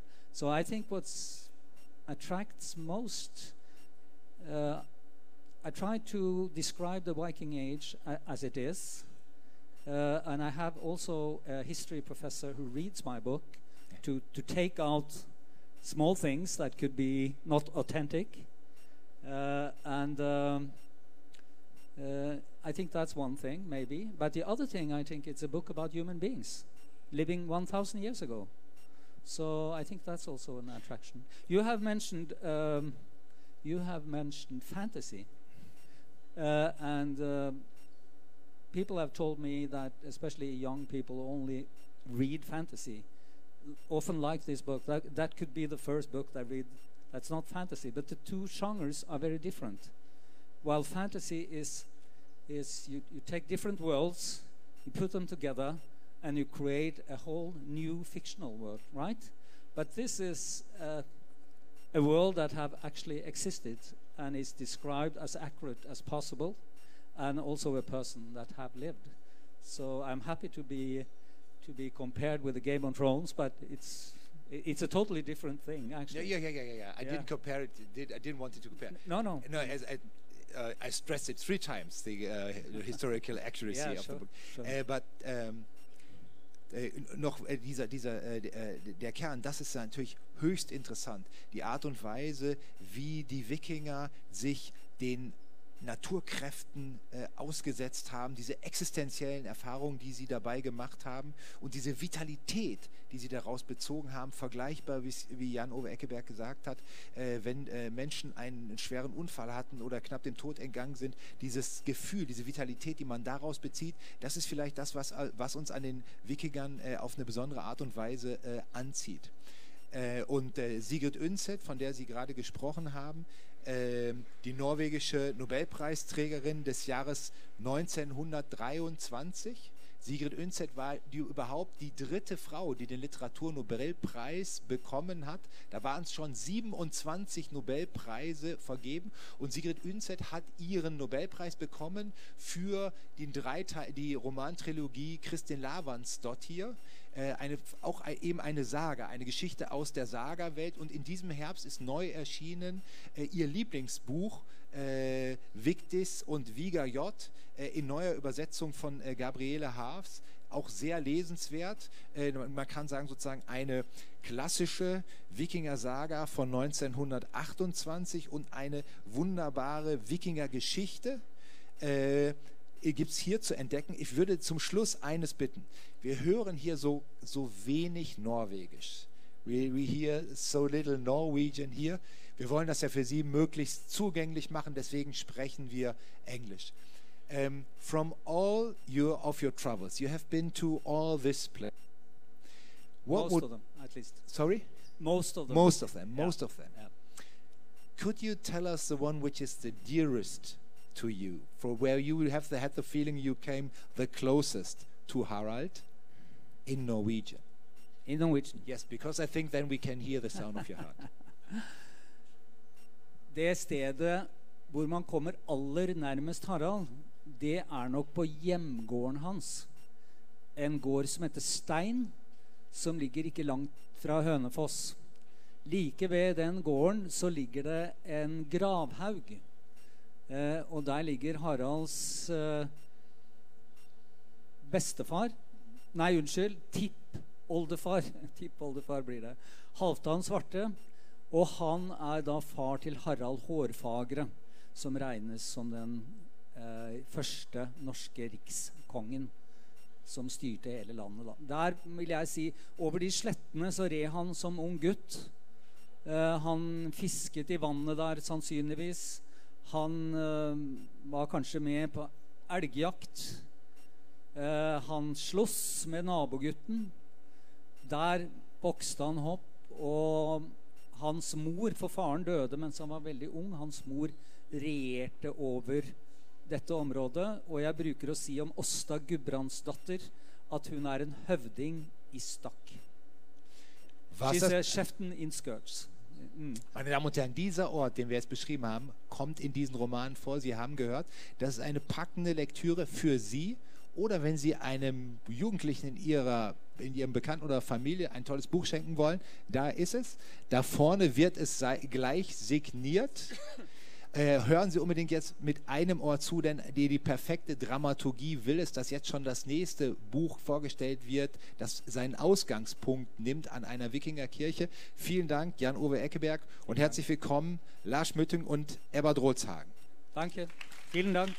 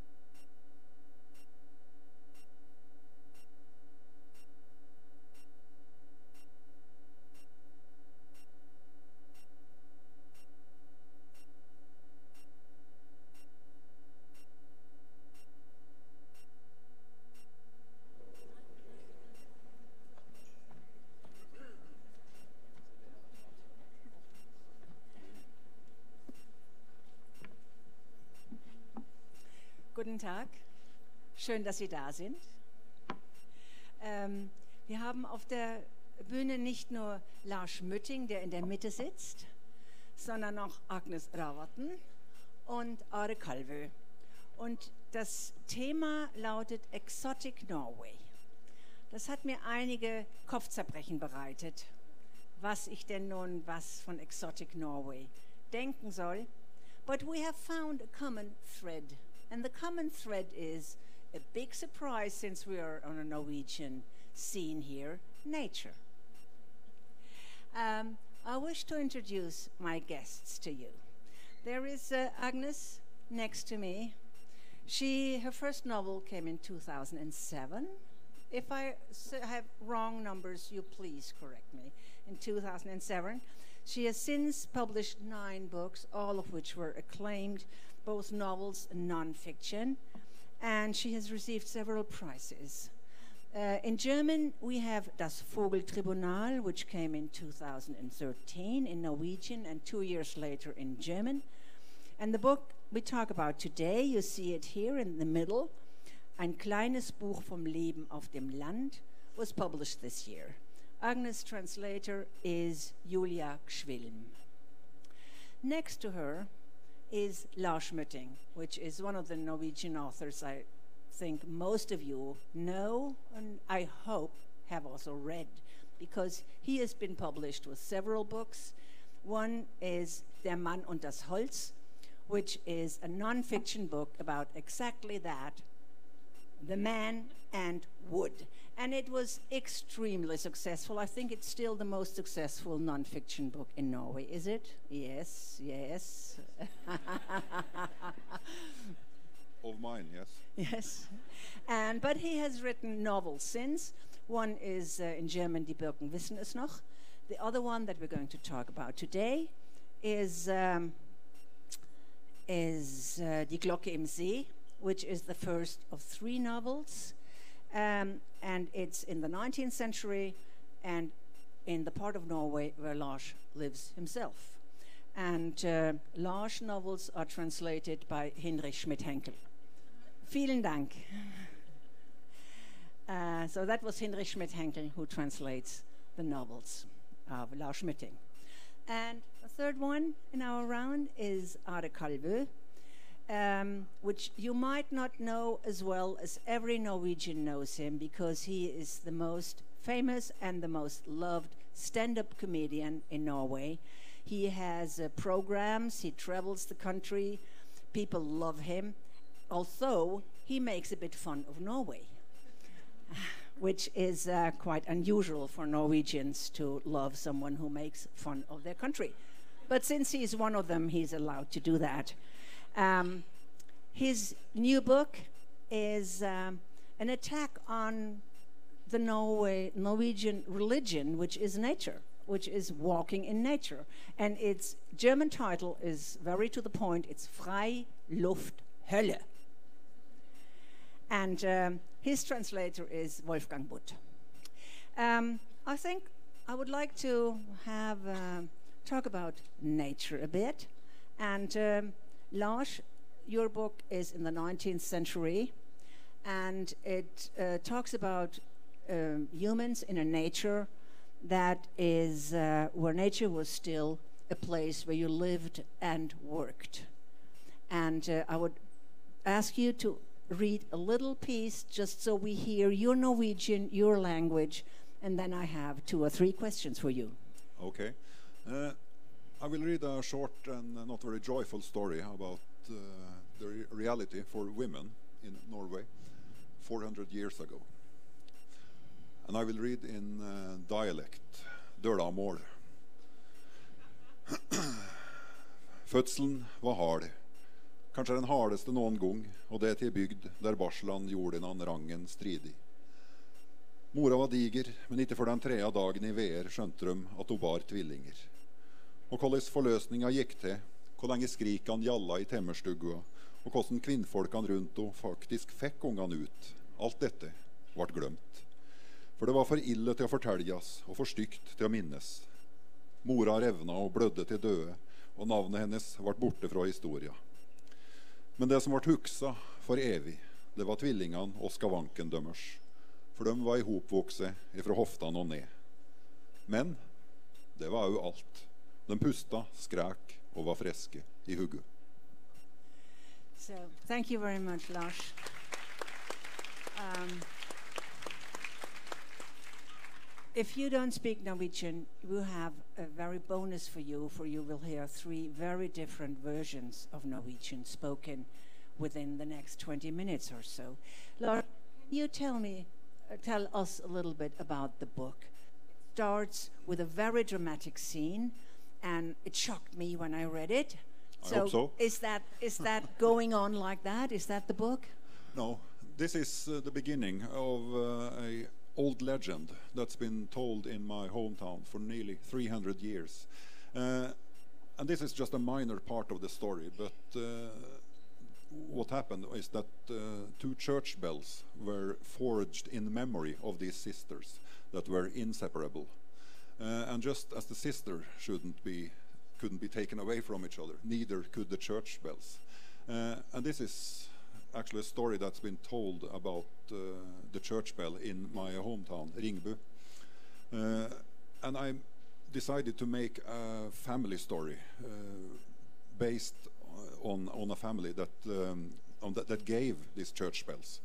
Uh, so that hangs over them like uh, universal law, the memory of the sisters. But the book itself takes place in uh, 1880. So this is just a minor start of it, but a very important uh, Yes. piece of it. Yes. Um, a part of the story is um, someone is, is cultural heritage and people traveling between Germany and Norway. Um, that might be surprising, uh, especially as some of the cultural heritage traveling is a complete church. Uh, why did you choose exactly that? Well, I was uh, very intrigued by the relationship between uh, the German understanding of Norwegian culture and the fact that we Norwegians didn't understand or value our own uh, medieval architecture. So, uh, in the in the book, one of our uh, the remaining stave churches is about to be um, torn down and replaced by a new one, uh, and uh, a as, uh, some Germans decides to buy the remains of the church and re-erect it in Dresden, and that is actually based on a partly true story of something that happened in 1840. So my idea was to have the view on Norway, both from the locals and also from uh, from uh, fr- from Germany. And uh, I understand that you are uh, writing more about this story and that we are going to hear more about Germany. Is that right? Yes. Um, this is. Uh, I was a bit shy when to uh, to say that loudly when the first book came, but uh, the plan has always been uh, to write uh, three books in total. So it will form one one full story where the relationship between the Norwegian family and also the German family are um, uh, well form a very important path and. It will go on from 1880 and a few decades up. Since our uh, subject matter is exotic Norway, is there anything in your story or your book that you yourself would consider exotic? Well, a great, a great deal of it. I, uh, the whole book is uh, uh, an exploration into the, for example, the ancient beliefs uh, and uh, superstition uh, and the contact Norwegians had with nature in, in a time where, for example, light, electric, or uh, ele- where almost all houses were dark, and all that surrounded us in wintertime was darkness. And the stories and the imagination that grew from uh, in, in our minds from the darkness is, uh, is a major part of it. Yeah. Something that fascinated me in your book very much is how little we can imagine everyday life in a rural area at that time. Just what it meant to get out of the house when it rains, when it get out down the hill when it's dark and slippery, um, what it means to produce your livelihood. And I think you have done a magnificent job on researching. Do you still have anything, a reminder of that in, in y- the area where you live? Is there, or is it everything modern and modern and new and shiny? No, a great deal of it is uh, is still to be found, and um, I also grew up with the, the stories from uh, my, my parents and grandparents, and uh, what we Norwegians enjoy is stories about hardship and how we can conquer nature and how we freeze Yeah. and uh, our struggles with, with nature. So um, Yes. all of that is around, and- and the say our oral tradition and the, the stories people tell is nearly always about uh, the hardship. So that's Okay, that's well- everywhere. We'll uh, have more hardship coming our way here. uh, thank you, Lars. Um, uh, this is a marvelous book, and I tell you, um, you can buy it, and he will sign it for you, and you will have something wonderful to start your autumn and winter with. I promise. Agnes Ravatn, um, you wrote a book about uh, the wish to live in nature, but not to work in nature anymore. Um, and uh, maybe you would like to read a little part of it for us? Absolutely. But I do work. Uh, Oh, yes. well, I'm glad you say that. So we'll, uh, um, I'll, hear more about this, uh, but just if you would like to read a little piece for us. I will, yeah. And you listen to the Norwegian. I går kom jeg kjørende med de første eskene. Innredde et provisorisk soverom på loftet og la klærne våre i gamle, flassende kommoder. Like etter, da J hadde sovna i vogna si under tuntreet, sto jeg med ei rake i hendene og en fjollete stråhatt på hovedet. Nyslått gras lå sammenfiltra i små hauger rundt meg. Tre ørner sirkla høyt over oss. Og jeg tenkte Hva er det egentlig du innbiller deg? Vi skal låne det nedlagte vesle småbruket til svigerfamilien min i et halvt år. Vi veit ikke helt hvorfor. Vi hørte om andre som flytta til New York, Buenos Aires, Bangkok i foreldrepermisjonen. Da sønnen vår var nyfødt, diskuterte vi hvor vi skulle flytte hen. London? Paris? Før vi begge ropte Valestrand. Hvor er Valestrand hen? Mange takk. Hvor er Valestrand? That's a, a good question. Where is Valestrand? It's uh, almost impossible to find. it's a really, really tiny, small town. It's uh, approximately 300 uh, citizens. It's um, for those of you who know about uh, no- Norway a little bit. It's on the west coast, um, in the middle between Bergen and Stavanger. Okay. And um, you went there for uh, half a year and uh, you stayed, I understand. Is that right?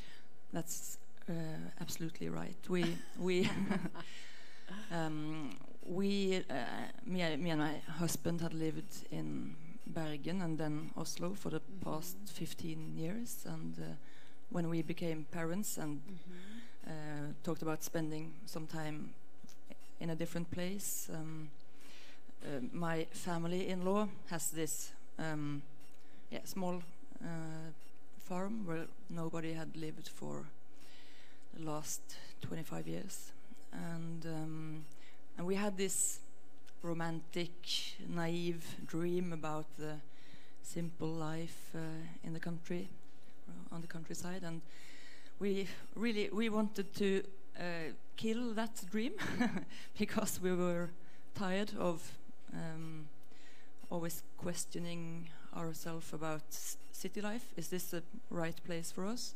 So we wanted to to live on the countryside to see for ourselves that yeah the city is where we belong for sure. Um, so we were supposed to stay for half a year and. Uh, uh, then go back to Oslo. but um, only after a couple of months we looked at each other and said, "We can't leave this place." Okay, so uh, you um, you worked with a house and made it more comfortable for you to live in, I assume. Yeah, we did because when we first moved uh, there, we had okay, we had a toilet, but we had no real bathroom and we had no kitchen. We had no electricity, so it's it was pretty basic. But, yeah, I, I And understand that. It's uh, Yeah. different now. So uh, this uh, legendary Norwegian nature, did it welcome you? well, um, the western coast is rainy. It's Is windy it? and it's rainy. It's rainy. Have you heard that? We live there in total in um, uh, despite of the weather. But uh, but I am from the west coast, so this is what I Uh-huh. this is what I do. Uh, when I lived in Oslo, it was it was shocking uh, to realize that um, what uh, do is this uh, is this Norway too? no rain, Yeah. and uh, and it felt like no, th- this is too good to be true. We we need to go back to the want west to be coast more and Norwegian. feel the pain Less that we love. European, more Norwegian. right, right. So this Well- is now five years ago, and Oh, um, yeah. So you still like it. Your book gives the impression as if you had, uh, uh, well, how can I say, growing pains in the beginning. But uh, the more I read this uh, slim and wonderful book, the more I got the impression that you surprise. Am I am I here? Okay, that you, to your own surprise, uh, discovered that this is a life that you like much more than you assumed you would like it. That's Uh, uh, right. completely right. And, and Um, now you said that you, and I said you live and don't work in nature. Um, do you? What kind of work do you do? Do you, do you have a garden? But you write. I write. Yes. So that's um, that's um, my main income still, Yes. and not the the dry and brown plants that I Mhm. grow in my my silly garden.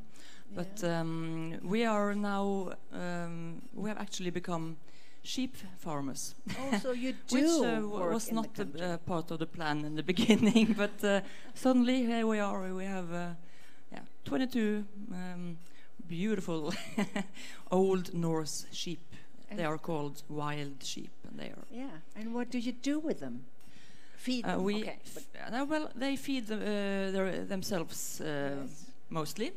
Yes. During winter time, we need to give them Mhm. uh, uh, a little bit extra, but um, we cuddle them and uh, then we kill them. and you use the wool. Sorry. Do you use their wool?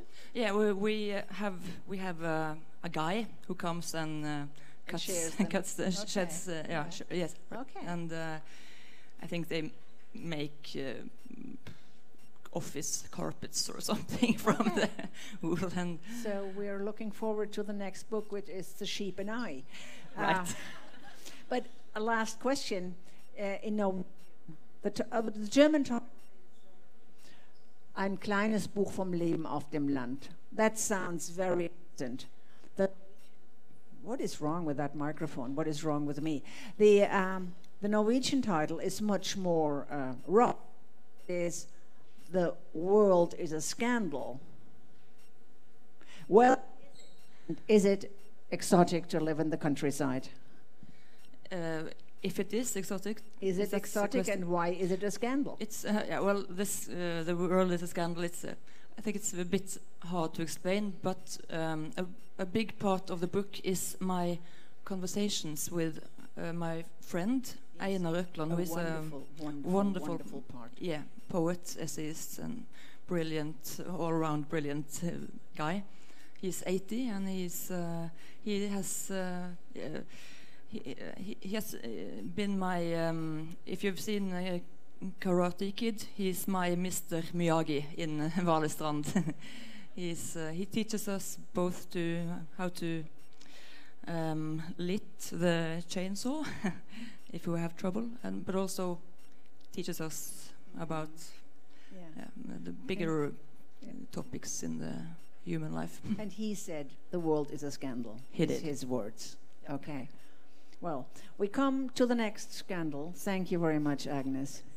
We come to the scandal of uh, talking about uh, walking in uh, Norway, tur, and not liking it. Are, Yeah, that's, um, uh, it's uh, the the book on the on the idealization of Norwegian nature, where you don't work and don't live. Uh, and maybe you would like also to to read a little piece from your book. You like listen to the Norwegian and to Are.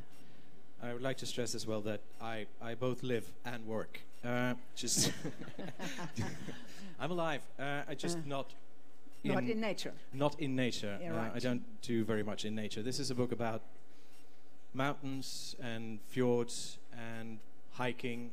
And unlike most books about nature and hiking, I'm against it. Um, even though I grew up uh, in Western Norway, just like uh, Agnes, in a very picturesque, beautiful place, and this passage is about the place where I grew up. And I think this is the closest the book gets to being poetic.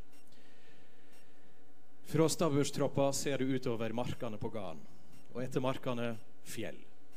Kjører du i fire minutter i ei eller annen retning fra Garn, treffer du fjell.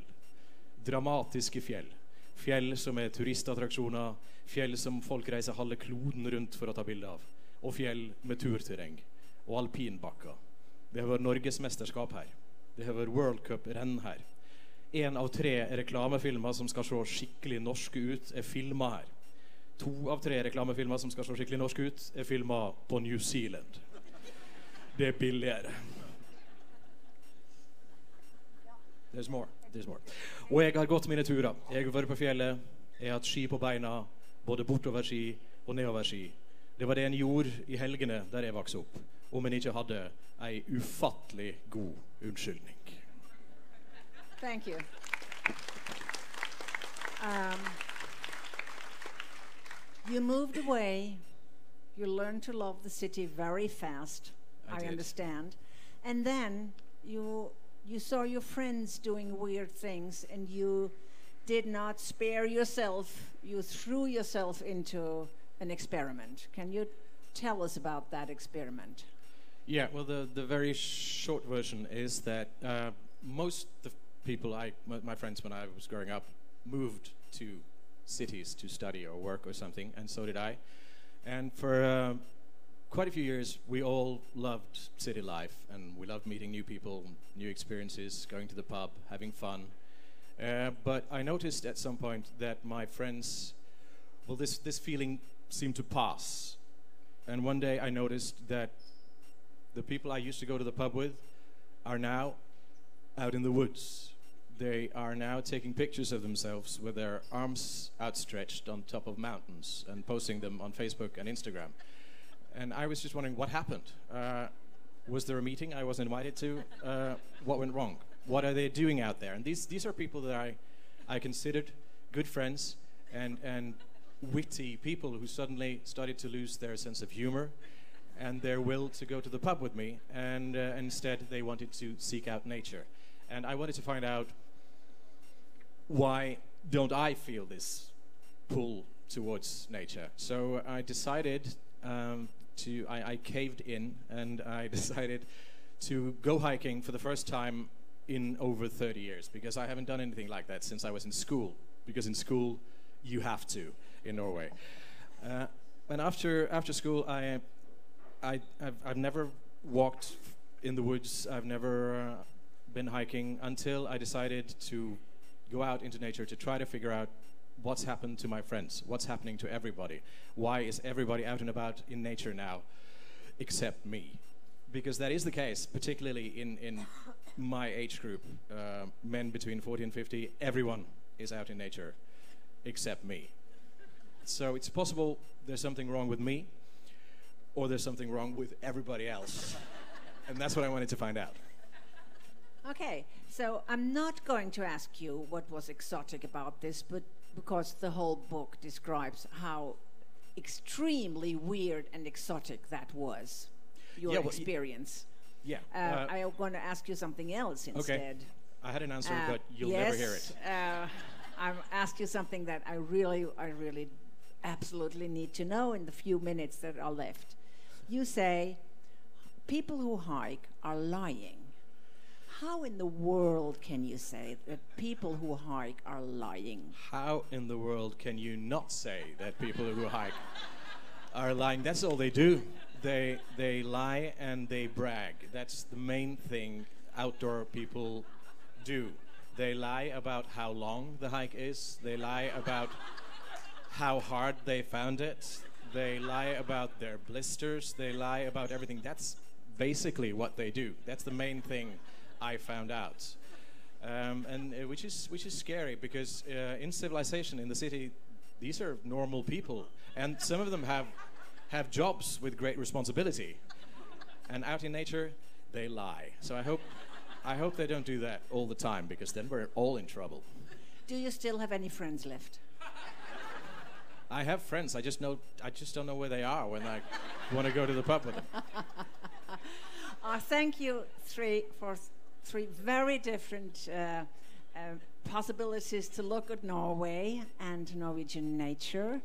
Uh, I wish to recommend all of the books you can see here in front of us. Um, they are going to gold make your, your autumn and your winter golden, and uh, you you go into very different worlds with these books. Um, all three authors will be over there to sign the books, and you can also buy them there. Because if you don't buy books, we won't have authors on the scene any longer. So please, thank you very much.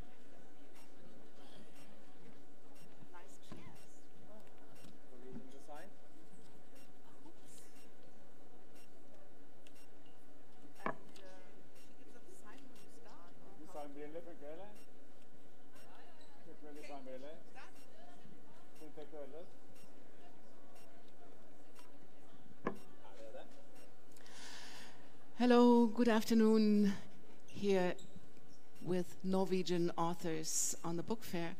I'm happy to present you Reidar Müller. Hello. and Lars Lenth. Hello. And we have a very Tschüss. Hallo. special Hallo. topic.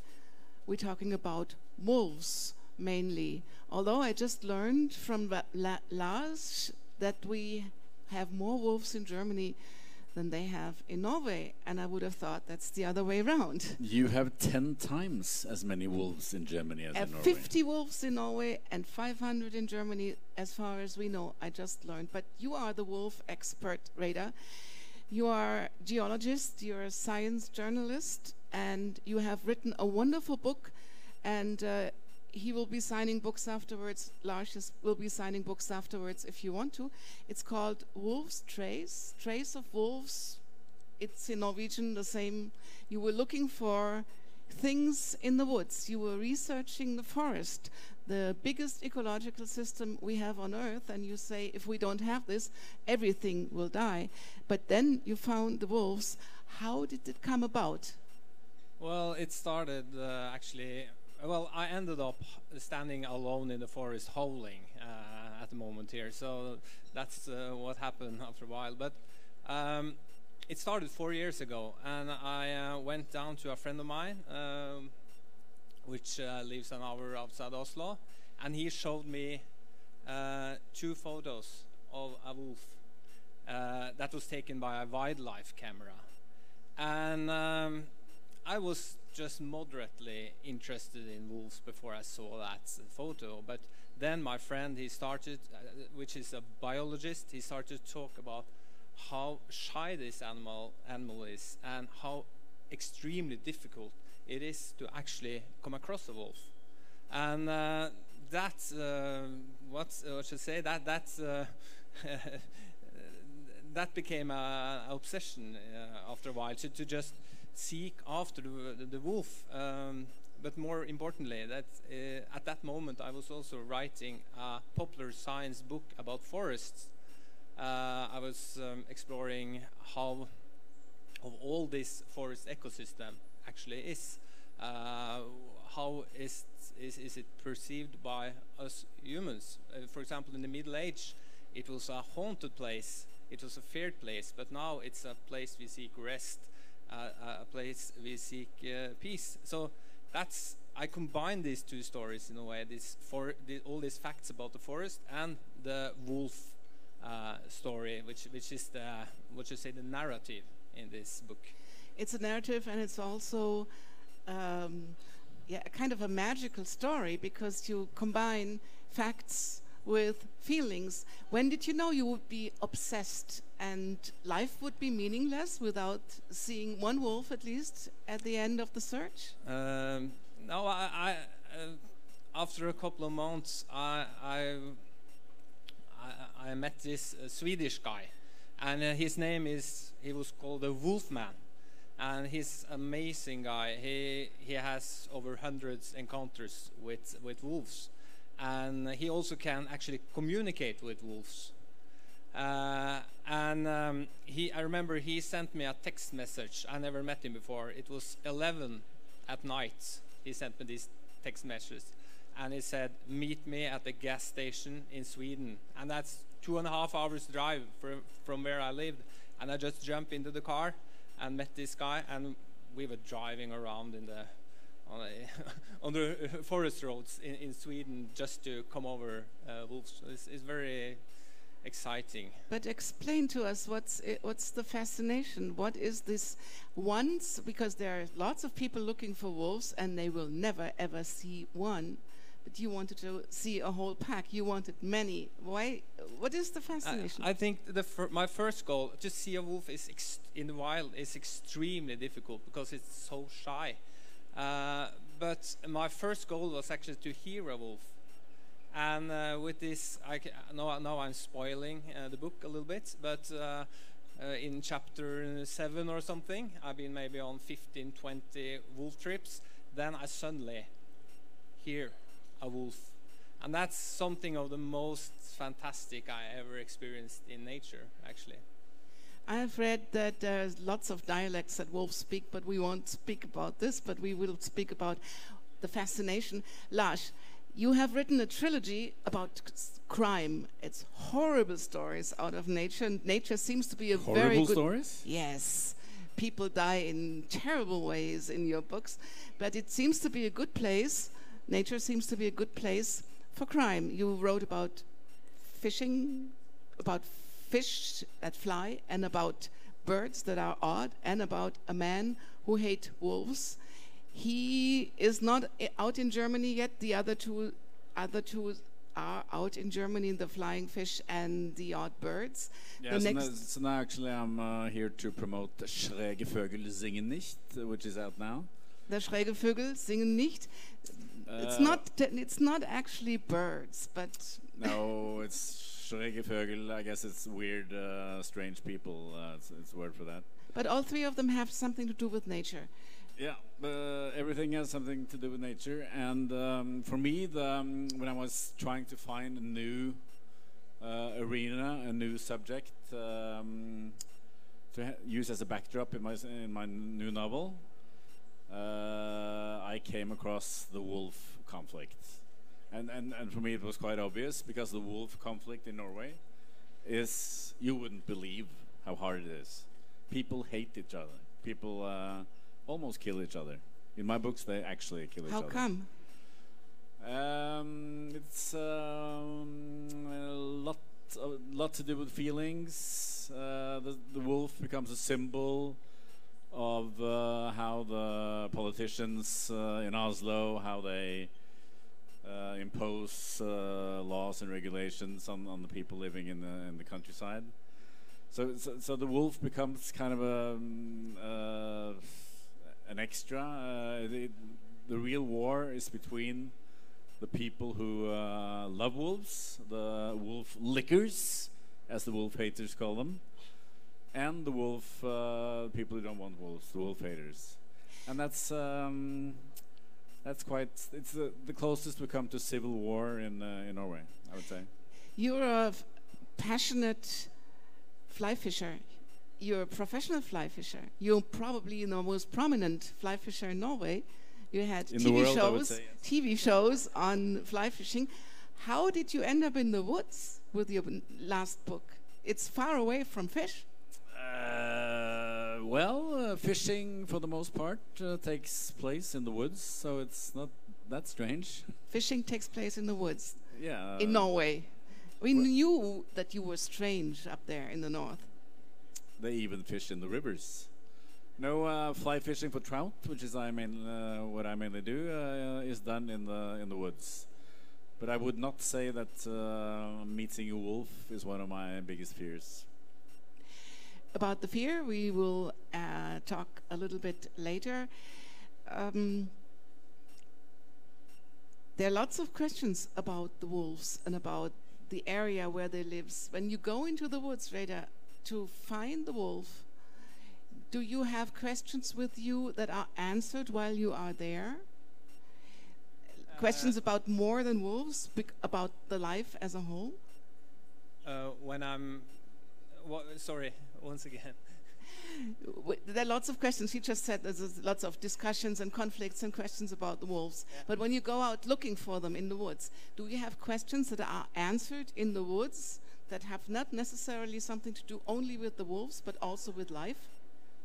Well, it's it's more. I- I think when I'm out in nature, I need a goal. I need something to look for, and and uh, uh, that's why I like to have actually the. You can look after mushroom. You can fish a trout. You can um, you can look for wolves. So uh, or mushrooms or anything. So that's uh, my goal. But uh, for me, it's being out in nature. It's uh, it's actually try to understand what I see. That's uh, something uh, I'm not. I'm not sure if I'm answering your questions, but for me, it's it's interesting just to to um, realize that how important the forest is for, uh, for example, for for the biodiversity. Uh, it's around 80% of all species are actually living in, in forests, forested areas. Um, and also how it has transformed the atmosphere. So yeah. Do you feel the same? I In a way? I never quite understood people who uh, just love to be out in the woods without doing anything. But they're looking for something. They do something. Yeah, but I, I promise you, they're not going to find it. So I'm, um, when I go out there, I have to do something. I have to fish. I have to look for mushrooms. I have to look for berries. Do you look for uh, Do you look for uh, after wolf tracks? Uh, or are just writing no, about? I'm too uh, afraid to do that. So I'm. I, What? I, I don't. Afraid to do that. But it's uh, uh, for me nature and um, uh, a theme in everything I've done in, in writing and uh, and making films about fishing and stuff is to try to uh, pinch a hole in the myth uh, that if you only go out into the woods, into the nature, everything will work out. It's a cleansing thing. Everything in the woods is clean. It's honest. It's uh, it's a perfect world. While everything we do uh, in in the big city in civilization is somehow polluted and dirty. Is it? I mean, you Uh, live for in me, both no, worlds. no. So, so when people move, decide to move into the woods, for example, to live in a tent or a cave or uh, whatever, um, there's usually a reason for that. And But- the reason is not that nature is beautiful. It's Uh, because something has gone horribly wrong. I agree, but but in a way also, I also can have bad days in the forest. Yeah, yeah, yeah. Uh, i i you know, i- that- the, the feelings. If you if you have a bad day, the feelings could be exaggerated out in the yeah, yeah. forest. But but I think that um, the forest is also a very good place uh, to leave all that fuss. I agree, but I, in the you know I have a hard time with that, work, that's- that's uh, probably all, me. all ex- expectations. So Yeah. I think that that's why I, I actually oh go into the forest, do this forest bathing, which is very popular. yes, I was going to ask you about that. Is that popular in Norway too? The forest bathing. People go in the in the woods, breathe deeply, embrace the trees, and feel happy. Does he swim naked? Uh, yes, they do. Yeah. That, there we have it. but I think we, we have much more nature in Norway than in, in Germany. you Yeah, know, but we have if you go, too. You, you, you take, but if, if you take the tram 15 minutes, uh, uh, you can take the tram, tram 15 minutes from the Oslo center, and then you're out in the wilderness. And actually, you can walk 6,000 kilometers in the wilderness. Okay, you pass some roads and, and Okay. stuff, but but uh, to the e- uh, you can walk 6,000 kilometers to the east uh, to the Vladivostok in the same um, wilderness, uh, the taiga. So it's it's um, you know that's wilderness. But you can take the tram 20 minutes out of Frankfurt, and you can walk in the woods, not 6,000 kilometers, but you can see the trees. I mean, if I I, if I understand you correctly, Ash, it doesn't matter where you are. Woods is woods is not so good.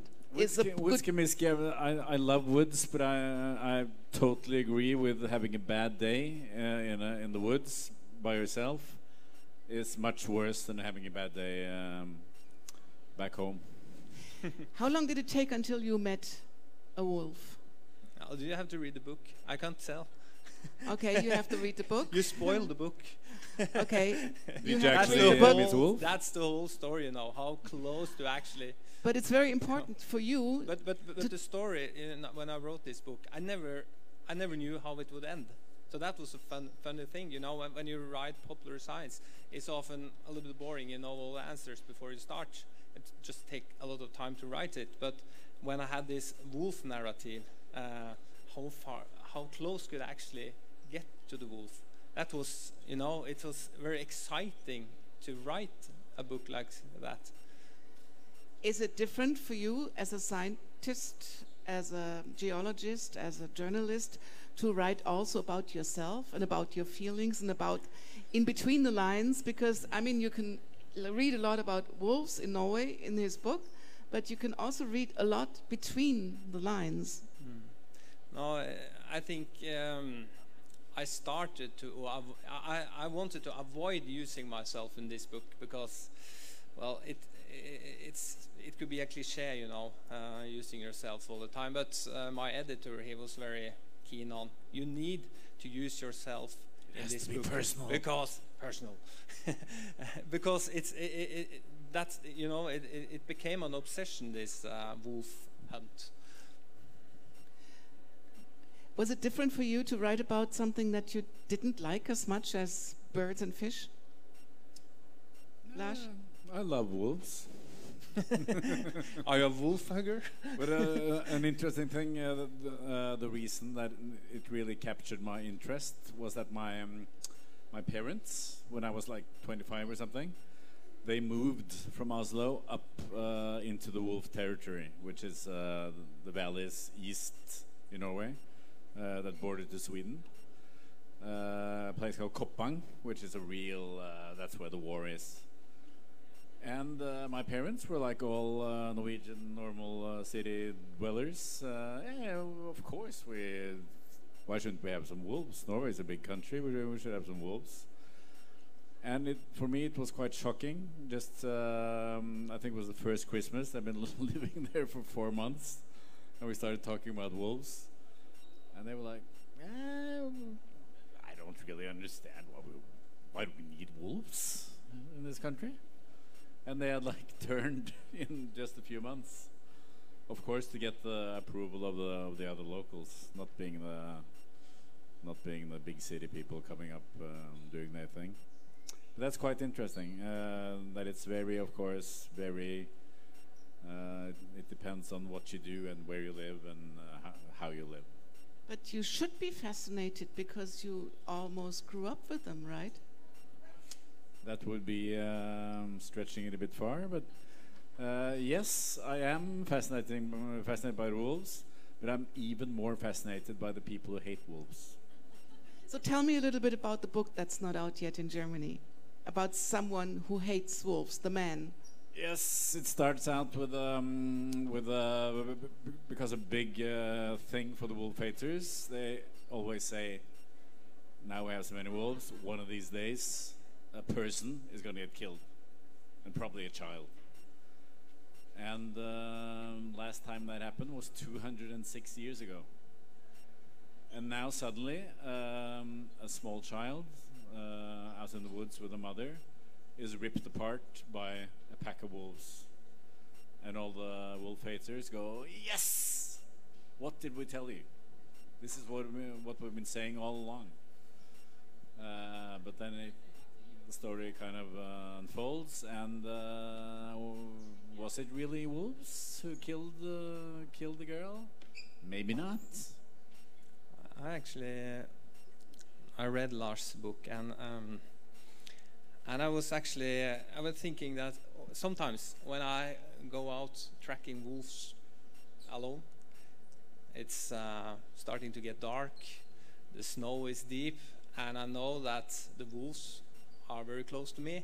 I can be thinking, okay, uh, I will be the next victim. Uh, you feel the fear?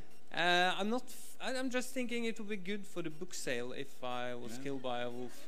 And also, that's the way to go. Get killed by a wolf. He killed. Yeah. So. Um, Do you think it would be better for the book sale to have a bad image than to have a good image for the wolves? Um, Because it's, it, it corresponds the conflict when you say most people? I don't people. think so because um, uh, the big thing is that the people who hate wolves in Norway they don't read books. Period.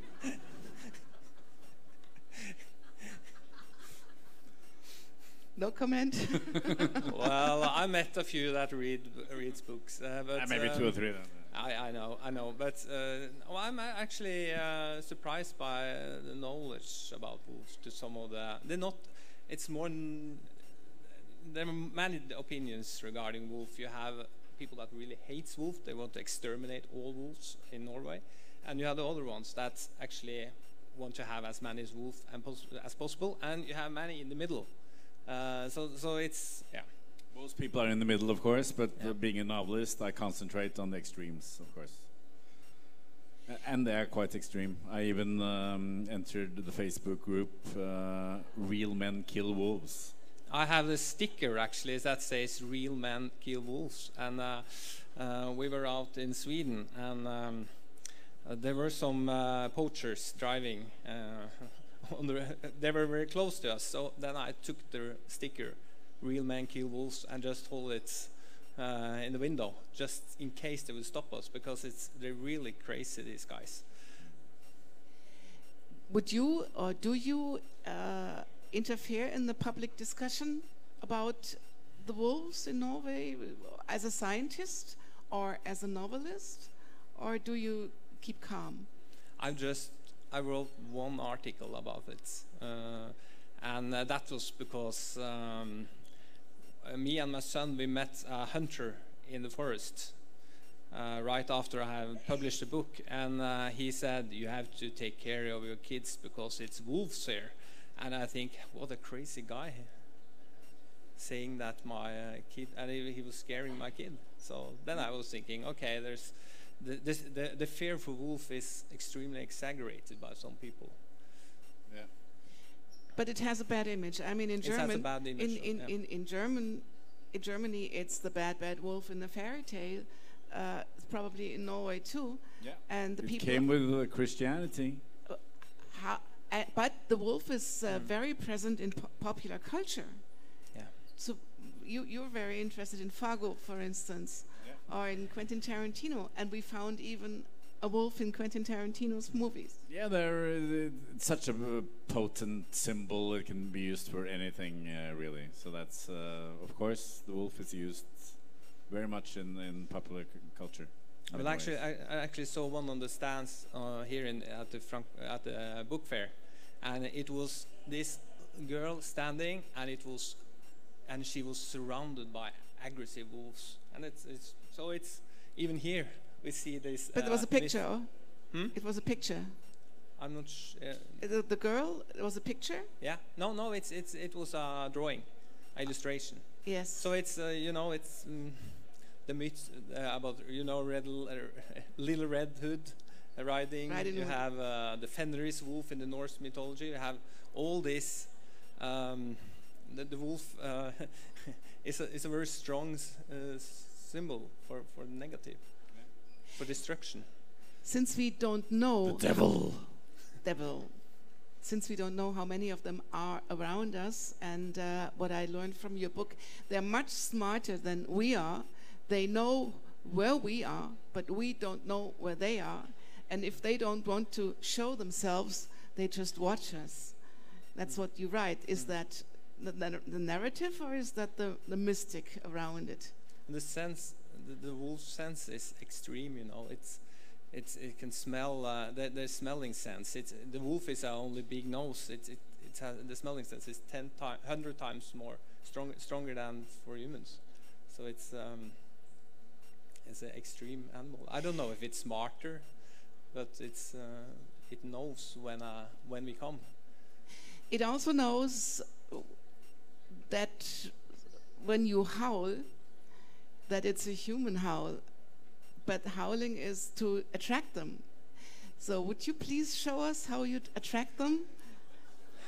Uh, when I you're in the it would- woods? I knew that would come. I've Uh, always dreamt about this because in my novel, one of the one of the bad guys, he takes a letter, what do you call it, letter course, where you get like the things through the mail, in wolf howling because he, he wants to attract the wolves.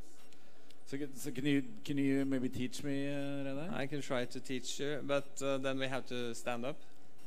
Please Uh, do. I can stand up. And uh, I think that's. So, but be um, careful that the wolves will not come here in the room.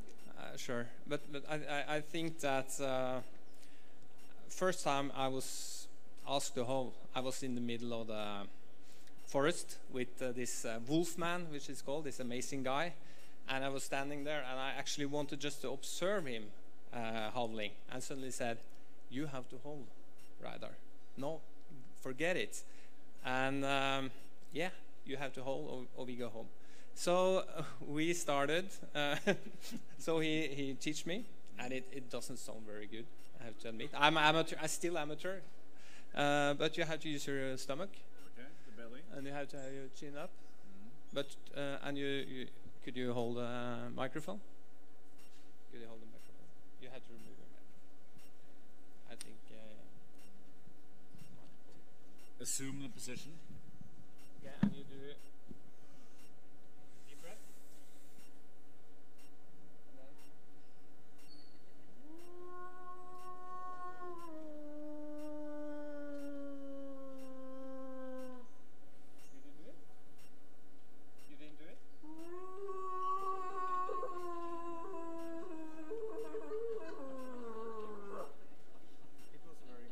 That sounded like a deer. Uh, I thought it was great. Okay. So we can have the wolves here in the messe, since you wanted them to come. But it works, right? And I think It- it's, it it's, works it's, it's when- very when- it's very fascinating.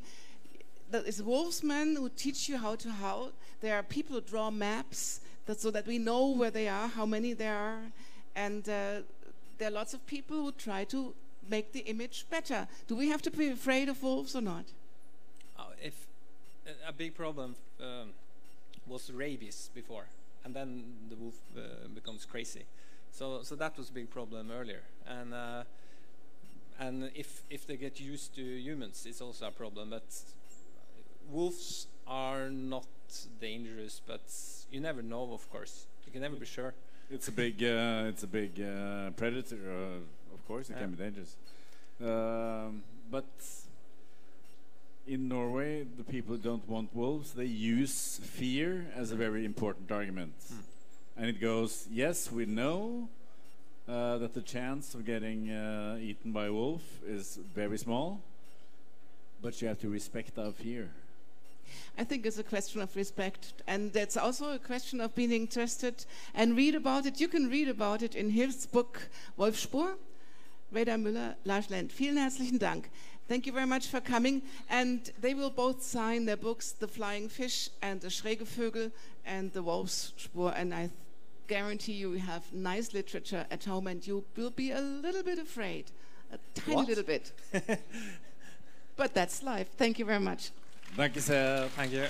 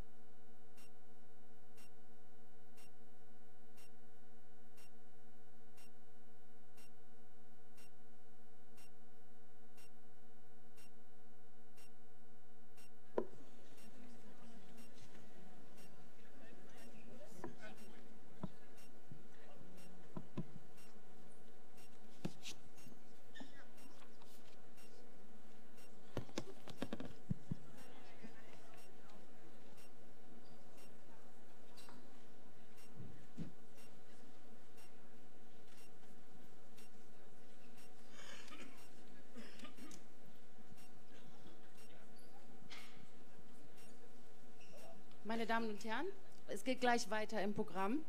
Ich begrüße Sie zu einem kleinen Streifzug durch Oslo, durch die Straßen und Viertel, geführt von zwei Herren, die es wissen müssen, Kjetil Björnstad und Lars Sorbe Christensen, Oslo-Autoren, wie sie im Buche stehen. Lars Sorbe Christensen kennen Sie äh, von seinem Buch, das in Deutschland ein großer Erfolg war, Der Halbbruder. Er hat 1976 debütiert, hat zahlreiche Preise äh, erhalten und inzwischen über 40 Bücher geschrieben. Ähm, aktuell liegt von ihm vor Die Spuren der Stadt. Das ist äh, das erste Buch in einer Trilogie, ähm, übersetzt von Christel Hildebrand und gerade frisch erschienen. Erzählt dieses Buch die Geschichte der Familie Christoffersen im Nachkriegs-Oslo, schildert einen Mikrokosmos im Osloer Stadtteil Fagerborg. Band 2 und Band 3 sind bald hoffentlich zu erwarten. Ich habe das mit sehr großem Vergnügen gelesen. Und Käthe Björnstad, jetzt muss ich fragen, sier man Ketil eller Kjetil? My mother and my wife says Ketil, but very many, also some of my be- best friends uh, call me Kjetil. Okay. So it's, but- it's a common name both, but Kjetil is mo- most common in Yeah, Norway. but the way it's uh, it's uh, spelled, it would actually be uh, right to be to say Kjetil. Yes, Kjetil, that's correct. So, but I'm neither not your mother nor your wife, so I say Kjetil, okay? um, Kjetil Bjørnstad is, äh, kennen Sie als äh, Musiker, als Pianist, ähm, aber auch als Autor. Er hat 1972 mit einem Gedichtband debütiert und blickt inzwischen auf ein Werk von über 30 Büchern zurück. Ähm, Im Moment aktuell gibt es von ihm äh, eine fünf, fünfbändige autobiografische Romanreihe, ähm, die ganz interessanterweise in Jahrzehnte eingeteilt ist. Und es beginnt in den 60er Jahren. Ich kann Sie, Ihnen versprechen, Sie haben viel historischen Background da drin. Ähm, man erlebt nochmal die ganzen Jahrzehnte, wie, ähm, wie so ein Filmtableau im Hintergrund seiner Lebensgeschichte. Die 60er Jahre und die 70er Jahre liegen aktuell vor, übersetzt von nicht weniger als fünf Übersetzern: Gabriele Hafs, Christine Reimers, Andres Brunstermann ne, und Nils Henrik Schulz. Nee, es sind nur vier, sehe ich gerade. Okay. Um, so we're talking about Oslo today. Oslo, the capital of Norway. Um, actually, right now it's like a little bit over half a million inhabitants uh, in in Oslo. So it's still kind of a small and cozy capital to be a capital. Um, you both grew up there. You you both um, almost lived in the same areas. And um, I mean, it's not necessary that you only because you grow up and live in a place when you're young that you always turn back to it in writing. What is so magical about Oslo, about Majorstua Fagerborg?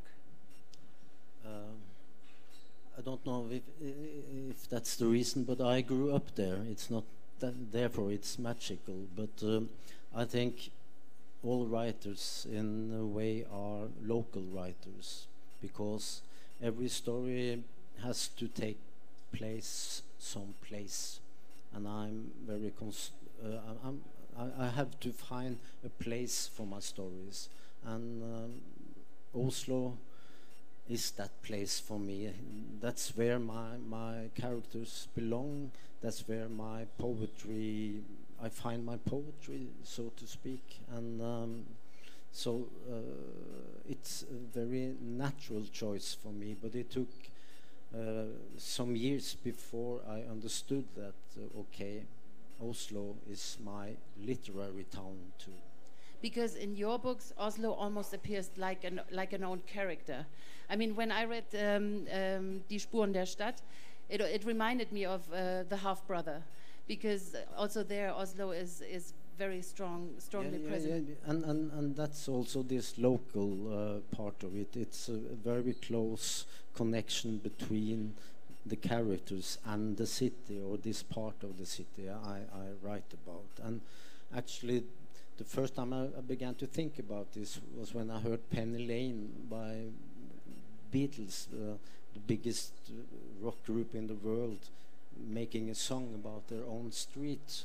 And that was kind of, uh, I, I, began to understand something uh, just then that um, you can just look out of your window and maybe you can find uh, mysteries, poetry, interesting characters just in front of you. just in front of you. Yeah, I understand. What what and you also grew grew up in Oslo. You moved a little bit around in the in the city of Oslo, uh, from the very west, like closer to the city center, if I understood that right. But you also, what what is the fascination of Oslo for you? What is what's the magic in in Oslo for you? You know, you know, it is uh, arena for so much of my life, and as you say, Lars, uh, you have to find find a scenario uh, for the story, and uh, still, Oslo has. It is so much changing these days in this city, and it is bigger than you said. Actually, I think now 700,000. It, it's a big pressure on the on the city, but still, we have the main street, Karl Johan. We have the area where Lars and I ha we have been living for many years, the Frogner Skillebekk area, and we have also the literary tradition for me, eh, reading the Christiania Bohem, Hans Jæger's book fra Christiania Bohemen, Yeah. which came out in 1885. It is uh, still one of the best Oslo novels I have been reading, and it is so full of atmosphere, and it is the same streets. It's even the Grand Café. And also for me, working so much with Edvard Munch, his paintings and very much of his writing is describing Oslo and the streets. And it's uh, such a pleasure to, to, to go back to those masters and But- find a new yeah, Yeah. approach, Yeah. actually. And I, I think, uh, like Ketil says, uh, uh, uh, what you are have been reading, you, you, you, the books you have read is also a part of your experience. So, so uh, I, I read uh, Knut Hamsun's Hunger when I was early in, on teen, when I was a teenager, and it made a very strong and deep impression on me, and still does. And, and Hunger is the first modern novel about uh, About Oslo. Yeah. And in, in, in, in that novel, the city is uh, a strong character uh, in, in, in, in, the, in, in the story so, and, and in language. So has something to do with that too. But it's it's also a very um, consistent city, isn't it? I mean, the things that were there a hundred years ago, uh, like the Br- Bris- Bristol or the Grand Café. I mean, many things um, from these days when, when, when these authors describe that the, the, these places are still there. Do you think it has to do something with this um, continuous, with, with that it's kind of a safe place that doesn't change so much, actually? you know, Oslo is such um, fantastic city with with the dynamics. You have the the forest up hills, and you have the fjord. And if you look at the Scream by Edvard Munch, you have the exact same uh, picture of Akershus, uh, and. Uh, I, I feel that this city is especially inspiring. It could be, it's so many authors, as, as Lars says with, with Hamsun, but it's so many more authors going back to the streets here. It has also a brutality, but it has such also uh, lovely friendliness. Yeah. And i it is, it could be for many authors uh, an obvious uh, background for a story. It, it, it, of course, if you live in Oslo, uh, it's it's very easy to go to the streets and to the nature and find out what what the story is about. what the actually, stories are also, about. yeah. Maybe we can just hear a little piece of what the stories in Oslo are about, and we hear uh, Lars reading a little part of um, uh, the Byens spor, and I'll then read the German translation for you. Uh, well, it's the first part of the prologue of the the first book, and of all the three books, it's three books, uh, mm, one, two, three.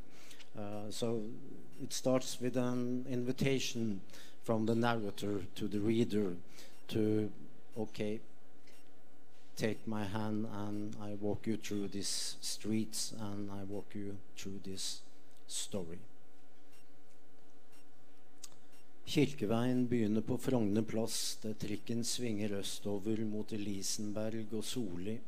Vel å merke hvis man kommer i den retningen og vil bort fra Fagerborg, bort fra Majorstua, bort fra denne byen som jeg tross alt elsker, på godt og vondt, godt. Den størrelse og antall trær passer mitt humør. Vondt at den stadig vil bli større, tærer på det samme humøret. En by må være på sin egen alder, ellers ligner den et barn i smoking eller en olding i matrosdress. Da vekker den bare latter og ikke hjemlengsel. Gutten, nei, den unge mannen, for det er en mann han er i ferd med å bli.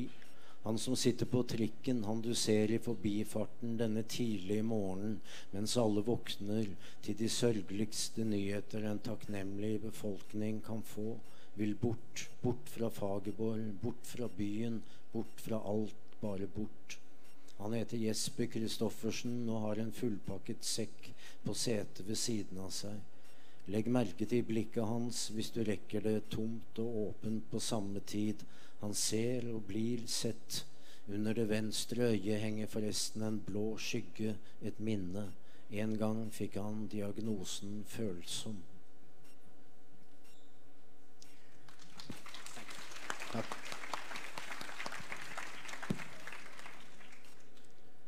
Der kirkeveien begynte am Frogner Platz.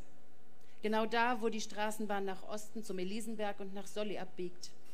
Natürlich nur, wenn man in diese Richtung geht und weg will aus Fagerborg, aus Majurstua.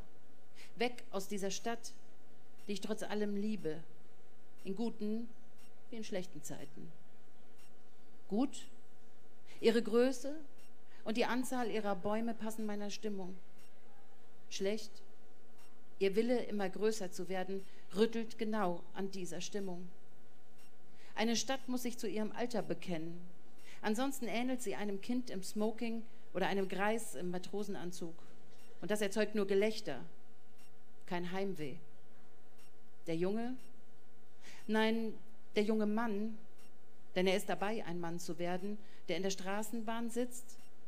Der Junge, den du an diesem frühen Morgen im Vorbeifahren siehst, während alle zu der traurigsten Nachricht aufwachen, die einer von Dankbarkeit erfüllten Bevölkerung beschieden sein kann.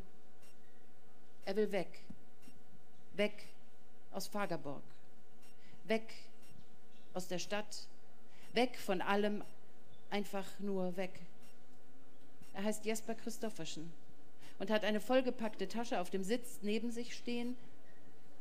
Beachte seinen Blick, wenn du es schaffst. Leer und offen zugleich. Er sieht und wird gesehen. Übrigens hängt unter dem linken Auge ein blauer Schatten. Eine Erinnerung. Früher einmal erhielt er die Diagnose sensibel. And I just want to say it's translated by Kristel Hildebrandt, Yeah. and uh. Ex- I think Norwegian. Norwegian is a very good language, but very small. Uh, so uh, without the translators, w- we wouldn't have been here at all. Yes. Definitely. Yes. Can say the same. I think this is very important, and especially here today, uh, in this in, in this context, it's it's so important to to say it. I, I also named uh, all the four or five Yeah, that's- translators from. Appreciate very much, of course. Uh, Yeah. Very grateful for and what and I think I mean it's as a translator you have to be you have to know the place as well. I mean it doesn't really it, it's not enough to only look at the names and look at a map. If you want to carry on the feeling from for example from Oslo from a city, it helps a lot if you Mm. have been there if you know it. Of course. Yeah. Yeah, absolute. Because um, the, uh, all the streets names and, and, and the addresses in, in, in the book are written in the Norwegian uh, uh, language. Because I, I think these points or addresses and, and so on are very important. If you don't understand it, it together it will make a kind of architecture for you, poetic architecture, which is also a kind of image of the of the city. of the city. Yeah, and you you you are both describing um, um, uh, the part of the city which is called Majorstua uh, and Fagerborg around that Frogner, and. Um, can you tell, like people who do not know Oslo, what what's characteristic for these the, this part of the city? Th- That's very bourgeoisie uh, area, really. It is the um, embassies, but it's also normal life, as you are describing so uh, fantastic in your books. We, we lived there uh, in quite good conditions uh, when I came there in 1967. You, you grew up there. But it, it is a, it is a, a wonderful area with a big park, you know, Frognerparken with the Vigeland um, The the, the part with the big statues you have Yes. probably have seen. But but then suddenly you, you are coming into what, what Lars describes. You just you can go 100 meters, and you you have a total different atmosphere up Kirkeveien. Everything gets uh, changes. It is a quite cosmopolitic uh, atmosphere, I think. I don't know if you agree with that, Lars, but uh, it is. Yeah, I, I, I agree, but but uh, that's something which has changed very much from the time I write about. Uh, Yes. I write about Oslo in the past in the two first uh, uh, novels in this uh, which is in the, in the of beginning of the 50s. Yeah, we, we, yes, have, we, we started and, this and book. then I think Oslo was every part of, of the of part of the town was like a village, and uh, the people who lived there very close connected to um, her or his village, and and there was no mobility in in the city. Um, as uh, said, I, uh, I grew up at the west side of the river, and I never uh, crossed the river of free will. Yeah.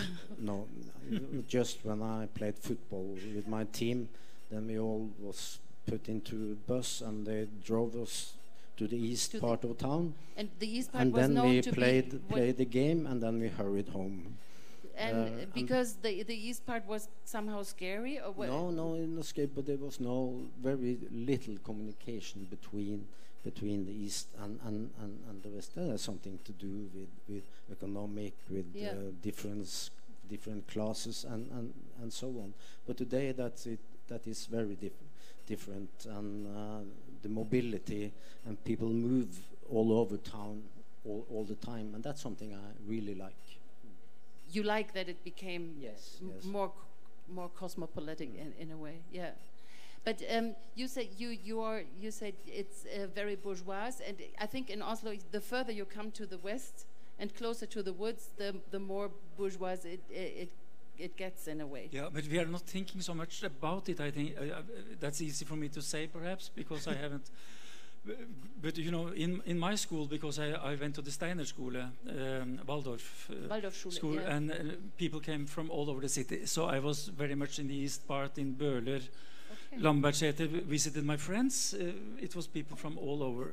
But something special, what for Lars and me, I think, is that the main radio television station was in our. You have a fantastic uh, short story about NRK, NRK Huset, which they are now are deciding to, to sell and uh, and uh, and moving from. But I, as a pianist, I, I, I was able to practice up there. We were very close to a powerful building really. Uh, for me that that was important especially because i was a musician i think. Yeah. But, I uh, mean you, yeah. you you you had your concerts there you had Yeah. uh, your radio Yeah. um, uh, I mean, I it see- gave very much energy you know and you saw all those uh, musicians coming in all the time and uh, actors and uh, you were in a part of the city where, where you felt that m- miracles could happen. Yeah. Do you still live in the same areas? Uh, yeah, close, close Yeah. Uh, to it. So, so I'm still connected to this uh, part part of the city. But uh, n- still, like we're living in uh, in the year 2019, and you both. I mean, of course, it's natural because your books are autobiographical. So you you look back to your to your youth, and you also look back to the to the 50s, and you decided to write about um, the city as it used to be. And is there like a little uh, a little piece of nostalgia about it? And what, what's what's the city like you you are having in your heart? Is it the city from the old days, or is it is is the city in your heart growing with the actual city? Well, I think it's important to have both cities. I think it's important not to forget about how Oslo once uh, was, not so very, very long ago. Uh, and that's what I'm writing about, especially in the two first novels. Uh, and and uh, kind of, uh, I'm, I'm, writing about Oslo uh, in the past. I think it's it's and when I wrote it, I, I realized that the, the time I'm writing about is it's gone, it's it's over, it's it's not there uh, Anymore. an, anymore, and that made me kind of sad, and I think this yeah very sad. Something is uh, definitely gone. Uh, so so writing this is also using as my the, the craft of memory uh, to to rem- remember uh, the city how it used to be. And I think that's important enough but that's not uh, the same to say that I'm longing back to this time. I, I, I really don't do no. Yeah. but I like to write about it. I- I think the it's craft easy, of many, yeah. craft of uh, memory, of course. Is that's that's what your books are about too. Yeah. Yeah, I, I think it's easy to misuse a word like nostalgia because uh, it has something negative in it. Is uh, that you are are giving up, you are longing to another time, as you say, and it's not like that. And you know those streets in this area, they are totally identical. I was a pilgrimage to Lars building where he grew up. I had never seen Gabrielsgate 19. I was not sure. I, I knew all Gabrielsgate and we have friends there, but I didn't know about 19. So four weeks ago, I, I went to the 19 and looked up in the flat he's writing about in his book. And uh, I, I'm so happy that so much are are still there and the past is there and you have to for me the project is about also be comfortable with, with your past not struggle with, the past but find back to it and use it as an inspiration for the life you are living just now And, one other, th- other thing which is, uh, of course, very important for me that uh, the past and is also um, loaded with stories, and I'm trying to write some of those stories. And when you write a story and you give it to the reader, then you at the same time open for new stories. So uh, uh, I, I, I, I almost every day when I walk through Oslo after this was published, uh, uh, people approach me and, and telling me personal stories after they read my book because something in their memory are Is uh, triggered. triggered, and that's a wonderful thing uh, to to give away a story and then, well, get the story back, and that's kind of big wheel of, of, of stories uh, and poetry, and, and that's uh, that's an enormous gift for a writer. What I- what I really liked about uh, both of your books, and, and not only these, but also all of your of your works, is it's always very close connected. Music, music, and the, the city are like the main the main subjects that go through all of your books. And um, I mean, Ketil, you you are you are a musician and and, and an author yourself. And has it? In, I, I think in the 70s books you write somewhere it has never been a question if you have to decide. You never wanted to decide either being a musician Mm. or an author. And uh, but how do these two go together? Is it uh, do they match well? you know, uh, for many years I tried to, to divide very much because I wanted to be taken seriously in both fields. Okay. And uh, it was not so easy in the 70s because uh, it was people were skeptical. But now, even after the Windingsspiel and the Til Musikken, it opened up. Uh, I, I was thinking music is so important for me, so I I thought as an author now I, I can write about this, but it took me some years actually. This story I've been talking about this with Lars many times. But you, know, Oslo has is still and was a fantastic uh, cosmopolitan for music, and I grew up with the biggest, biggest uh, classical musicians: Wilhelm Kempff, Arthur Rubinstein, Martha Argerich. Every, everyone came to Norway to play for us. It was a fantastic rock uh, city uh, and jazz city, and, and still is an extremely interesting place for music. Is i and is, is it still like this? Are, Yeah, okay, I- extremely. didn't know that. and you know, the Oslo Philharmonic, I have to say, is one really uh, uh, incredibly um, interesting orchestra these days. Yeah. Mm. And in, in your books, music, or especially piano music, plays uh, plays a very important role. Do you, um, there's almost always a, a boy who goes to piano lessons or takes piano, or once dreams of taking piano lessons, and there's always uh, some awkward piano teacher around somewhere. Did, is do you did you ever learn to play the piano? Yes. Uh, I'm not that good, um, but but, but uh, uh, actually I, I there, there's uh, an Italian piano teacher Yes. which is very important in, in this this novel, and that's that's a kind of literary portrait of my own piano teacher in the in in the mid 60s when my mother sent me to to learn to play classical piano and uh, uh, I, wasn't so fond of it then but I'm very happy now at least I met a wonderful man who I, whom I can write about uh, today.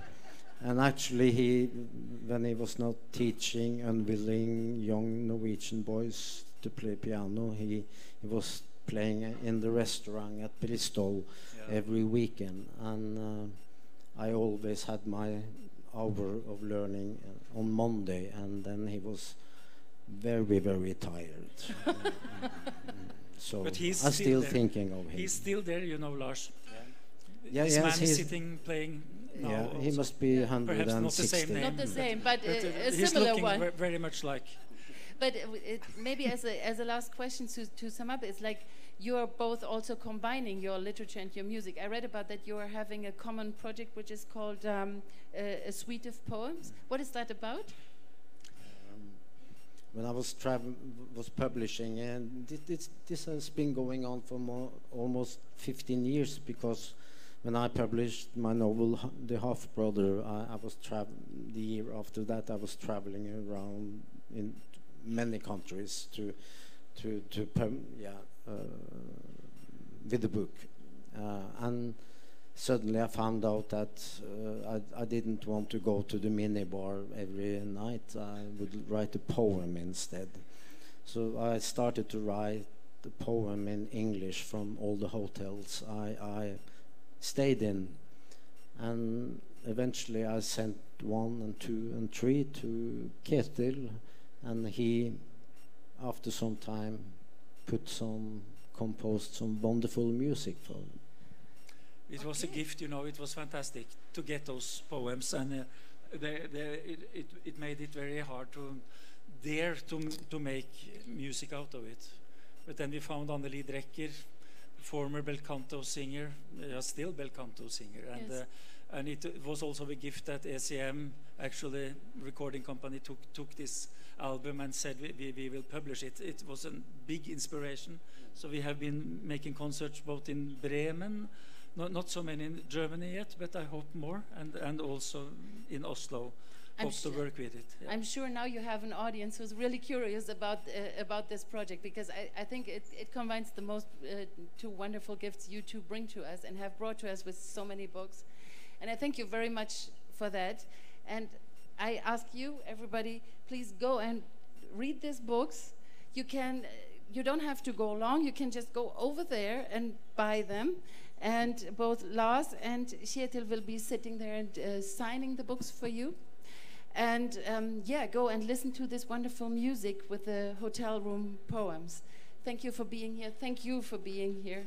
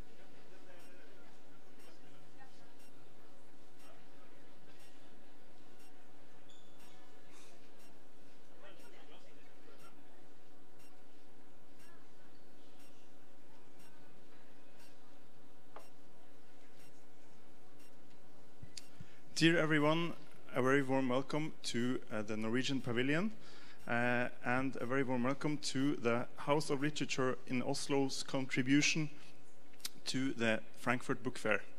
My name is Andreas Delstedt. I'm the artistic director at the House of Literature in Oslo, and I'm very proud uh, to be here to introduce uh, this production featuring three of the most interesting and distinct voices in European fiction today.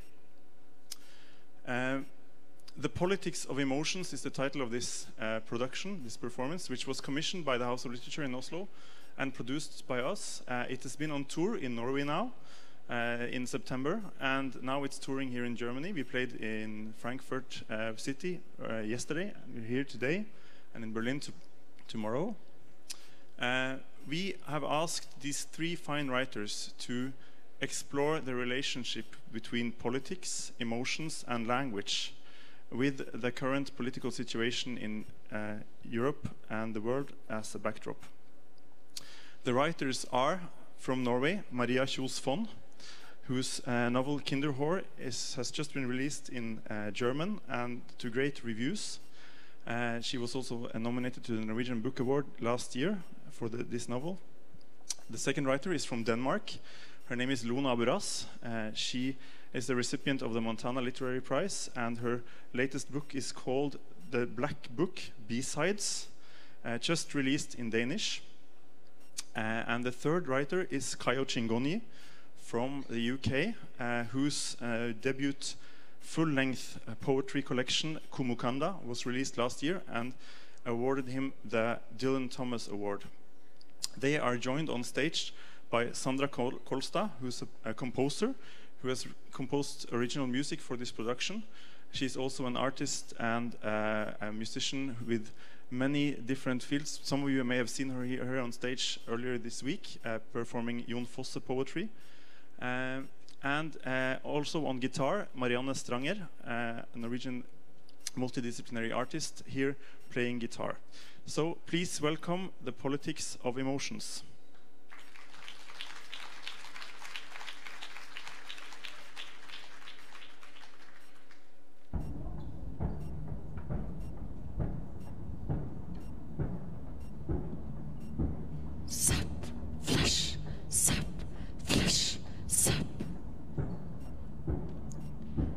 Lying on the carpet. The pills are like a white film over the memories, but they're somewhere down there, as if my head is a video game where the joystick has been handed over to a four year old. Everything crashing and detonating, colors exploding. Then I heat up the spoon, fill the needle, think I'm reaping what I've sown, find the vein, smack, boom. The bang makes that whole game short circuit. The screen turn white, a little white slice in the brain. I have 10 years of education as my own nurse. I woke up from an OD two days ago. Or was it two weeks? I wasn't planning on dying. Or maybe I was. I woke up in the ER the blood pressure monitor draped around my arm, like a piece of clothing from the Salvation Army. That's a little too big, or going out in the backyard with your mother's dress, too early, too young, feeling the rain through the dress, through your skin.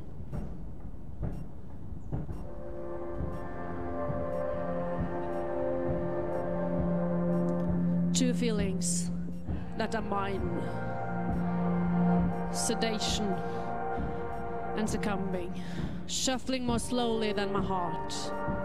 The slam and the smack before everything is still, still, still. The craving afterwards, the shaking, first a mild snot, and then it gets worse. Puke out my heart with craving. And then I get the tricks and the fix. The bills and the plastic bags rustle, and everything is just as it's supposed to be. Putting in a needle is like sitting in an armchair with a cup of cocoa, cozy and warm, where it's winter outside, and the cold has nothing to do with you. I own the clonazepam I put under my tongue. I don't own my tongue. When I walk, I can see myself carved across the asphalt. A needle here, a beer can there, a pillbox there. All the pieces of me, plastic and aluminium. My body itself, skin hanging like a tattered dress over my skeleton. That has nothing, absolutely nothing to do with me. I'm lying there, spread across the ground.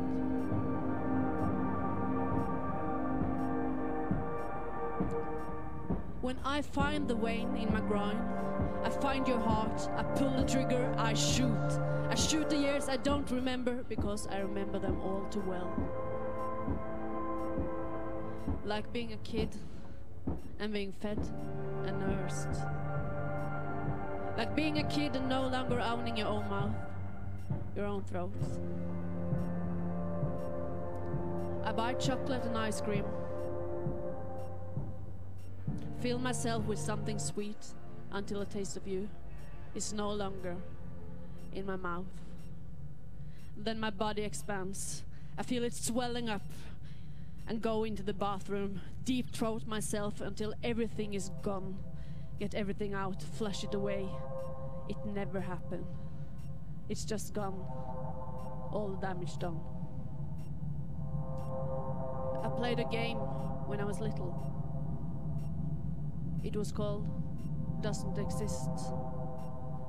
I took everything I did not want to think about, strangled it in the bedsheet, and thought it doesn't exist.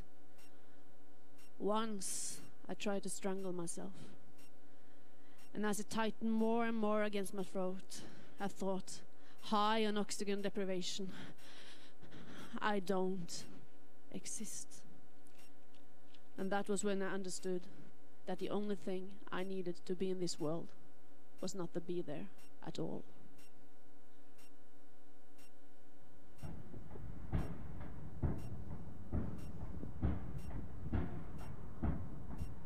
But even though I don't exist and no one sees me, this is something.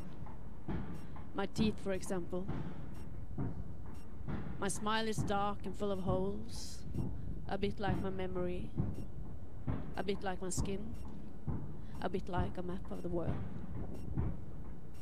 If I walk into a fucking cafe to buy coffee with money I've gotten myself, they just say it is not place to warm up. I try to smile my way out of it, but just smile myself further out the door. Apparently, you can tell how old someone is by looking at their teeth, and on mine you can tell I've never been young, and I'll never be old. Records say that I'm 28, homeless, that I've been convicted for minor drug offenses, that I have dependence syndrome for benzos and opiates, and bulimia and alcohol abuse. And these are facts I can read now and then, just to convince, convince myself that I exist somewhere, at least on paper. But I don't.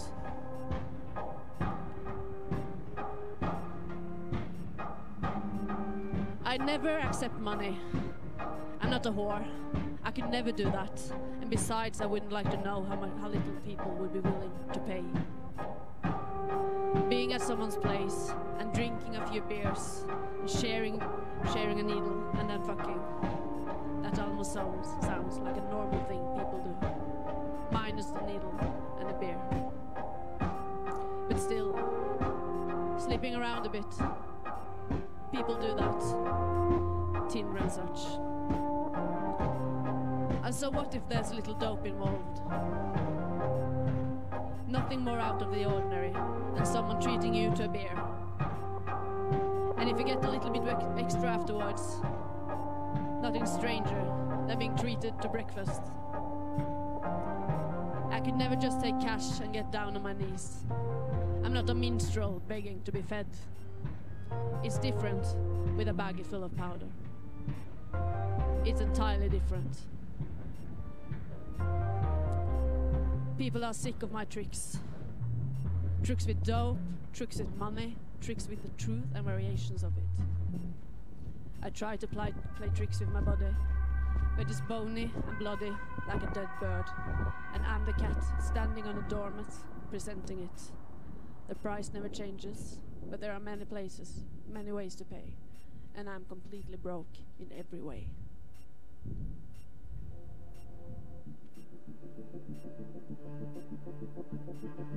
During therapy, they said I had to have faith, trust in myself, in a system, maybe even in someone else. No. I trust that what's in the baggie is what the guy on the corner says is in the baggie. Out of his pocket and into my veins. No problem. I trust that if I put someone else's body in my mouth, I'll get pills and powder afterwards I can put in my pocket. That I pay for something I can swallow by swallowing. That someone could smile at me without the state having paid them to. That I could spend a night with someone and, wo- and woke up with my money and phone. That's a fairy tale I outgrew long before I ever even heard it. So, I've never been dependent on a person that, ha- that hasn't been paid to help me. Not with shelter, or a place at an institution, or prescriptions, or dope. I don't need roof over my head either. I don't even need that much food. The dope keeps me warm and full. I don't need anyone or anything except from small baggies with brown powder. Completely free, in a way.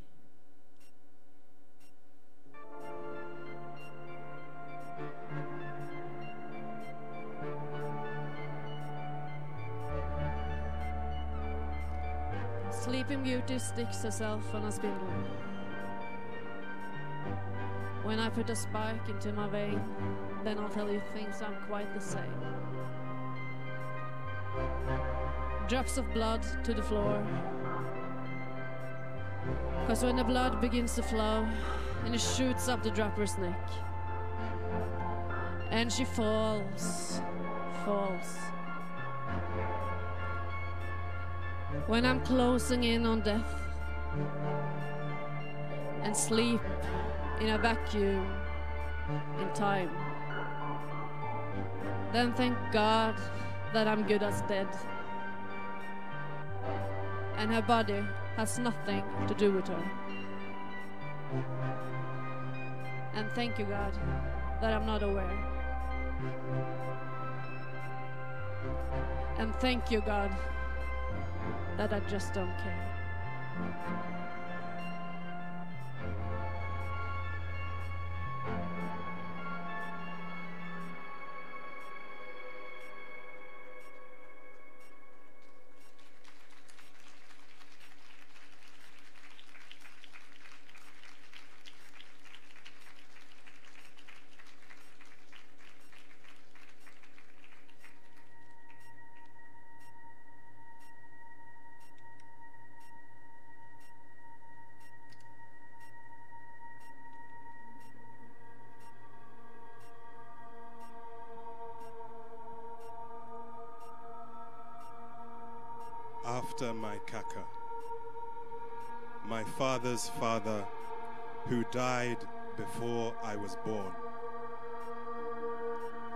gifted this Luvale name, the self same born by my kaka, brother to my father's mother, who hugged me at Kaunda Airport because his sister, my kaka, died before I had a chance to see her again.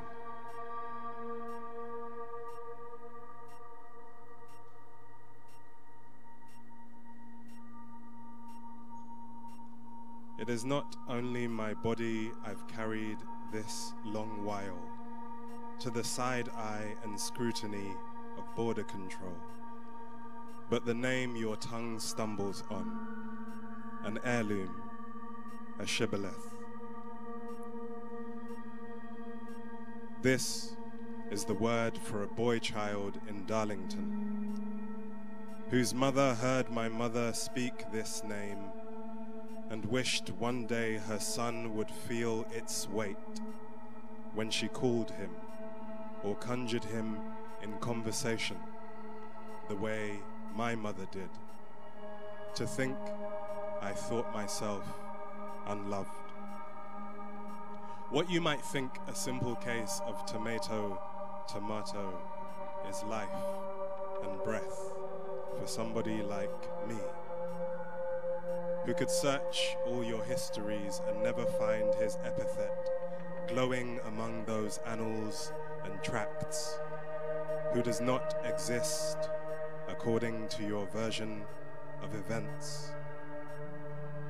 Did no one tell you naming is a magical act? Words giving shape to life, life revivified by utterance, so long as proper care is taken to pronounce the words correctly, thereby completing the spell.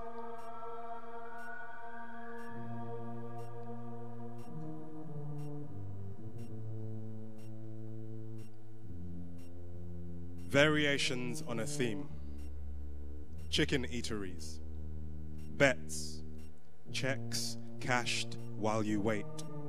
Hit and run. Midday. Did you see? Outside, a man shouts into his phone. She can be by herself. He is no small boy. In the background, trap beats wander the stereo field. From the windows of cars bent on avoiding the rush. At the bus stop, kids from Mayfield shout YOLO, crack jokes, wait for the 364 to take them to Barking, where they have siblings to pick up from school and dinner to make.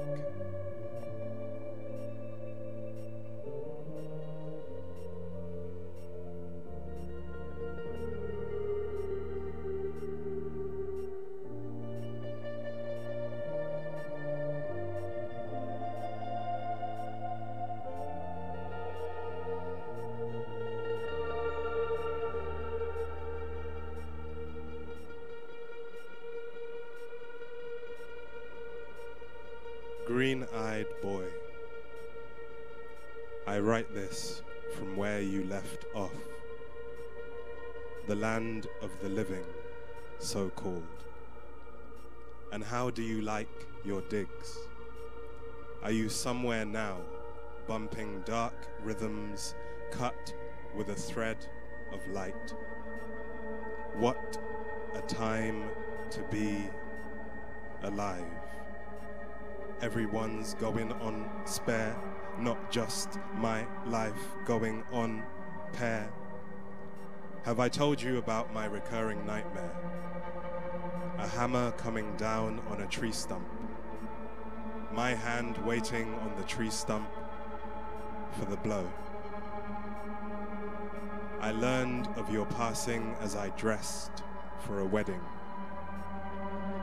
Shifting the knot of my tie, I said, okay, marveling at the way a stock phrase insinuates itself, the way certain men spread to fill a space. We hadn't spoken in months. If I had known the words, bruv, what is good, would be the last words of our correspondence, I would have told you that the table and chairs in your mother's kitchen rebuilt me. I would have asked if you remembered the day we listened to Crystal Clear on Rinse FM and glimpsed joy for long enough to dance.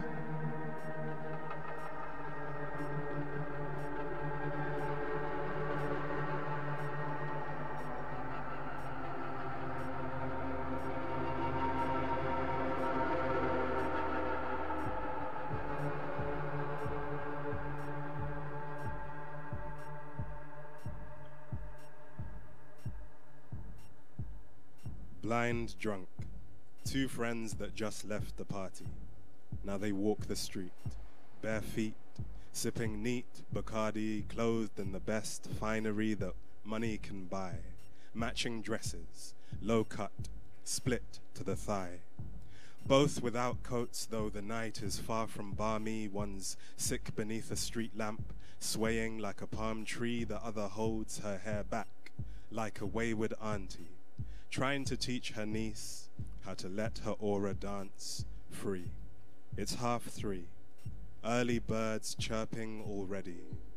Wiping sick from lips, struggling to walk steady, they hold each other up, pausing now and then to glug as two bobbies on the beat walk past and shrug.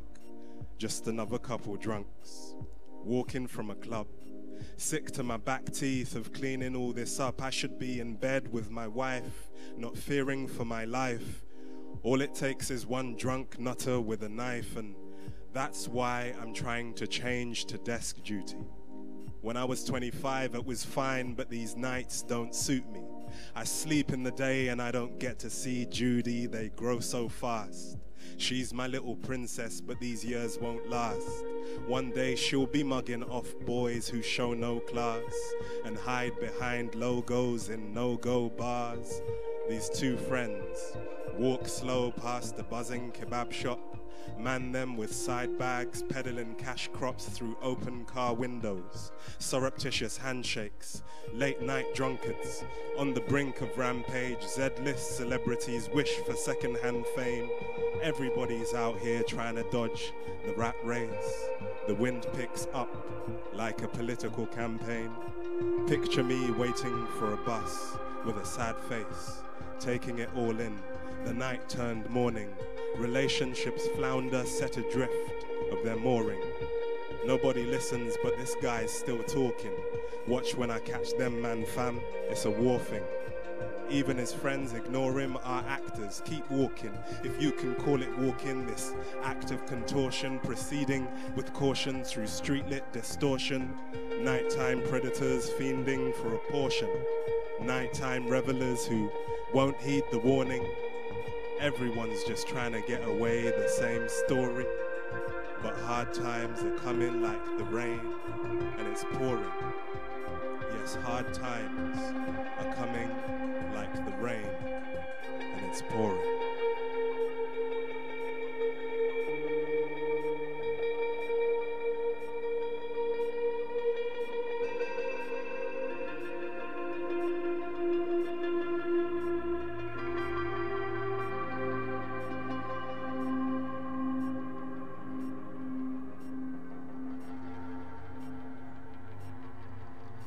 The latch capitulates.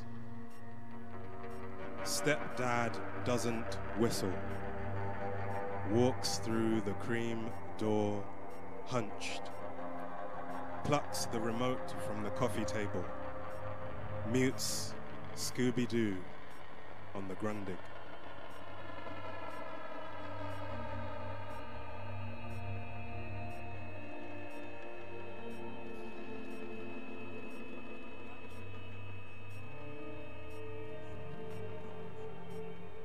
Walks through the cream door hunched, plucks the remote from the coffee table, mutes Scooby Doo on the Grundig.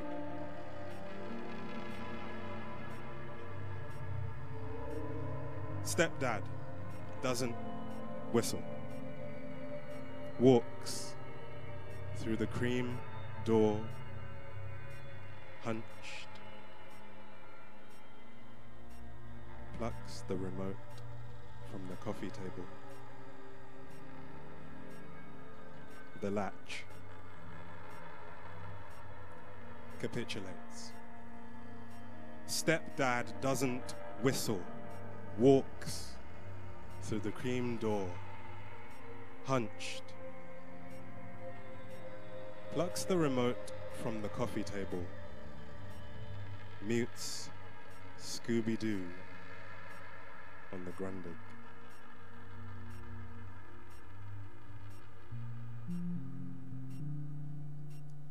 Blues for Albert Prodigy Johnson and Carl Hasty Samuel.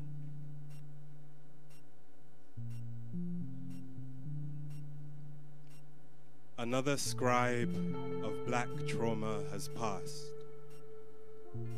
from this life into the spirit world or nothingness, depending on how much store you set by Nietzsche.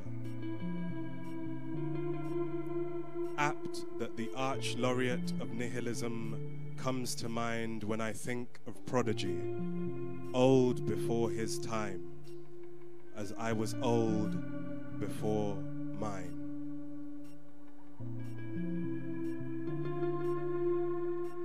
We passed an adroitly rolled Zoot round a circle in Barking before it had a health spa. One of our number was confined these times to his room by shame, a death of some kind. Because lying under a sky pockmarked with stars, he asked his girlfriend why she was so quiet. When Hasty walked or fell in front of the lorry, did he pass away? If I can still hear him going back to back with Kesta and raps. If I think of him standing shoulder to shoulder with Prodigy in a circle of dead MCs, screwing up his face, singing. Listen up, I'm so raw. You know, I'm MC Hasty and I'm on tour. When I spit my lyrics, them I shout more. When I give you more, the people them will be so sore. In the year of our Lord, 2003, Tox was still passing himself off as Little Dizzy, though Tox was by then closer in height to Jamakabi. After Lord of the Mics dropped, the gas was such it just took a younger, bussing a half decent beatbox for the clash to start. Everyone played their part, from the hype men spitting lines back like a space echo to those standing just outside the cipher, but close enough to cuss the vanquished when a space opened for him to walk in the unforgiving light of mediocrity. This was before anyone in our circle had been stabbed or shifted. Some had shouldered a wooden box, but none of us understood the cost of the shanks and skangs in our lyrics. If we knew these days as halcyon is hard to say. The mind is some next ends. We wouldn't have been caught dead, slipping, convinced as we were. The patch of grass beside the golden fish was big enough to constitute a world.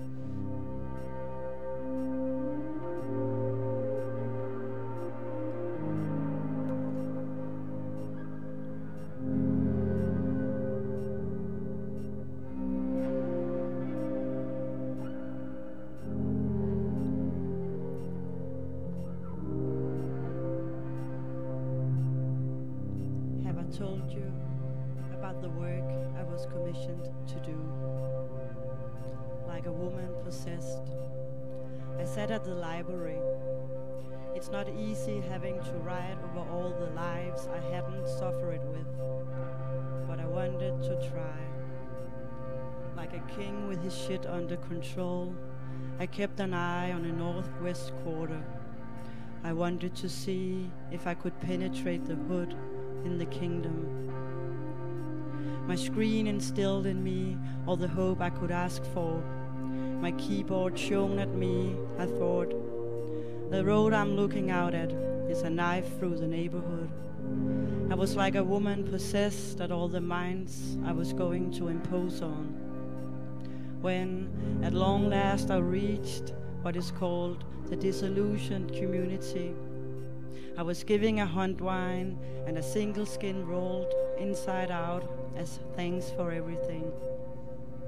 Someone commended me on my dialogue, another on my ability to identify with others. I bowed and thanked them. I expressed that something was under transformation.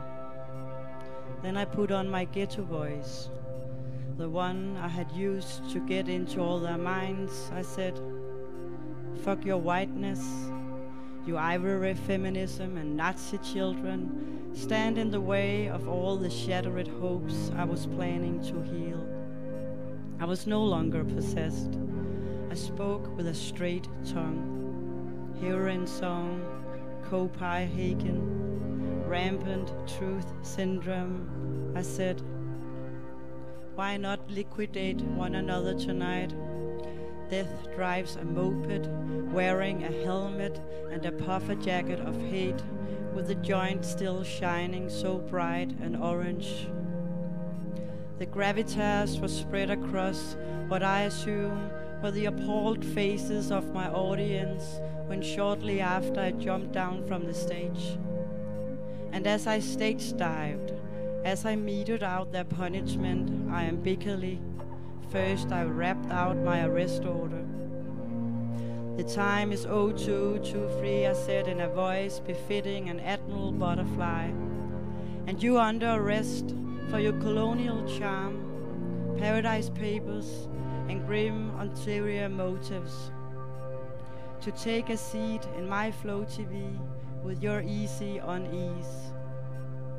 What's more, that you think I'm steeped in authenticity, I said, and pointed at to my eye a particularly anal and one track person will only come back on you. Hovering above us, a helicopter, tyrannous and jealous as a big brother, it drove me batty on an election night like this, where I dream that once and for all, the usual winners aren't emerging from behind glass doors and gates to proclaim their victory.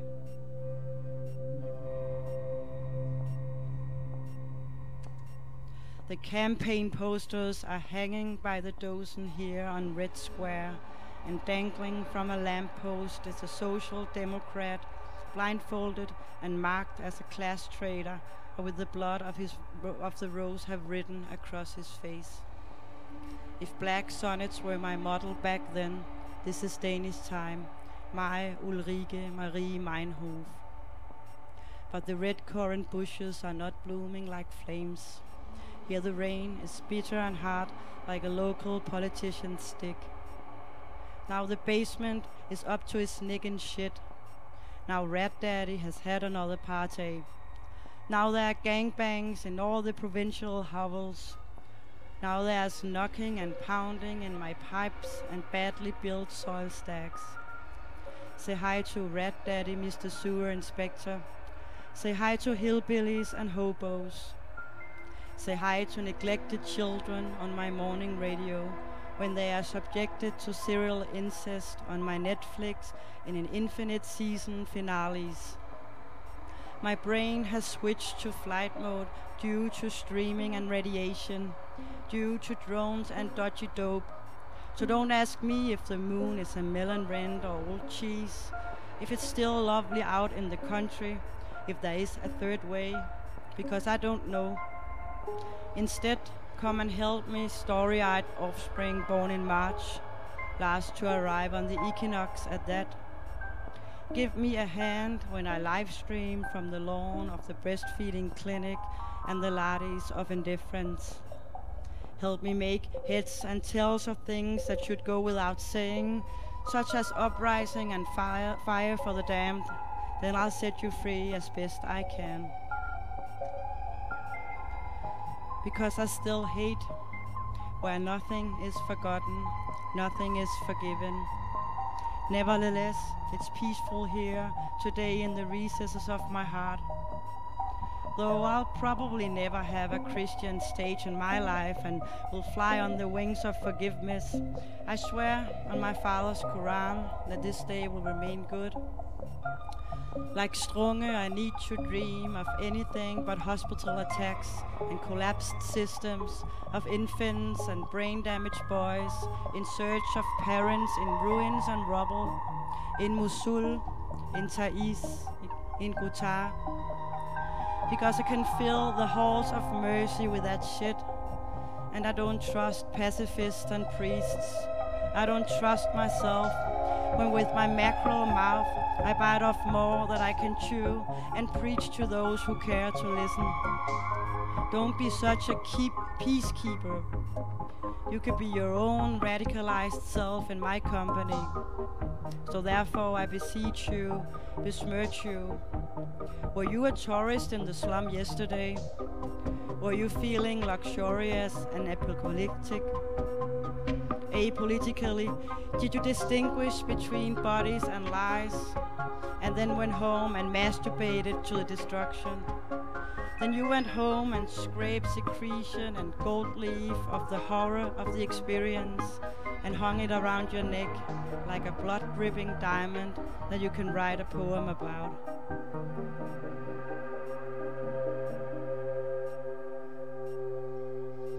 I have no paradoxical reactions to the political events. I see everything perfectly clear. There's professional hatred in the politicians' eyes, paranoia and nostalgia. I'm tormented once again by the useless guilt shamefully bear a pain that is not mine, but I offer no resistance. Just write a satirical poem, contrafactual and historyless, about one of the beloved, about the Nazi history stored on his browser. For there is no dynamite, no other techniques when they attack with cannons. Only bad poetry and placards held up in front of the entrance to the Ministry of so-called Justice. I have attended meetings and protests since I was 16, but I no longer believe in that. I have violent dreams in a language that is stupid and simple. Judgment Day, Flag Day, Saturday. Victory tunes and hymns on my Spotify on my birthday. And in every near future, a fetishization of fence and crystal clear skin. I have no sense of Western values. I'm not going to force the election curtain once more to participate in democracy. Our relationship is as good as dead.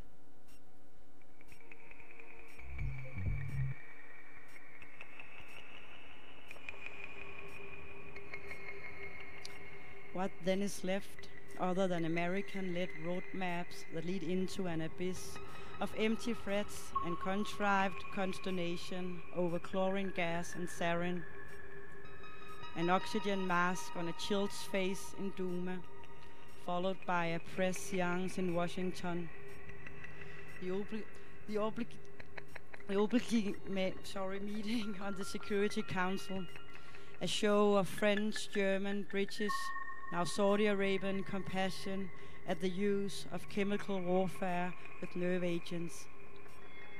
Capitalism's wonderful steely faced smile, certain of success, after the US State Department makes it clear that once again America will not respond militarily. Oh, to be a small burst of missiles racing anonymously across the sky to destroy the Pharisaic face.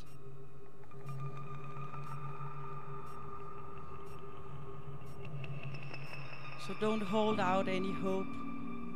I'm not going to extinguish the glow, the gall that flows so quickly and unimpeded from my black sensation seeking heart. Because I only just begun. Agitprop today and manifesto tomorrow. As to literature, they say I'm indifferent. To that I say, all of that toying with death, all of the coquettish car voting, when my face becomes as smooth as a high school student's, I smash it against a rock. Otherwise, what's the point? An entire people fucked over, poisoned and caught between soldiers and inadequate sewage treatment plants. Gaza, godforsaken and soon uninhabitable. So don't lecture me. Instead, explain to me the proportionality about the use of force at every single Friday protest, about illegal orders, about the shooting of unarmed people who pose no threat, about the UN asking both parties to show restraint. Talk to me about that. Because I too have intransigence as a coat of arms. Not democracy tattooed on my upper arm like some pathetic yearning to belong. An internal half-blood with the potential for terrorism. And I don't do pilgrimages. So better to die standing than to live kneeling, as the bikers say. Even though it was the communist leader, the woman, who during the Spanish Civil War, La Pasionaria, invented the slogans. But of course you can try as you stand there, pressed and patriotic, to pierce the shell of righteous abhorrence you believe I bear, like a heavy-handed insignia.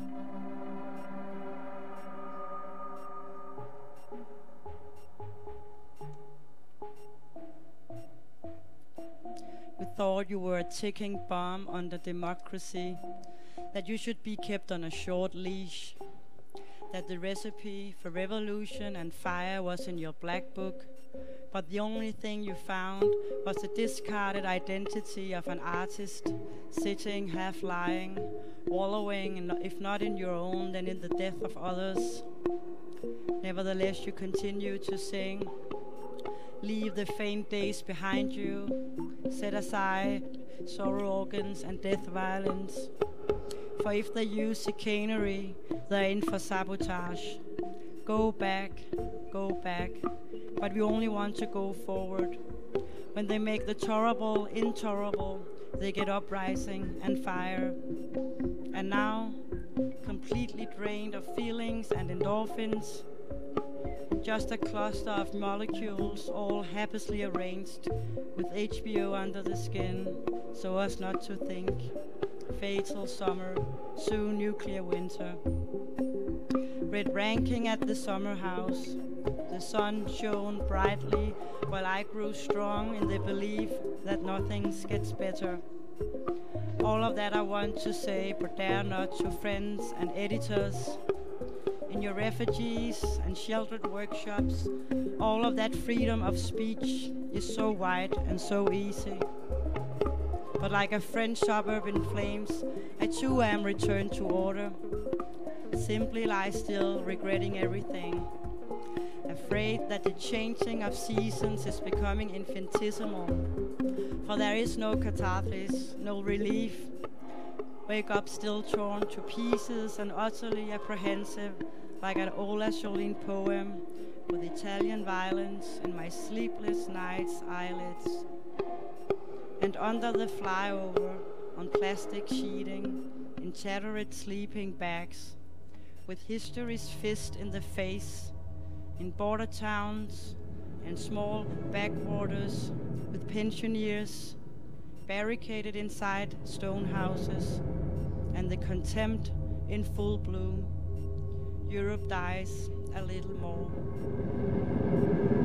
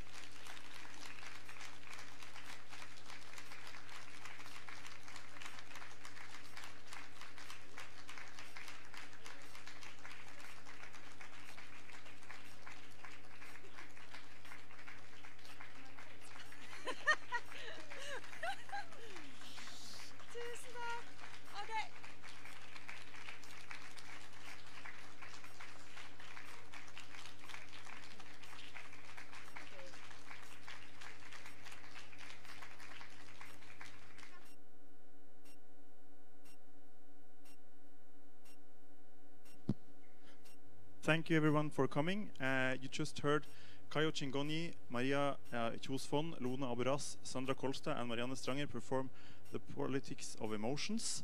Uh, now, uh, Maria will sign her books, uh, Kinderhor, uh, at the table over there. Uh, and then there will be more music here on the stage in only a few minutes.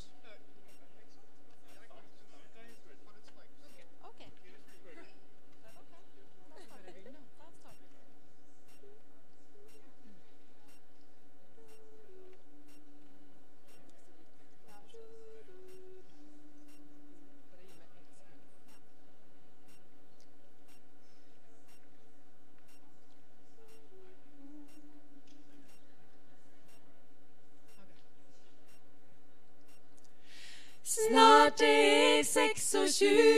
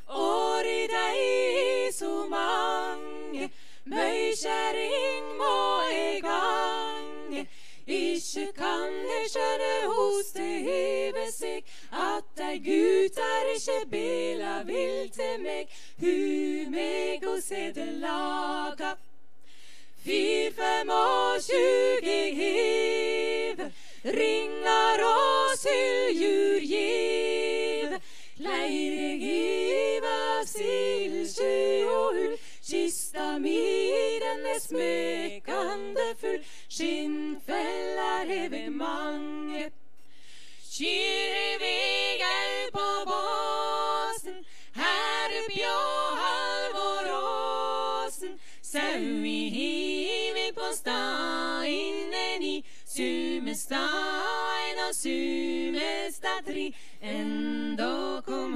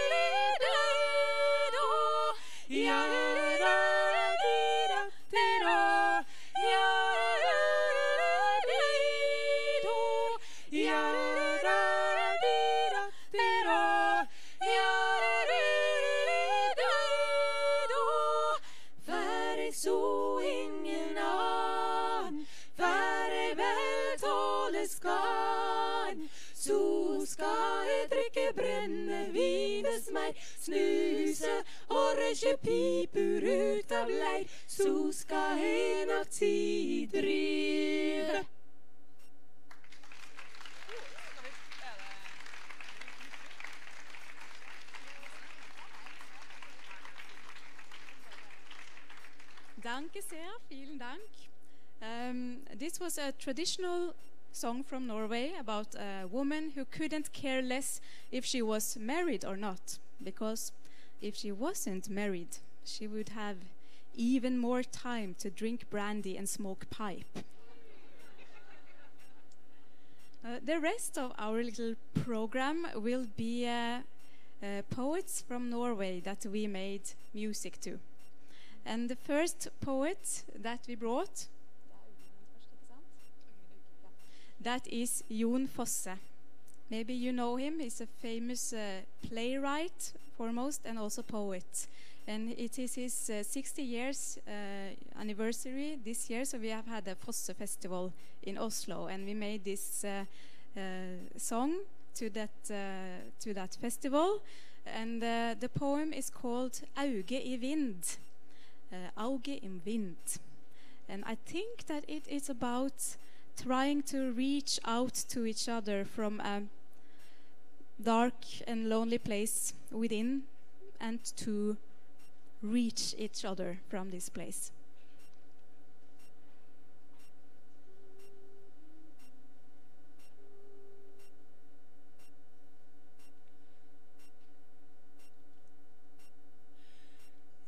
veit ikke hva det er som skjer, men det er vel noe vi kanskje kan forstå midt i den kjærleik som åpner seg, ligger et vindauge blå.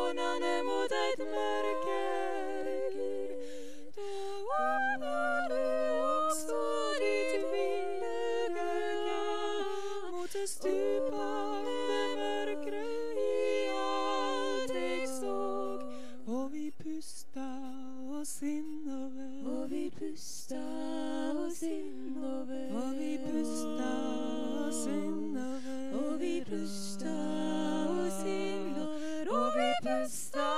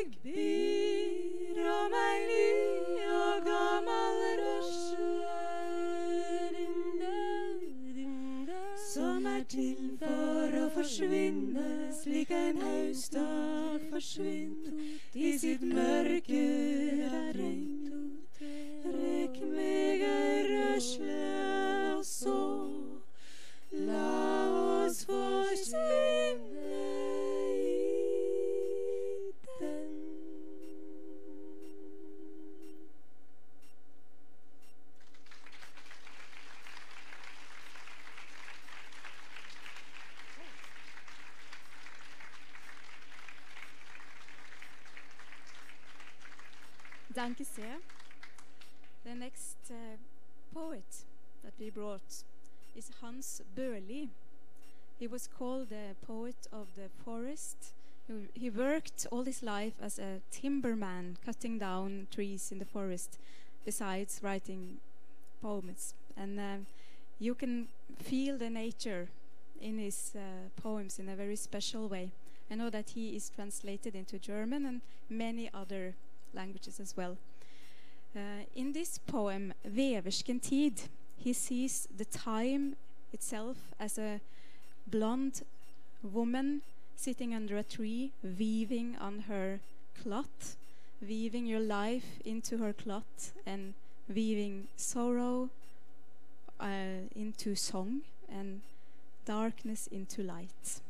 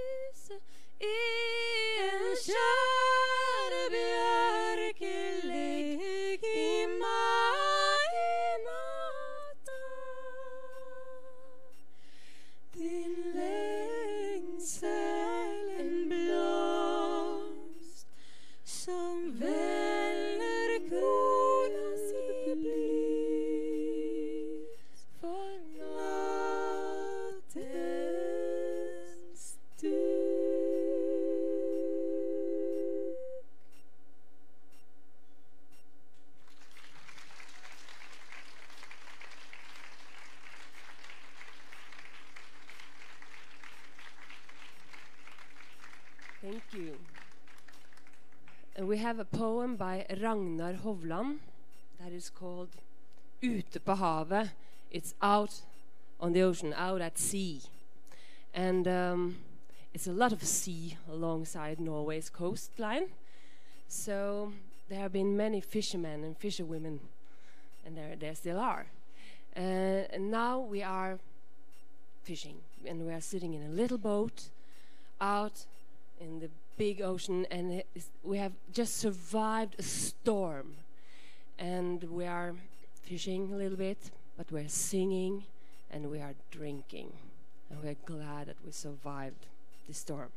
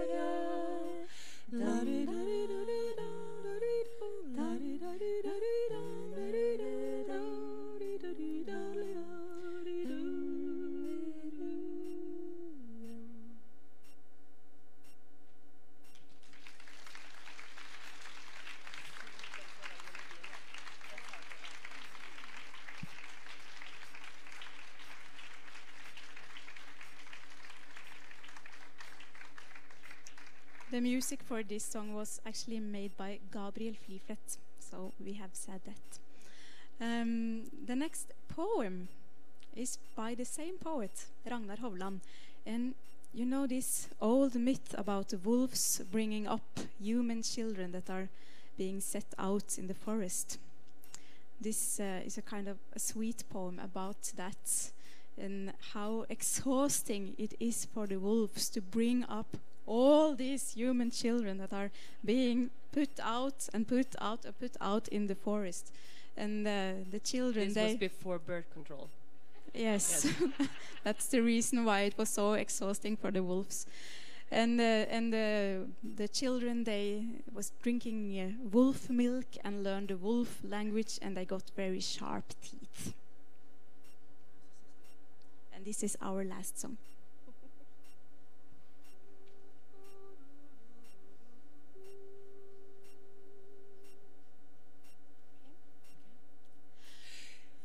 I gamle dager var det vanlig å sette ungene ut i skogen. Når en ikke ville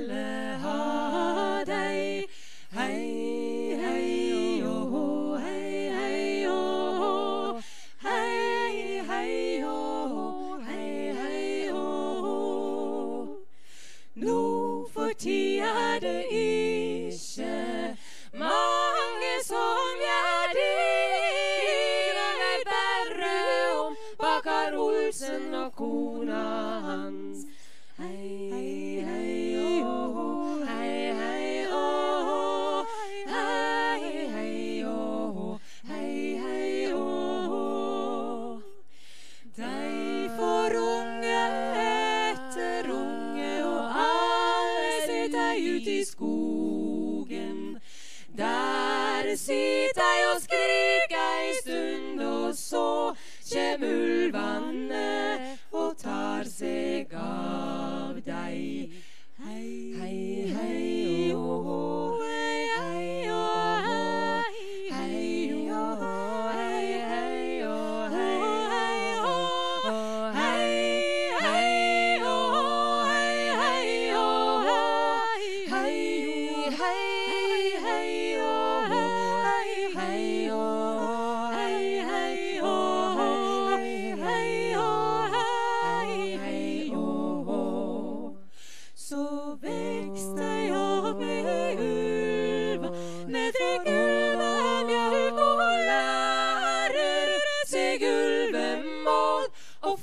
spisse tenner. Hei, hei, Å hei, hei, Å Hei, hei, Å hei, hei, å. Og hvert år skjer meg ny unge, og ulvene blir heilt oppgitte, dei som sannelig hadde nok å stri med fra før.